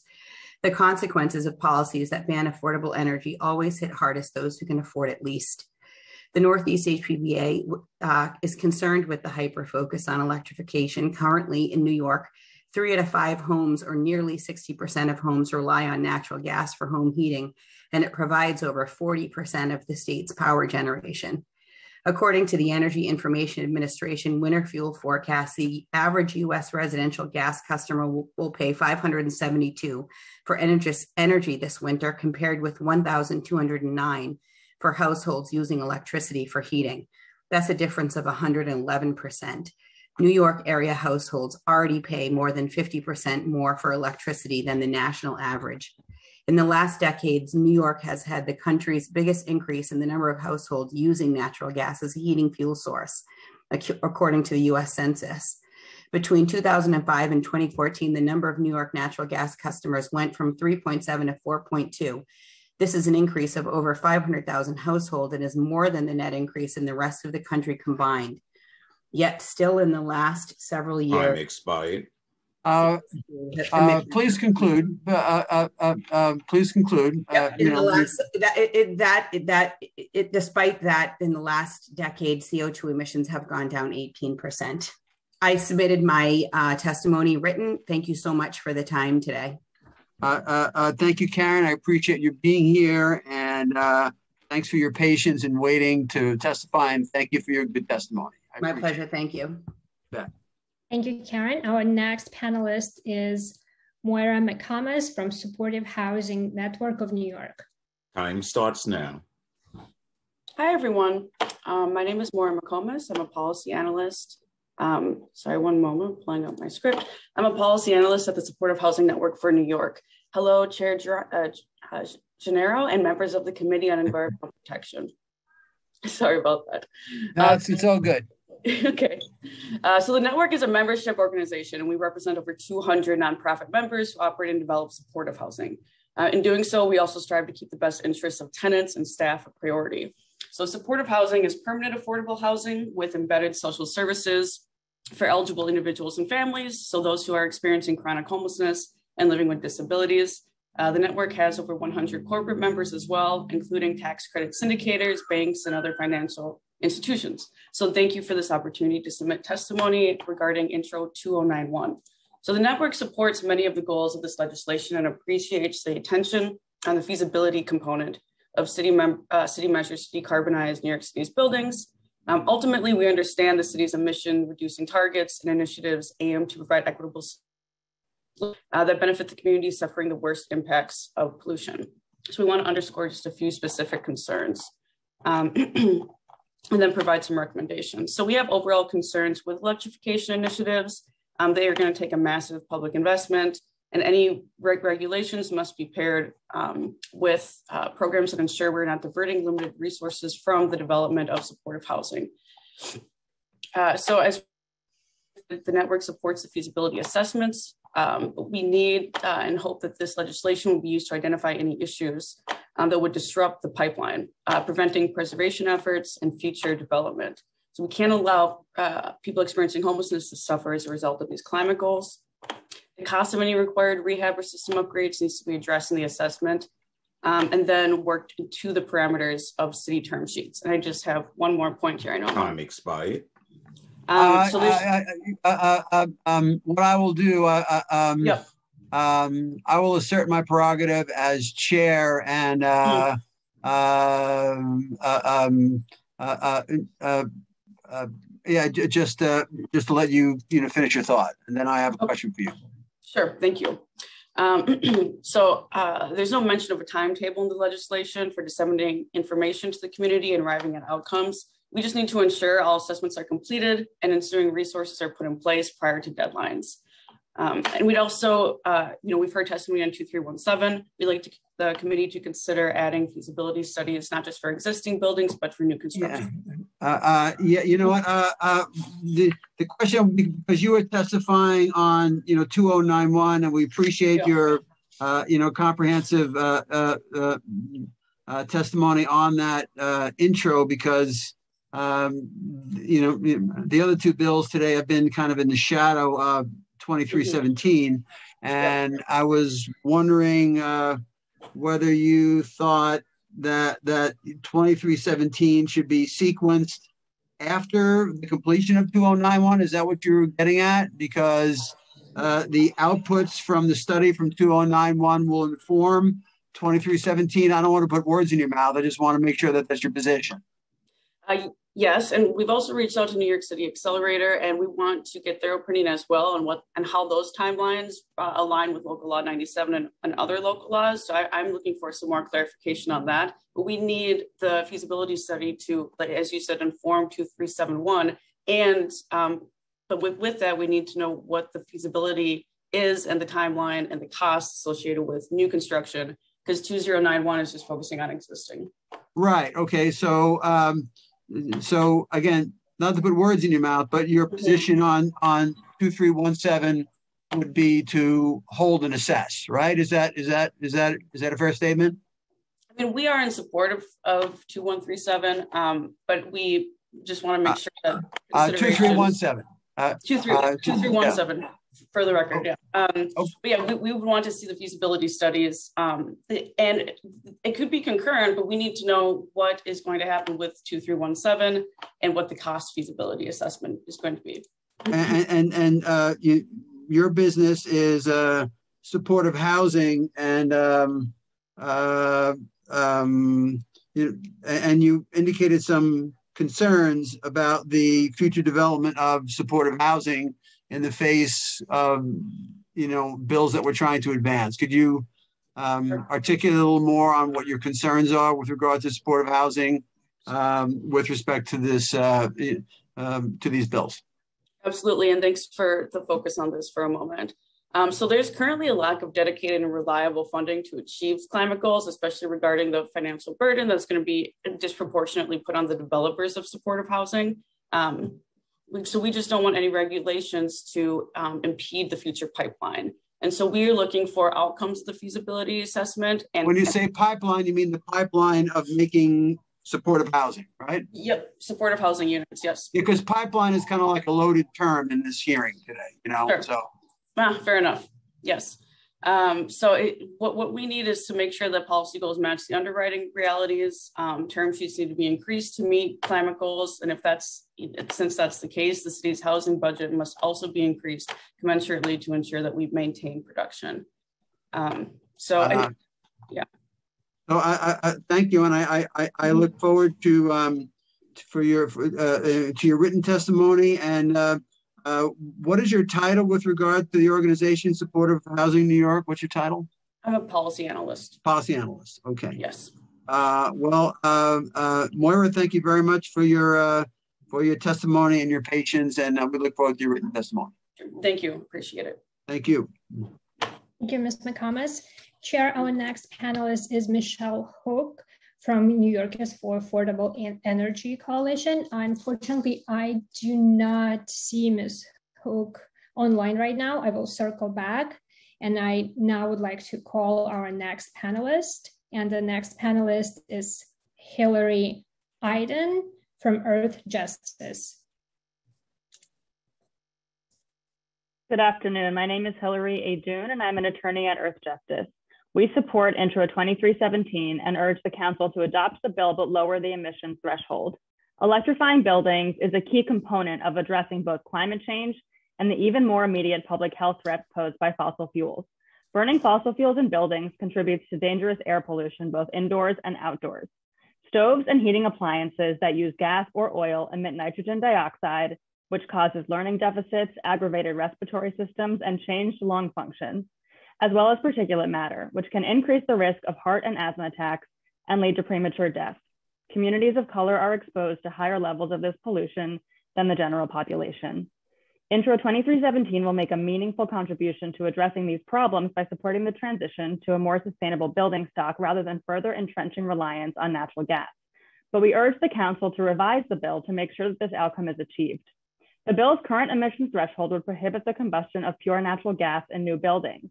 But we are concerned that an emissions rate of 50 kilograms of carbon dioxide per million BTU creates a loophole that could unintentionally allow continued reliance on natural gas and incentivize the use and expansion of other dangerous fuel sources like hydrogen. Because combusting hydrogen does not produce carbon dioxide, blending hydrogen with natural gas is often touted as a way to make natural gas cleaner. But nearly all hydrogen is produced using fossil fuels through an energy intensive process that generates significant greenhouse gas emissions. And when combusted, hydrogen can emit even higher quantities of nitrogen dioxide than natural gas. An emission standard that could be met by a hydrogen natural gas fuel blend would threaten New Yorkers' health by increasing nitrogen dioxide emissions and allow the use of natural gas in new buildings.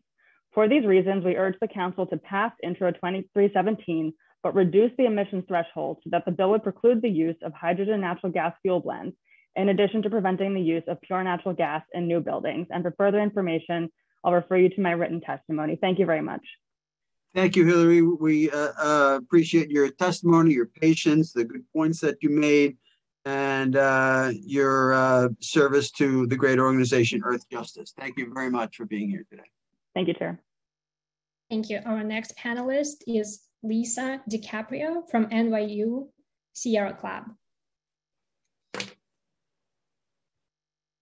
Hello. Yes, I'm here. Well, my, may I speak? Uh, uh, uh, uh, yes, you're on. Okay. All right. My name is Lisa DiCaprio. I am a professor of social sciences in the Division of Applied Undergraduate Studies in NYU School of Professional Studies. And serve as a coordinator of our new Bachelor of Science in Real Estate and Urban Sustainability.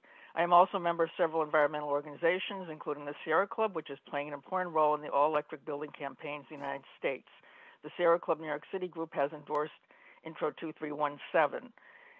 I'm going to abbreviate my comments. Uh, I did submit my written testimony. Here are several main points. One, electricity is the only form of energy with the potential to be obtained entirely from renewable sources.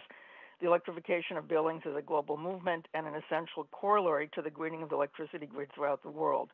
Two, Intro 2317 is designed to preempt legal challenges. Three, gas stoves contribute to indoor air pollution, as documented in recent studies by the Rocky Mountain Institute, Harvard University, and UCLA. Four, all electric buildings are technically feasible, as demonstrated by the increasing number of new and retrofit all electric buildings in the US and throughout the world, as pointed out by several architects who gave testimony today. Moreover, the NYSERDA Buildings of Excellence Competition Award, which was initiated in 2019, includes several all electric building projects You may see the projects at the Buildings of Excellence website, round one 2020 and round two 2021. This demonstrates NYSERDA's confidence in all electric buildings. Four all electric buildings are economically feasible because electricity is a more efficient source of energy than natural gas or oil. Five, the electrification of buildings must be accompanied by the reduction of energy consumption. Therefore, new and substantially retrofitted buildings that are all electric should achieve the criteria required for a green building certification, such as Passive House LEED Living Building Challenge and Net Zero Energy buildings. There are, for example, several Passive House all electric buildings in progress or already constructed in New York City. And finally, scientific reports on climate change. I, I, I wanted to con- sure. I I, just conclude one sentence. yeah, please conclude. All right, scientific reports on climate change issued this year highlight while we must simultaneously and I'm emphasizing simultaneously in response to some of the comments made by speakers today, accelerate the electrification of buildings, reduction of energy consumption by green building design, and the greening of the electricity grid. As UN Secretary General Antonio Guterres emphasized in his statement on the August 9, 2021 UN Intergovernmental Panel on Climate Change report, quote, this is code red for humanity, end quote. Uh, thank you, Lisa, for being here and for your service to the Sierra Club and for uh, uh, all the things you do to try to uh, advance uh, sound environmental policy. I think you indicated you sent your uh, comments in already. Did you? Yes, I did. And, Okay, and what I good, read today good. is an abbreviated version of those comments. Yes. Uh, I, I, I look forward to reading your comments in full. Thank you very much for being here. Thank you. Thank you for the hearing. You bet. Thank you, Professor DiCaprio. And our next panelist is Anne Pernick from Safe Cities. Time starts now. There we are. Hi. Thank you for the opportunity to talk with you today. I'm Anne Pernick. I'm the Safe Cities and Fossil Fuel Non-Proliferation Treaty Community Manager at Stand.earth. And I'm connecting to you actually from Portland, Oregon, because New York City is a leader in the Safe Cities movement. It's an international movement where local governments around the world use their authority to stop fossil fuel expansion and phase out fossil fuels. With passage of Intro 2317, you have an opportunity to remain a leader for this movement and for all New Yorkers. This year has brought more devastating and deadly climate change impacts to New York. It's clear the consequences of fossil fuels are only getting worse for New Yorkers and for people around the world. Meanwhile, the fossil fuel industry and other vested interests are still pushing business as usual. It's exciting that this important bill, Intro 20, 2317, more fondly known as Gas Free NYC, is getting a hearing today. New York needs to, to continue to say no to fossil fuels. The positive impacts of passing Gas Free NYC on local health, including asthma rates in kids, local safety, and global climate, will be enormous. That's why hundreds of our Stand.earth community around the city reached out to the council to urge you and your council colleagues to do three things to ban new hookups of dangerous, unhealthy methane gas, which we're talking about today, to defend Local Law 97, and to join the call for international action on fossil fuels by endorsing the Fossil Fuel Non-Proliferation Treaty, which has had a hearing but not yet a vote by this committee. We applaud the leadership of Council Member Ampry Samuel and are honored to be here today, along with the local advocates who have been leading this fight to ban new gas hookups. NYPIRG, New York Communities for Change, We Act for Environmental Justice, and Food and Water Watch. In partnership with them and with many others, our community urges a yes vote on Intro 2317 by this committee and swift passage by the full council to protect health and safety around New York City and climate here and around the world. Thank you so much for your time. Uh, thank you, Anne, very much for being here and for your patience. Um, uh, and I uh, look forward to reading your comments in full. Uh, uh, if you can send those along. Thank you very much. Absolutely. Thank you. You bet. Thank you, Chair. Thank you, Ms. Pernick, for your testimony. And our next panelist is Emma Yurovsky from We Act. Time starts now. Hello, my name is Emma Yurovsky. I'm studying sustainable development and am a member of We Act for Environmental Justice. I'm here today in support of Intro 2317 and to urge you, members of City Council, to pass this bill now with the urgency the climate crisis demands. Optimistically, this bill would be a notable stride towards phasing out toxic gas, oil, and all the incredibly deadly pollution that comes with the use of these fuels. Upwards of a thousand New Yorkers are killed every single year from burning fossil fuels, including natural gas, in the buildings we learn, eat, sleep, worship, and love in. The main opponents to this bill are the real estate lobby and ExxonMobil, two actors that profit obscenely by ruining the lives and health of working class people and people of color. Unsurprisingly, the API is also lobbying against this bill. I'm so sick and tired of watching this pattern play out again and again on multiple scales of governance. Everyday people take time out of our already busy days, time that could be spent resting, studying, socializing, or taking care of our loved ones, to fight for what is now the bare minimum of what is needed to do damage control for the climate crisis, while a small group of wealthy white individuals leverage systems of violence and oppression to delay any meaningful action so they can continue to make more money than they could possibly spend in their lifetimes at the expense of literally every other living thing on this planet. For longer than I've been alive, the fossil fuel industry has been succeeding in delaying climate action. Their goal has literally been to delay. I'm asking our city representatives, don't let them delay any longer. This is urgent. Legislation like this should have been passed in the 1970s. I'm terrified of what's to come and what is already here. I don't want to get asthma from living in the city or drown in a basement the next time there's a hurricane. I don't want my neighbors to either. We need to stop using fossil fuels to keep each other safe and healthy. It is your job to help the people who live here, and you can do this by passing Intro 2317. Thank you for allotting me time to speak. I hope you do what is best for our city and for our planet. You actually have the power to make a better world. Don't waste it bending to a decades old fossil fuel propaganda campaign. Pass Intro 2317 today. Uh, uh, thank you, Emma. It is a privilege to have you with us today. I thank you for your uh, for your patience and for your testimony. I look forward to receiving it in writing if you'd be so kind to do so. And I thank you for your service to the great organization We Act. Thank, thank you. you. Thank you, Chair, and thank you, Ms. Yurovsky. And our next panelist is Gina Kruzik from Water, I'm sorry, from Food and Water Watch. Hello, everyone. My name is Gina Krujic. I'm um, currently a student intern with Food and Water Watch.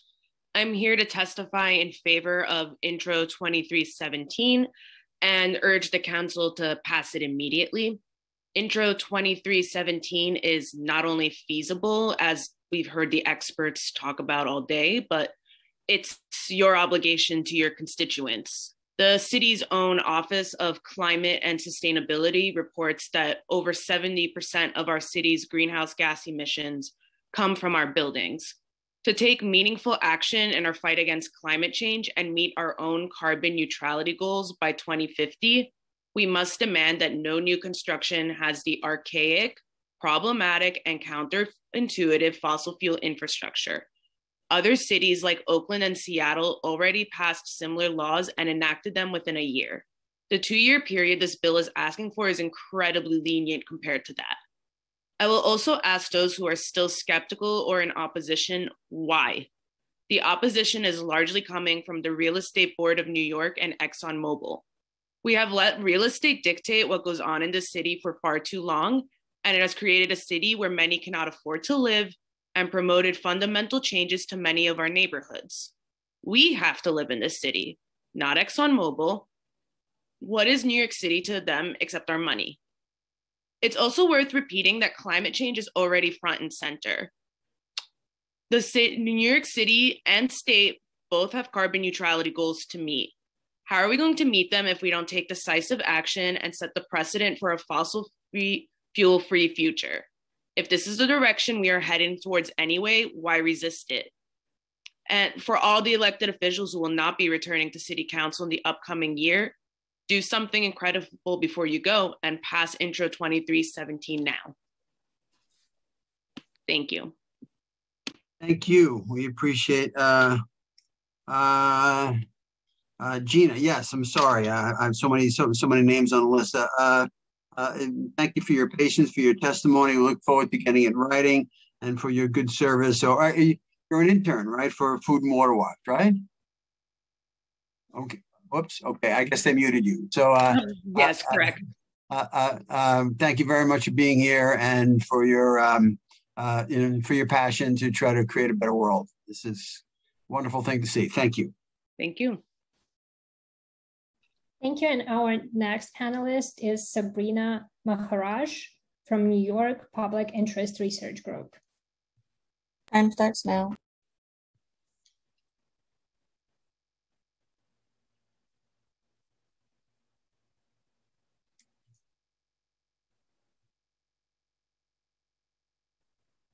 Ms. Maharaj? Why don't we uh, why don't we pass and circle back? Absolutely. Uh, our next panelist is Dorian Fulvio from 350 NYC. Time starts now. Hi, thank you, council members and Chair Gennaro. Um, my name is Dorian Fulvio, and I'm a lifelong New Yorker, a retired public servant, and an active member of 350 NYC. I support Intro 2317, the gas free NYC bill, and I urge the council to do the same to strengthen the bill and to escalate its passing this year. I worked for the city in information technology, and I also served for about 15 years as my agency's disaster recovery coordinator. I bring this up because I, along with many others, had to manage the chaos of Hurricane Sandy and saw firsthand how the city struggled to deal with infrastructure failure and our first experience having 300,000 public employees unable to go to work. I vowed that when I retired that I would do whatever I could to fight climate change and prevent this from happening to my city again or any city. And my testimony today is part of that commitment. There are powerful vested interests working to maintain the status quo, to lie to us, feed us disinformation, and delay action to reduce our use of fossil gas.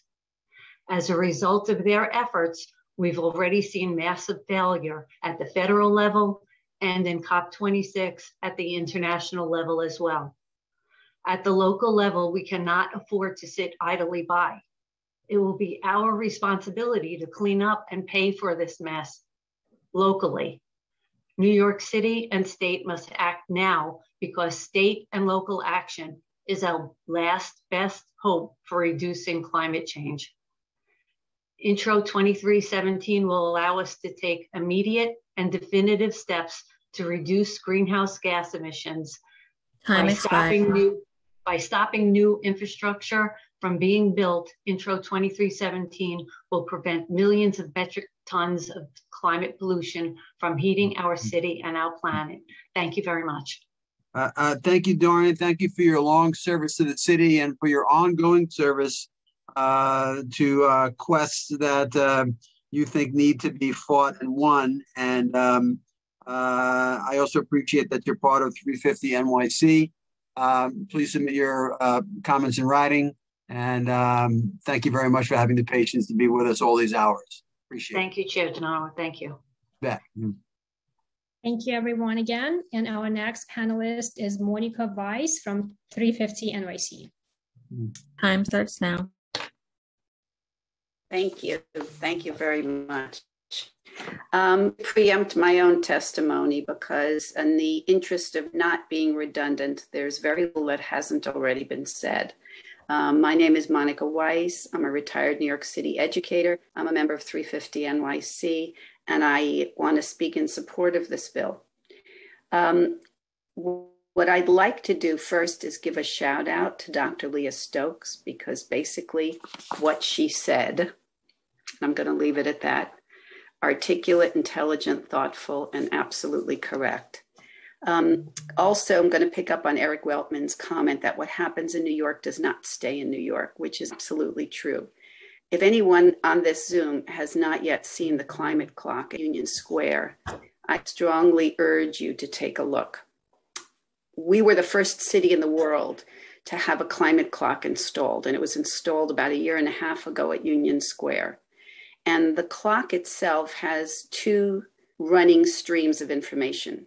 The first one is a deadline, which essentially calculates the remaining carbon budget globally, of course, not just in New York City, and how much time is remaining until we use up the entire carbon budget on Earth. That's about seven years.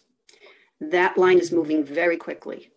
And the one beneath it is in green, which reflects the lifeline, which gives information about the amount of clean energy being supported and used and generated.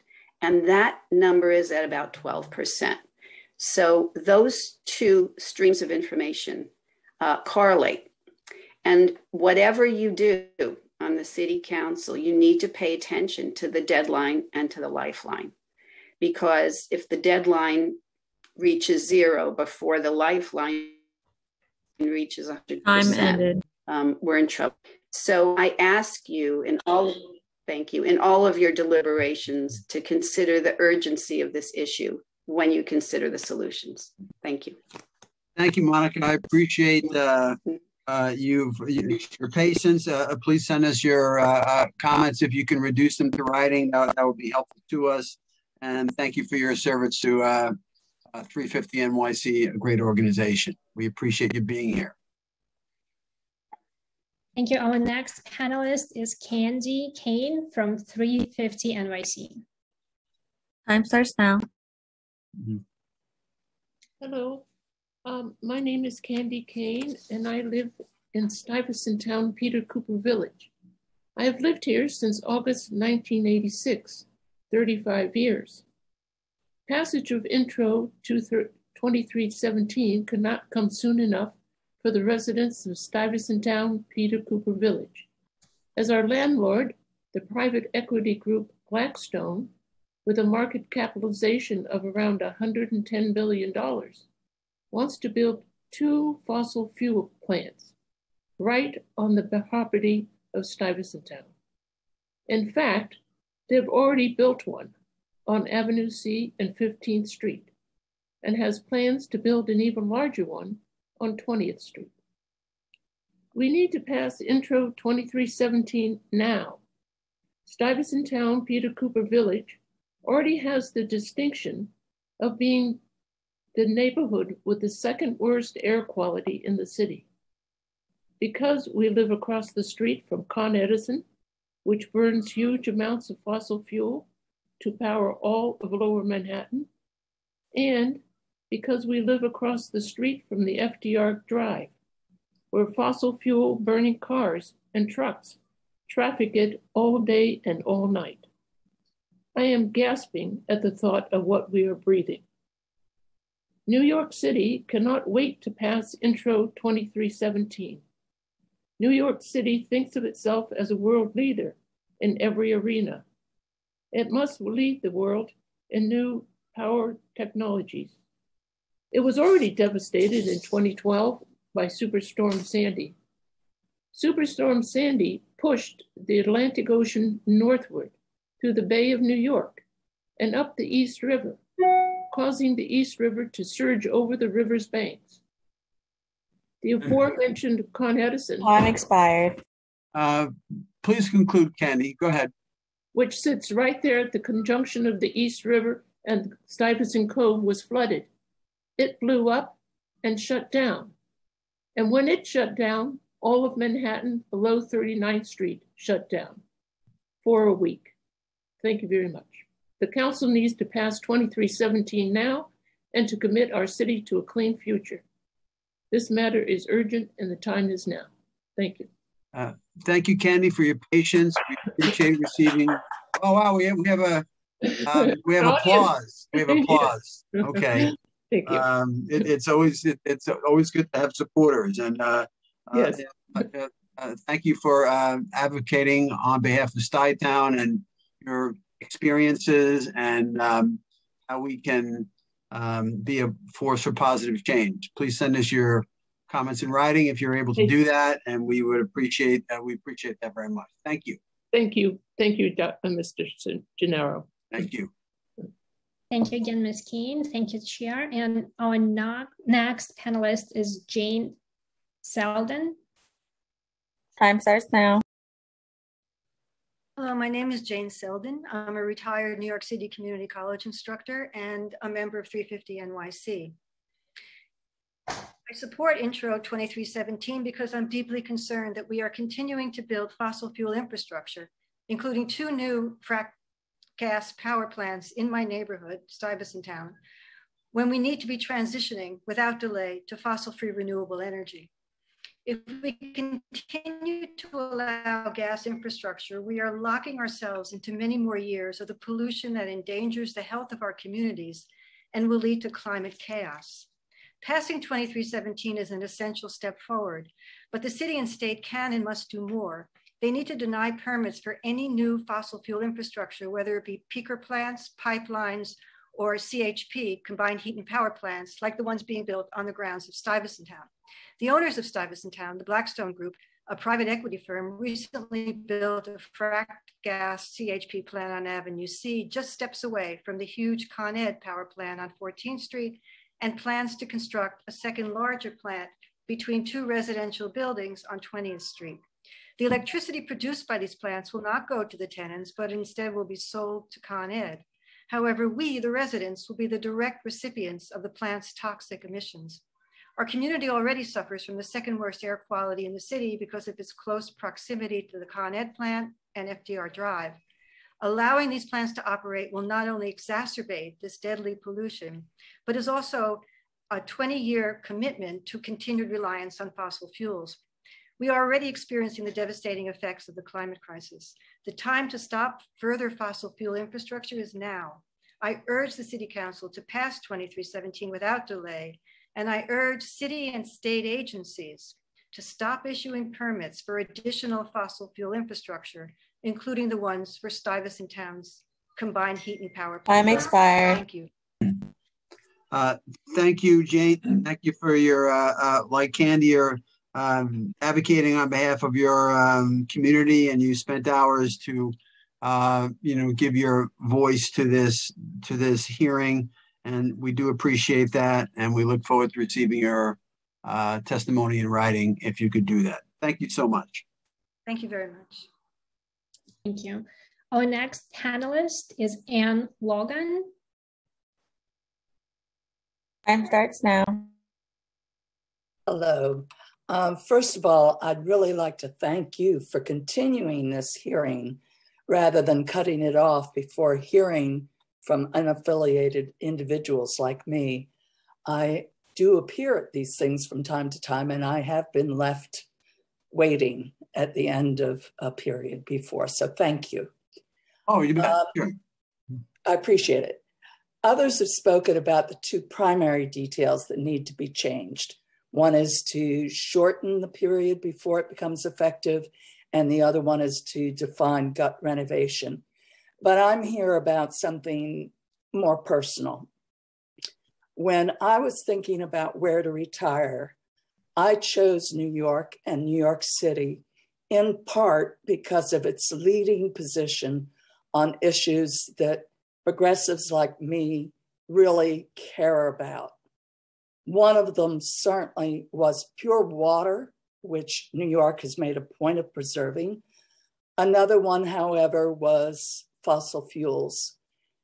At the time when I moved here, which was just after 9 11, I thought that the climate crisis was something that wasn't going to affect me, that it was going to develop gradually and that I would be dead, frankly, before it got too bad. I was wrong. The infamous end of the hockey stick that goes straight up is happening now during my lifetime. We can see measurable changes in everything from wildfires to temperatures to the acidity of oceans and more. We cannot afford to move slowly. We can be deliberate, we can be well informed, but we have to move expeditiously. Time expired. Uh, um, uh, uh, and yeah, sure, sure. Go ahead, Anne. I just wanted to say yes, I know there may be speed bumps, although I have confidence in the human ability to get past them. And yes, we may need to support financial support for those who are adversely affected, but we have to make changes now. We cannot afford to wait. Thank you. Uh, thank you. And let me just thank you for being the first one to bring up the issue of uh, ocean acidification, as you and perhaps many other people on the Zoom may know or may not, about about a third of uh, uh, about a third of greenhouse gases are absorbed, uh, you know, by the ocean, and that produces carbonic acid. Uh, the process is called a- ocean acidification, although you know it's really they're really getting less alkaline, really, because if the oceans ever do cross that uh, barrier and to like yeah, a pH of you know less than seven, like we're all dead already. but I served as the chair of the you know, New York State Task Force on Ocean Acidification. um, that was uh, uh, uh, that was a, a, law that was passed by my uh, uh, by my mentor Steve Englebright. And I was working on that when I was the deputy commissioner at you know DEC, and um, um, and it doesn't get as much attention as it should. Thank you for raising that issue. Thank you for being here. And I don't care how long hearings go on. I am here for as long as it takes to hear everyone's voice, uh, you know, particularly yours, Anne. So thank you for being here and advocating for your community. Thank you. The, this this matters so much. Thank you. Thank you, Anne. Thank you, Ms. Logan. And our next panelist is Ross Pinkerton. Time starts now. Hi, thank you uh, everyone for being here. Thank you for having me um, and for your time and efforts to deal with this critical issue. Uh, as a physics teacher in Manhattan, I've long been concerned about climate change and its effects on my students' future. And clearly, after this summer's storms, and as the previous speakers have said, on our city right now. Um, but in addition, I recently became concerned about the air quality and health impact of gas appliances, um, both on my two sons, including Leo here in our apartment, and on my neighbors in East Harlem. I thought it would be easy to replace my gas stove and water heater with electric appliances, but I discovered that my fairly new building, which was built in 2013, was not designed to supply enough current to each apartment to electrify those appliances. I have the resources, fortunately, that I'll be able to fund retrofits, but it will be much more cost effective to build new construction with electrical appliances in mind. And the bill will also help ensure that the benefits reach lower income New Yorkers and prevent greater environmental inequity across communities, as Ismail and other speakers so eloquently pointed out. And um, just to respond to some of the kind of misdirection from opponents there are cases where blends, including biodiesel, may be better than old heating oil systems, and I'm sure they will continue to have a use for the many buildings and heavy vehicles that continue to use fuel during the long transition it will take to replace all of New York's infrastructure. But we need to not lock in future need for blends or even for full biodiesel because of the ongoing carbon and particulate emissions. So we should not make a blanket exemption for biodiesel um, as some people argued. Instead, we should acknowledge that even with this great bill, we're going to have a, a, lengthy transition and we will make use of those as they are a little bit better, just like natural gas may be still a little bit better than some others, but we shouldn't lock in more use. Thank you very much. Well, uh, uh, uh, thank you, Ross, and thank you, Leo, uh, for uh, you know participating in this uh, uh, in this hearing. This hearing is about you, Leo. I hope you're listening to us, and uh, you know, thank you, Ross, for giving this personal story about how you wanted to retrofit, and then you know you gotta you know do it the hard way, and some people just aren't in a position to do that. And so, thank you for your patience. Thank you for being a great dad and for uh, uh, uh, and for being with us today. Please submit your comments in writing if you'd be so gracious to do that. I will. Thank you. Thank you. Chair, I see that Ms. Sabrina Maharaj from New York Public Interest Research Group is online, and I would like to call her next. Hi, my name is Sabrina. I am a student at BMCC. I am interning with New York Public Interest Research Group. Thank you and, and the committee for your time. I support Gas Free NYC Bill Intro 2317, whose primary sponsor member is Con- Council Member Alika Ampry Samuel, I support this bill because in order to halt the worst effects of climate change, we need to move away from fossil fuels and electrifying buildings is a path towards that goal.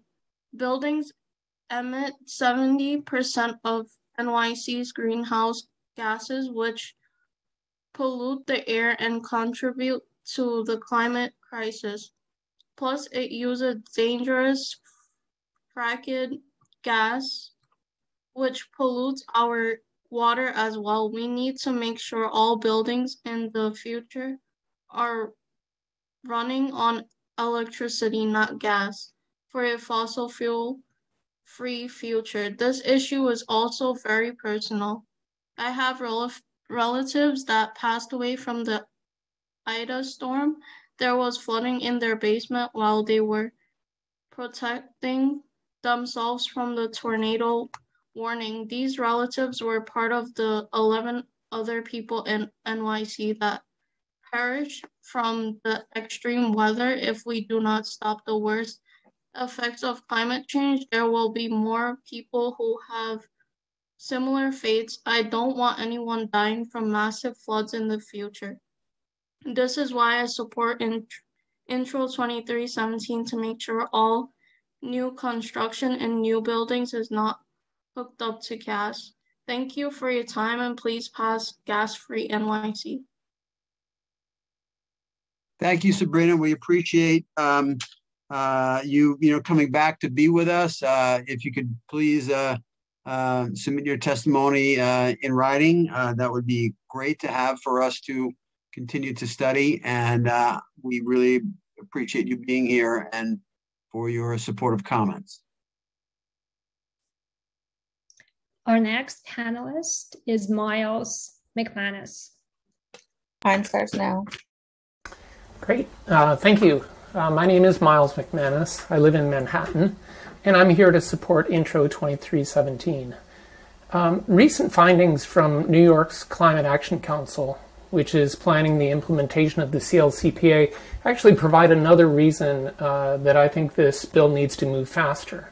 Um, the Council posted their initial analysis and some draft scenarios on October 14th, and that draft confirms that, quote, more rapid and widespread end use electrification and efficiency, end quote, is needed uh, to achieve the mandates. Uh, just to give one example, the Council's scenarios project it will take 30 years to retire existing gas powered space heating as it reaches the end of its life cycle and gets replaced with electric. Uh, it just takes a long time to make the transition gentle for current gas users. And of course, that gas will continue to harm New Yorkers' health and the climate as it very slowly phases out. Um, there is a cost benefit analysis included in their latest report as well, which shows very high costs to the state and very high benefits, financial benefits, to moving faster. Uh, now, of course, as we've seen, the real estate and petroleum lobbies and other vested interests are going to use every trick in the book to slow this down. Uh, but big cities like Seattle, Han- San Jose, and Oakland already have gas bans in place, and green building techniques are mature and widespread. So the technology and the industry are ready, and we have no time to spare. So please speed it up. The bill should take effect one year after passage, not two, and please ensure that it clearly covers gut renovations and bans all new fossil fuel hookups, including false solutions like biofuels and blends. The bottom line is every new gas hookup installed today increases emissions, and that's exactly what the CLCPA promised to stop across the state. Please pass Intro 2317, protect our communities, and help New York start keeping its promises. Thank you. Uh, thank you, Mr. McManus, for your compelling testimony uh, and for your patience in waiting this long to deliver it. Uh, we look forward to getting your testimony in writing if you have not done so already. Thank you.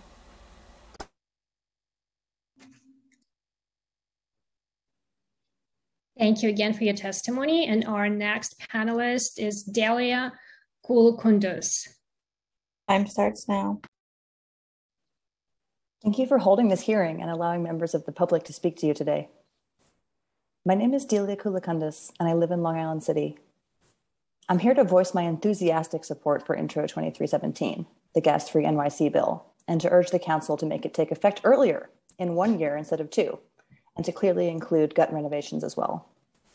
By now, you know that if we, need, if we want to avert catastrophic climate change and ensure a livable future, every new machine that we install must be electric. If we continue to install new gas burning appliances, we'll either have to retire them early or accept the decades of emissions that they lock in. I urge you to consider that with gas, those emissions don't just occur when we burn it, but all along the leaky pipeline routes that bring it into the city, all the way back to the fields where it was fracked and flared in the first place. It's great that we banned fracking in the state, but we should make fracking obsolete. Right now, as members of this council, you have the ability to ensure that new buildings will be combustion free, saving everyone from more costly retrofits later and making the air cleaner for everyone. Your constituents don't want to be stuck with stranded assets in their homes and buildings, and you have the ability to prevent that. So I ask you to stand strong. Don't let REBNY and Exxon scare you. The rest of the fossil fuel lobby would like you to stay paralyzed with guilt about your personal carbon footprint and keep you distracted with false promises of hydrogen or biofuels or whatever technology they promise to come up with sometime in a decade. Ignore it and ignore the calls to delay we have the technology now and the ability to solve climate change now. And the first step is electrifying everything, starting with new buildings. Please pass Intro 2317 now. Thank you so much to Councilmember Ampry Samuel for your leadership and for everyone's patience and perseverance and for letting us, you know, speak from the public. Thank you.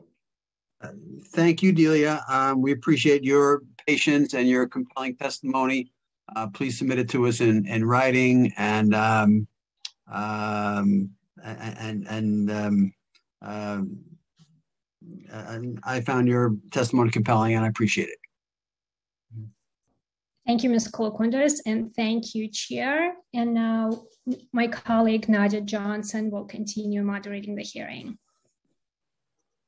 Hi, this is Nadia Johnson. I am the Senior Policy Analyst for the Committee on Environmental Protection, and I will be completing the moderating tasks for this hearing. And I would like to call on our- Thank you, Nadia. Thank you, Nadia. I appreciate it. Of course.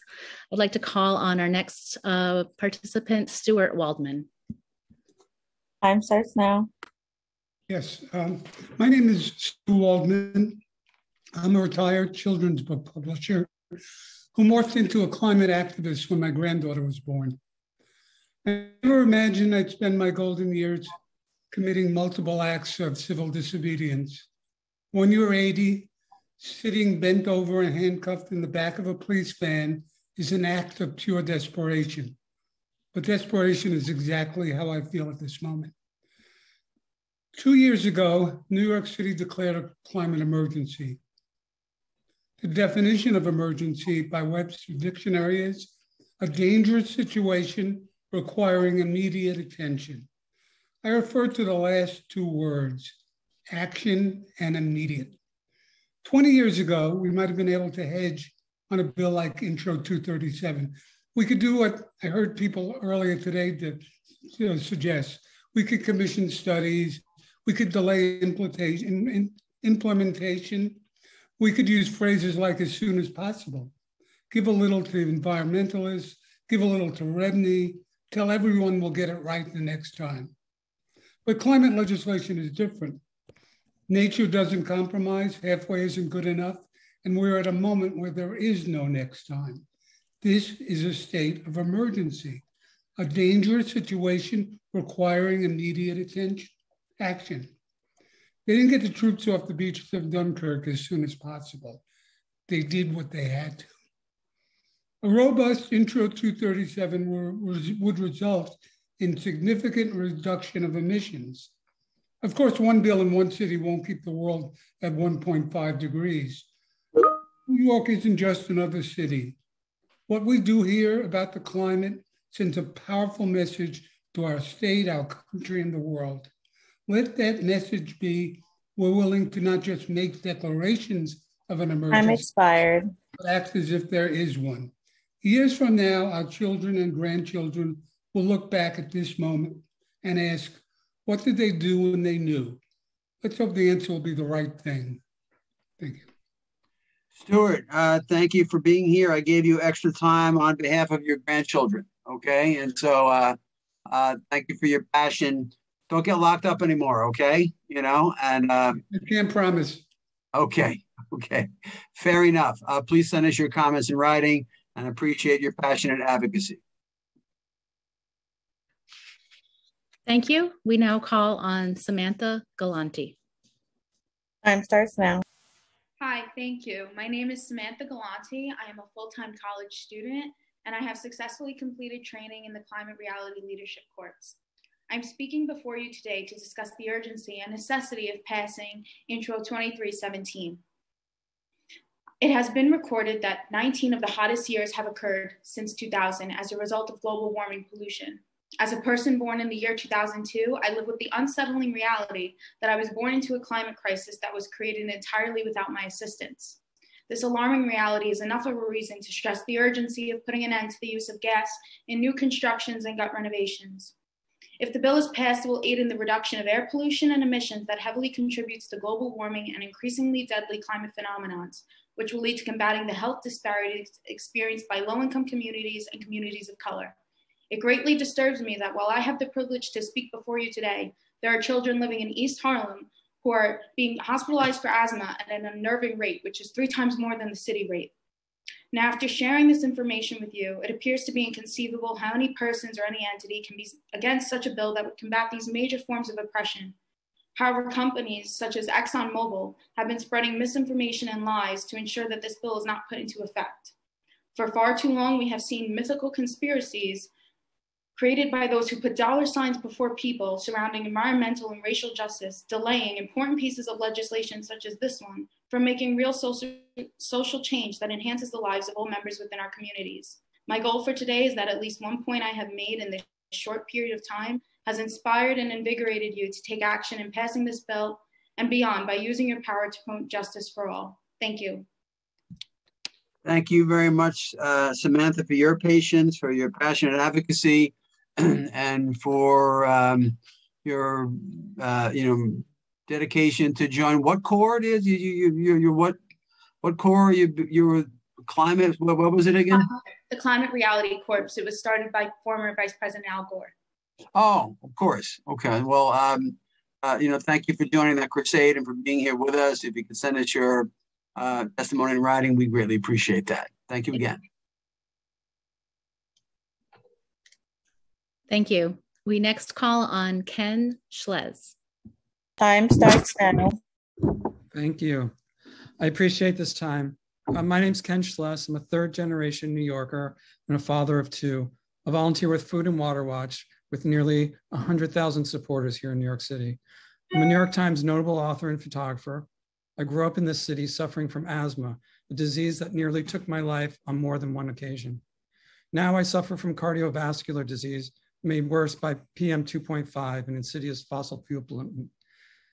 In 2016, I nearly died from a heart attack. Both ailments are comorbidities associated with burning fossil fuels, past 2317 without delay. Frack gas is a significant indoor pollutant linked to asthma, cancer, and premature death. According to just a just released Harvard study, gas leakage is two to 10 times worse than current EPA estimates. We are, quote, missing significant sources of methane emissions. These findings pro provide more evidence that we should be moving away from natural gas towards renewable energy to heat and electrify our cities, unquote. The human costs, some of which I can attest to, are staggering. Lost school, lost work, and irrevocably traumatized families. Tragedies especially felt in economically and resource strained environmental justice communities. My cellar flooded during Hurricane Ida, and we lost irreplaceable family papers. The CLCPA's Climate Action Council looked at premature mortality, heart attacks, hospitalizations, asthma emergency room visits, and lost work based on fossil fuel emissions. The cost of inaction exceeded the cost of action by more than $80 billion. There are great external benefits, opportunities to create hundreds of thousands of jobs, improve air quality, generating health benefits ranging from 160 to 170 billion. Reduced emissions avoid economic impacts of damages caused by climate change of approximately 260 billion, unquote. My personal losses never may never be ameliorated, but others needn't share my fate. If we're to meet the mission targets of the I'm expired of the Paris Agreement, adhere to COP26 global methane pledge, if we're to keep global warming below 1.5, not burn through our planet's forever carbon budget in 11 years, we have to get off fossil fuels. Implementing 2317 is not a choice, it's an urgent necessity. I urge you to pass 2317 without an extended phase-in. Thank you.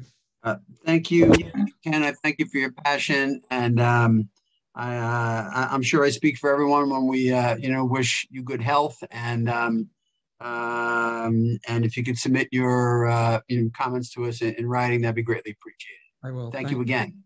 Thank you. Thank you. We next call on Matthew Lipschik. Time starts now.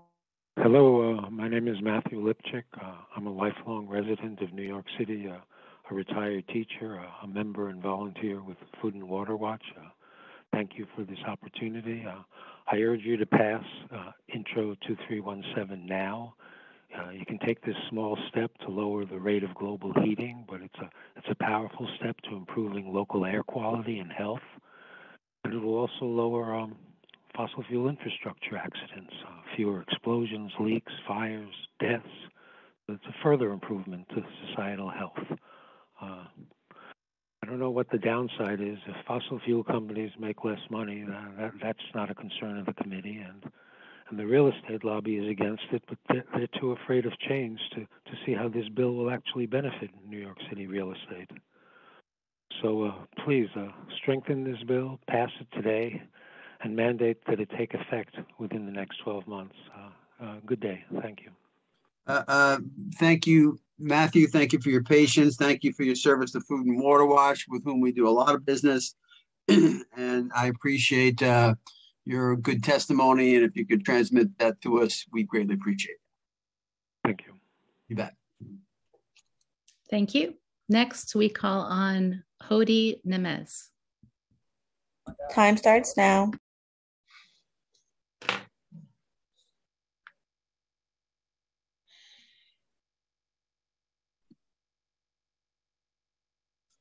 Hello, I'm Rabbi Hodi Nemes. I'm the co founder and leader of Jewish Climate Action Network NYC, which is a group of Jews of many backgrounds. Uh, we advocate for climate action as a moral and religious issue, and I'm here representing them.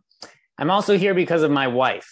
Uh, on the night of September 1st, I thought that she was going to die. And here's my son. Um, my wife is a pediatric emergency room doctor. Hurricane Ida was raging that night of September 1st, and uh, she had to go uh, take care of sick kids at the hospital that needed her. So she went into the storm and she called me shortly after leaving our house, panicked.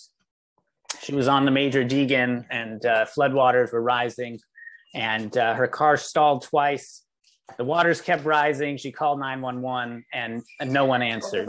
So uh, for hours, we wondered if she would survive. And, and I was home with our young children, one of whom you just heard. And I was praying. Uh, when EMTs finally rescued her, I, I cried. and I've studied climate change for years, but this was the first time it, you know, I felt it really threatening my family directly. So I, like everyone else, uh, or many of the people who've spoken, I'm asking you to pass Intro 2317 uh, to strengthen it by making it apply, you know, in, in one year and, and by making sure to clarify that language around the gut renovations. Um, I, I, also want to mention that, you know, my wife is an ER doctor, has seen, ironically, she's seen thousands of, of children, uh, you know, suffering from, from uh, asthma, particularly from the South Bronx in her ER. And we've heard a thousand New Yorkers are killed by, by building pollution. Um, and I just want to mention that, you know, Jewish tradition, which, of which I'm a part, is obsessed with saving lives. From the very first verses of Genesis, uh, one of our great theologians, Rabbi Yitz Greenberg, has said the Torah's central value expressed in ritual and ethics is to increase life and the quality of life. Jewish Climate Action I'm Network. expired. We ask that you Um, vote to protect life. Uh, thank you, Rabbi um, L'chaim, and I. Uh, my wife is Jewish, so I, I'm you know, excellent. I got it going on. So, um, uh, you know, uh, you know, sorry that you had that harrowing, um, uh, you know, day in which you didn't know the fate of your wife, and may that never happen again. Um, and we appreciate your um, uh, your your uh, focus on the you know moral imperative, and um, uh, it has lent the richness to this proceeding that um, uh, that we deeply appreciate. So thank you, Rabbi, very much. And please, uh, with that said, that that doesn't get you off the hook about sending your uh, comments in writing. Okay, so I'm giving you a homework assignment. So um, thank you very much. Best to you and your wife and family. Thank you. Thank you thank you very much. Bet. Thank you. Next is Natalie Cronin. Time starts now.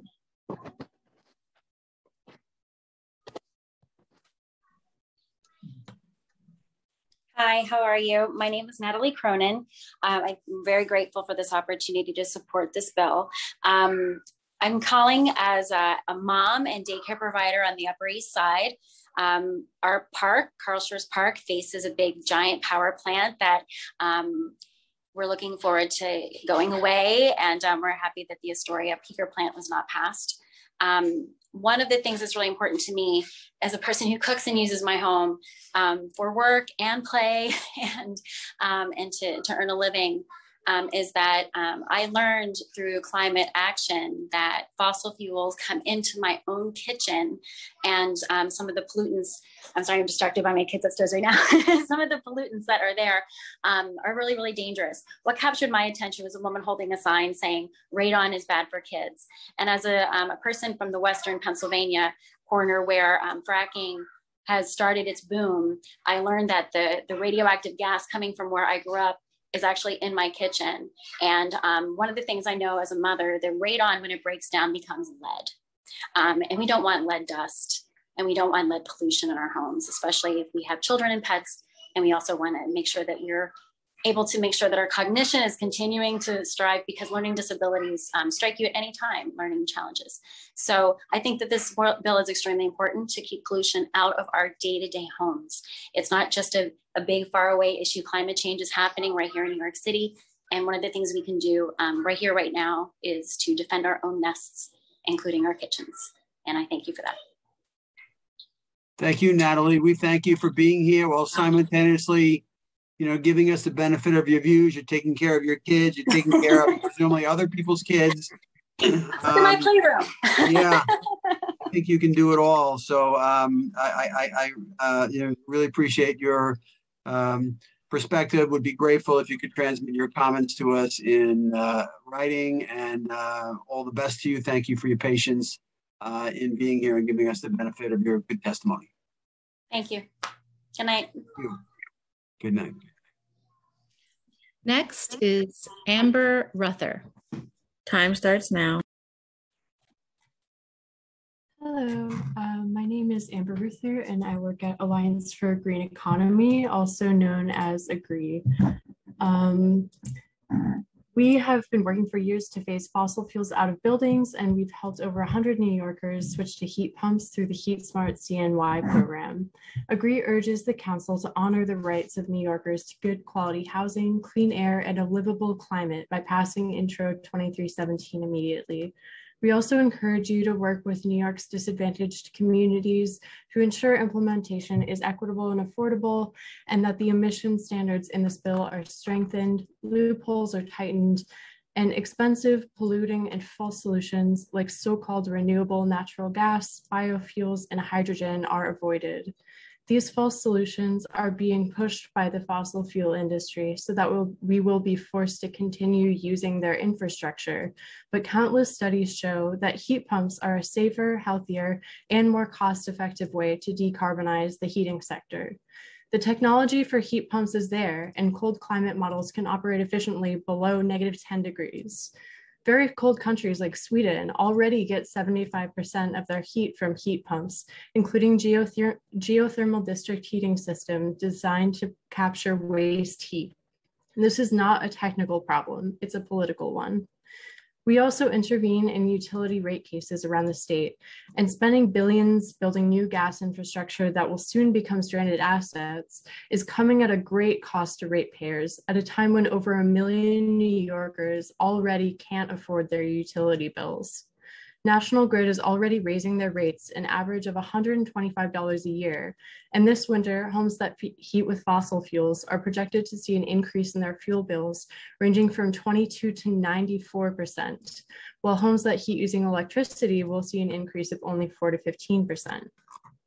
New York leads the nation in premature deaths. Time expired. Caused by fossil fuels in buildings. So we urge you to pass this bill to protect public health. Thank you. Uh, thank you very much, Amber. Uh, again, I thank uh, you as I have all, all the others who who who, who have testified uh, um, in the you know latter part of the hearing for your patience. We're going on more than five hours, and uh, you know for you to show that kind of dedication to stay in there, just to uh, you know to give us the, the benefit of, of your perspective is a real value added to what we're doing here. Please send us your comments in writing and um, we wish you all good luck. Thank you. Thank you. Next is Marie Pierre.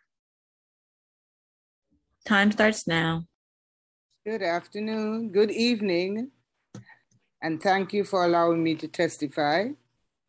My name is Marie Pierre, and I'm the co-chair of the Brownsville chapter of the New York Communities for Change, I'm and also the chair of NYCC board. I testify today to call on New York City Council to strengthen and pass Intro 2317. We have been witnessing failure of climate action on the global and national levels. The lesson is clear. It is nearly up, it is really up to us to secure climate change progress on the local level passing, the, passing a strengthened intro 2317 will be a victory for New York and the world. We are a city of buildings, and I can, I can bring you to my neighborhood to see my buildings. We emit far more than our fair share of pollution as a city. Local Law 97 of 20, 2019 was a great step to fight pollution. But we now more, we know more needs to be done quickly. Prohibiting the use of gas in our new construction is a common sense follow-up to local law 97. What else is a common sense is that the buildings that undergo gut renovations be required to fully electrify. I ask the council to incorporate concrete language to ensure this provision. Likewise, the timeline need to be shortened on Intro 20, 2370. Why delay when climate crisis intensifies every day? In Brownsville, we are not the ones contributing to the large scale climate. We commute on public transport. I even have solar panels on the roof. Time expired. But we know that we as individuals can, cannot do enough. cannot do enough to control what's happening. I ask you to pass 2317 and thank you for allowing me to testify. Uh, thank you, Marie. Thank you for your patience and your passionate advocate, your passionate um, advocacy, and your work for uh, you know New York Communities for Change. Please submit your comments in writing, and we thank you again. Thanks. Thank you too. Bye. Thank you. Thank you. Next, we call on Georgie. Time starts now. Shit. Hello? hello? Yes, hello, Georgie. This is Chairman Gennaro. You are on. I apologize. Um, no, it's quite all right. It's, it's been a long, it's been a long hearing. Um, good afternoon, Chair Gennaro, members of the Committee on Environmental Protection, and fellow citizens. My name is Georgie Page. I live in District 35. I'm a constituent of Council Member Cumbo and a volunteer with 350 Brooklyn. I'm here today to state my strong support for Intro 2317. I come to the environmental movement through a deep conviction that our country, our cities, and streets belong to everyone and should be protected and shared equally. I'm thinking specifically today of the 2014 gas explosion that devastated two apartment buildings on 116th Street in Harlem when I still lived there. This explosion killed eight people, injuring at least 70 and displacing 100 families. Ultimately, this failure was blamed on Con Edison, but blaming them did not bring those eight people back or make up for the disruption and fracturing of lives and families that occurred. Gas is dangerous, it is poisonous, it is toxic, and we don't need it. Even damage that might seem minor to an outsider can have a major effect on the ability to function in everyday life. In any case, this is not how this city should function. We need to protect our citizens, not leave them vulnerable and damaged. I would like to remember them today as we consider whether it is really necessary to continue fracking dangerous gases out of the ground and piping them across the country and into our cities, causing damage and contamination every step of the way and not just to humans. Our nature and wildlife is also ultimately affected. Are you okay with the prospect of a world without honeybees and pollination? I am not. In the wake of that wake of that catastrophe in Harlem, I walked the streets of my neighborhood newly attuned to the rotten egg smell of gas in the air and wondered if my building, a five-story walk-up, would be next. Are we truly relying on the sharp noses of busy citizens to prevent the next disaster? A recent constitutional amendment passed via statewide vote has firmly established the right of each citizen to clean air and water and a healthful environment. Perhaps the most shocking thing about this new article is that it didn't already exist. Time expired. What is more fundamental than this? What is our government for if not to protect us? I don't want to make the point that it will personally, I do want to make the point, but that I will personally consider a failure of leadership if the council only approves feasibility studies. We already know that decarbonizing and electrifying is challenging, but it is feasible and possible. So we need 2317 specifically to pass during these last weeks of the session, or we will miss this opportunity. And we know that Adams is very well funded by real estate interests. So it is very urgent that you consider your mm-hmm. legacy and not shy away from this bold and mm-hmm. progressive action. We can Please never conclude. get this. Please conclude. We can I- never I- get this time back. Thank you for your time today. Thank you very much, and thank you for your patience and waiting so long to testify. We greatly appreciate it. Thank you. Next is A. Wilson. Time starts now. Hello. Hello. Good to see you, James Gennaro. Yes, Been a long hello.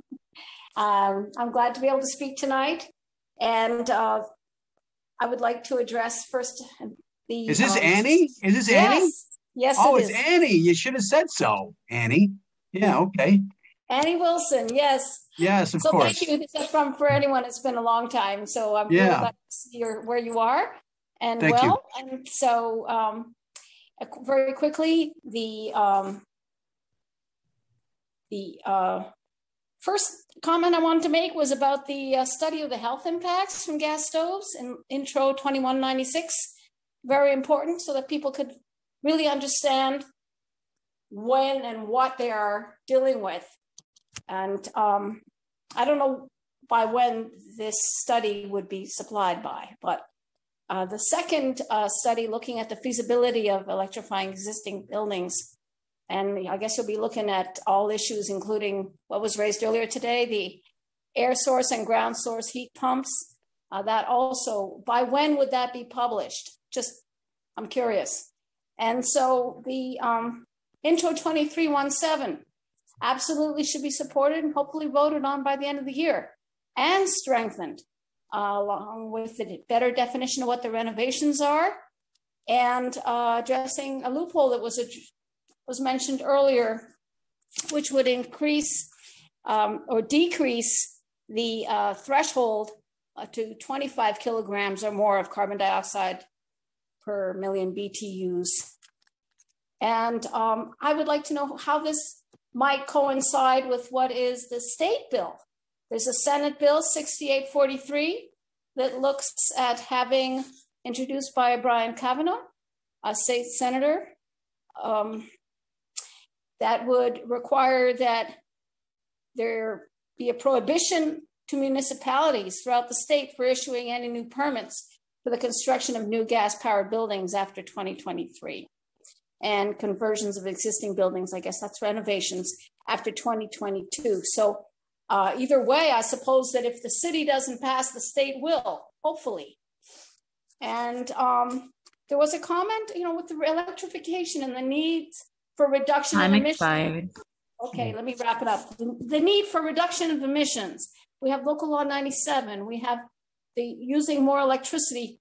And I want to address what had been mentioned by Ben Furnas, Director of Mayor's Office of Climate and Sustainability, and uh, his reference to 2,500 megawatts coming down from transmission.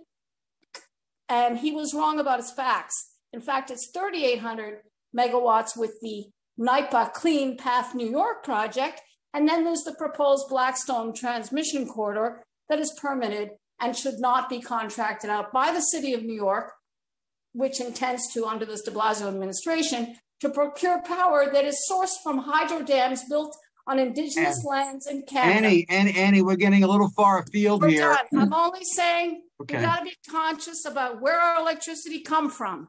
And that's where I'm closing. Thank you very much. Oh, uh, uh, uh, uh, Annie, I, I, uh, I mean, so, so your uh, testimony is uh, um, concluded, but uh, I, I, I, uh, you know, uh, I thank you for, uh, for, uh, uh, you know, uh, being so patient and, you know, thank you for, you know, bringing in these, you know, other issues about, you know, where our power is sourced from, not necessarily like the topic of this hearing, but certainly worth noting. And because you and I are friends, certainly willing to give you a little latitude on that. And I look forward to um, seeing you again soon now that uh, I'm back doing this again. So, uh, Annie, I look forward to, uh, you know, long and fruitful collaboration um, with you and like-minded people on how we can make the city more green. Thank you. Yeah, thank you. Bye-bye. Bye. Thank you. Next is Harry P. Johnson. Time starts now. Yes. Hi, my name is Harry Johnson. I'm the vice chair for Flatbush chapter of New York Communities for Change. Today, I urge the City Council to strengthen and pass Intro 2317. Uh, please note in my written testimony, which I have submitted for the record, I have included some suggestion for strengthening Intro 2017, 2317 that I think should be incorporated into the bill. I wouldn't review those in my verbal remarks now. At the end of the day, the situation is quite clear. Burning gas is cooking the planet. From Brooklyn to Bangladesh, Black and Brown people are paying the greatest cost. Scientists say we must immediately begin phasing out, phasing out gas use. There are cleaner and safer alternatives to gas ready right now. Intro 2017, 2317 could be a huge step in the right direction. It would cut indoor and local air pollution that kills. It create tons of good jobs. It will make our city fairer. At the end of the day, we either take rapid and big action to choose a livable future or even a travelable one. Or we slow walk off the climate cliff because a handful of people in our society want to make an extra buck. Let's choose rapid and big action. Decision maker of the New York City Council, Please tighten up Intro 2317. A good start as it stands and pass it as soon as possible. Show us you can put climate justice first. Thank you for holding this important hearing. Uh, thank you very much, Harry, for staying around uh, for what is it now? Uh, you know, more than five and a half hours to give us the benefit of your views. And please submit your uh, testimony in writing to us. And uh, we thank you for making a very compelling statement today. Thank you. Thank you. Thank you. Um, if there has been anyone that we inadvertently missed who has registered to testify today and has yet to have been called, Please use the Zoom raise hand function and you will be called in the order that your hand has been raised. Okay. Okay, I see two, two more people. Thank you for, for waiting. Uh, first, I'll call three more people. Uh, Rebecca Duval. Hi, I'm Rebecca Duval. I live in Brooklyn. I enthusiastically support 2017 and would like it to be passed as quickly as possible. I am appealing to you today as somebody eh, who is really worried about our future. I work in a school with two year old to 14 year old children, and I love them so much their energy and joy for life and their ability to love without limit is really a reason for me to live. um, I look at the children in my life and my family and surrounding me, and when I think of their near future, I feel a rush of panic. I worry about the probability that their lives will have more pain because of climate collapse and that they will directly experience pain and upheaval from rising temperatures, extreme weather, physical displacement, and the social and economic upheaval that comes from these growing changes. I also worry about the pain that they will witness as the most vulnerable throughout our country and the world bear the most severe consequences of climate destruction, hinged on our reliance upon fossil fuels. In my life, I've already experienced growing trends of extreme weather and the instability that comes from it, from Hurricane Sandy to the increasing frequency of slow moving low pressure precipitation systems that regularly wreak havoc on our infrastructure, on streets and transit, that have ruined homes and caused loss of lives. lives. Um, I've seen West Coast wildfires burn beyond control and have seen the smoke reach New York. Less dramatically, but quite noticeably, I've felt the erratic seasonal shifts that come from warming temperatures. Globally, I've seen the ocean's irreplaceable health compromised by oil and plastic waste. I've seen the ocean on fire. I've seen massive numbers of climate migrants, lives uprooted far away from me. And while I've seen this, I've seen the city continue passively I worry when I see the pressure wielded upon the city by the money. Becca, please conclude. Please conclude. Businesses entwined with the fossil fuel industry. I'm hopeful that we can reverse this pattern.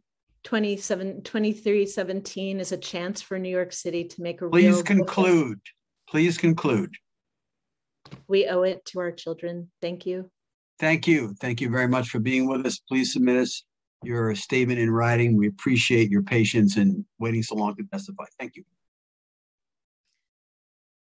Thank you. Next is Nina Grigoriev. Time starts now. Hi, everyone. Can you hear me okay?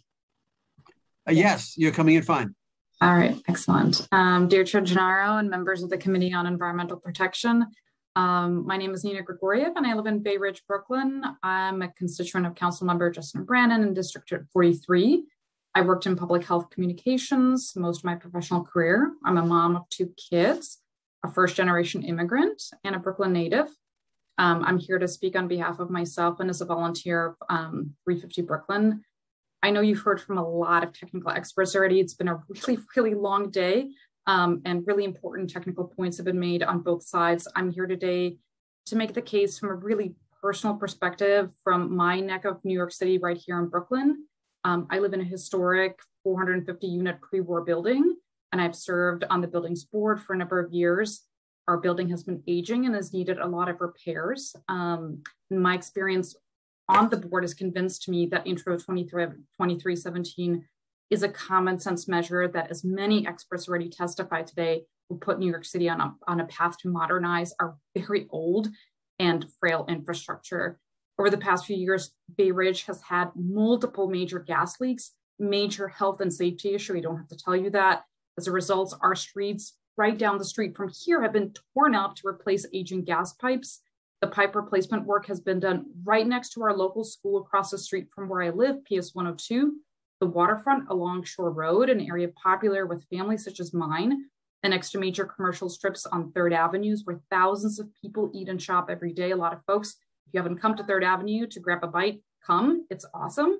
I appreciate the city allocating resources to replace some of those old, old pipes. Um, but moving away from a reliance on gas for heating and cooking would reduce the need for costly road repairs and the resulting traffic jams and parking nightmares, as well as the release of very harmful gases into our air. Time we don't want to have 311 on speed dial. Are we out of time? Uh, sadly, yes, but Okay. um, Well, I, I think you, you get my point. Everyone deserves to go home and have dinner right now. But um, Chairman Gennaro, thank you so much for your patience, your grace, and your humor for five and a half hours. That's wild. it's nothing. It's nothing. I could do 10. I could do 10, you know? Um, I submitted my testimony as well. I think it's one small slice from one person in this big, big city. But thank you for all of your work on, on this issue. Thank you. Uh, thank you very much for uh, being patient and giving us the benefit of your heartfelt personal views. And uh, say hi to Justin Brannan for me, okay? Will do. I see him around all the time. Okay, great. Thank you. Thank you. And finally, it, we have uh, Donna Gill. Yeah. Time starts now.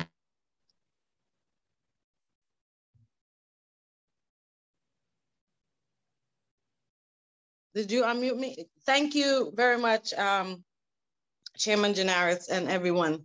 Thank you. um, uh, for listening to us today. I um, I come to you to say pass intro 2317, and I am a member of WE ACT with my colleagues. Um, uh, my WE ACT colleagues Annie and L- LJ and Sonal and um, other people. I just wanted to bring us back to what we were talking about. Um, the intro 2317 is called Gas Free NYC. And this bill ends gas in new constructions and gut renovations. The bill also asks, it also fights climate crisis, creates energy jobs, cuts deadly air pollution in our neighborhoods, ends gas explosions and fires, and promote environmental justice. So I thank you for having me to, to speak on this um, on this bill today because it's very important as my colleagues um, spoke uh, so eloquently, the, the leaders in, um, in the industry and common everyday people like us who are the ones that are going to benefit from the impact of this um, from a gas-free NYC. Um, I know we, we need to be change agent, agents and to push us forward. So I thank you for having this and for staying with us for this long. I appreciate you. I appreciate the city council, but the, the bottom line is pass intro 2317. Thank you.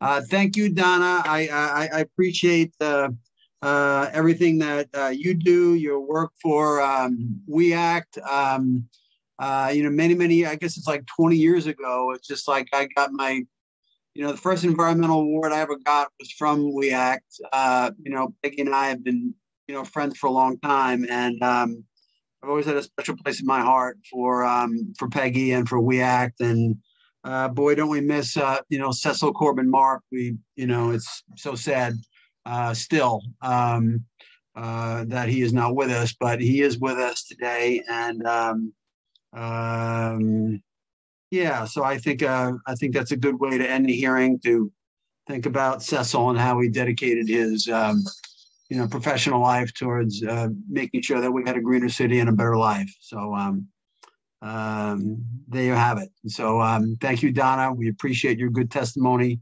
Uh, please submit it in writing, and uh, thank you very much. Thank you. And that concludes public testimony. And I now pass it back to Chair Gennaro for any closing remarks. Uh, sure. I, I, I want to uh, thank all of the you know witnesses. Am I, am I on? Yeah, I'm, I'm on mute. I want to thank all of the witnesses who gave us uh, you know their their whole day. As I go to the gallery function, I, I I noticed that there are you know many people who testified hours ago who are still on. I think that's a testimony uh, you know, to the passion about, you know, uh, uh, 2317 and the other bills, uh, and a passion for, uh, you know, Greater New York uh, and, you know, Greener New York. I want to thank staff, the moderators. we have Nadia and who do we have? Nina and um, um, um, everyone who served as a moderator, um, all the staff. Um, uh, I want to, uh, you know, thank the uh, uh, Speaker of the Council, Corey Johnson, uh, and the um, Chief of Staff, Jason Goldman, and my staff, Nabi, and you know, Samara, and all all the folks that that that you know put this you know put this good hearing together. I'm saying I'm saving my uh, my uh, uh, highest praise for Councilmember Ampry Samuels, you know, Councilmember um, Ampry Samuel has really been a, a, a, real force and a real change maker.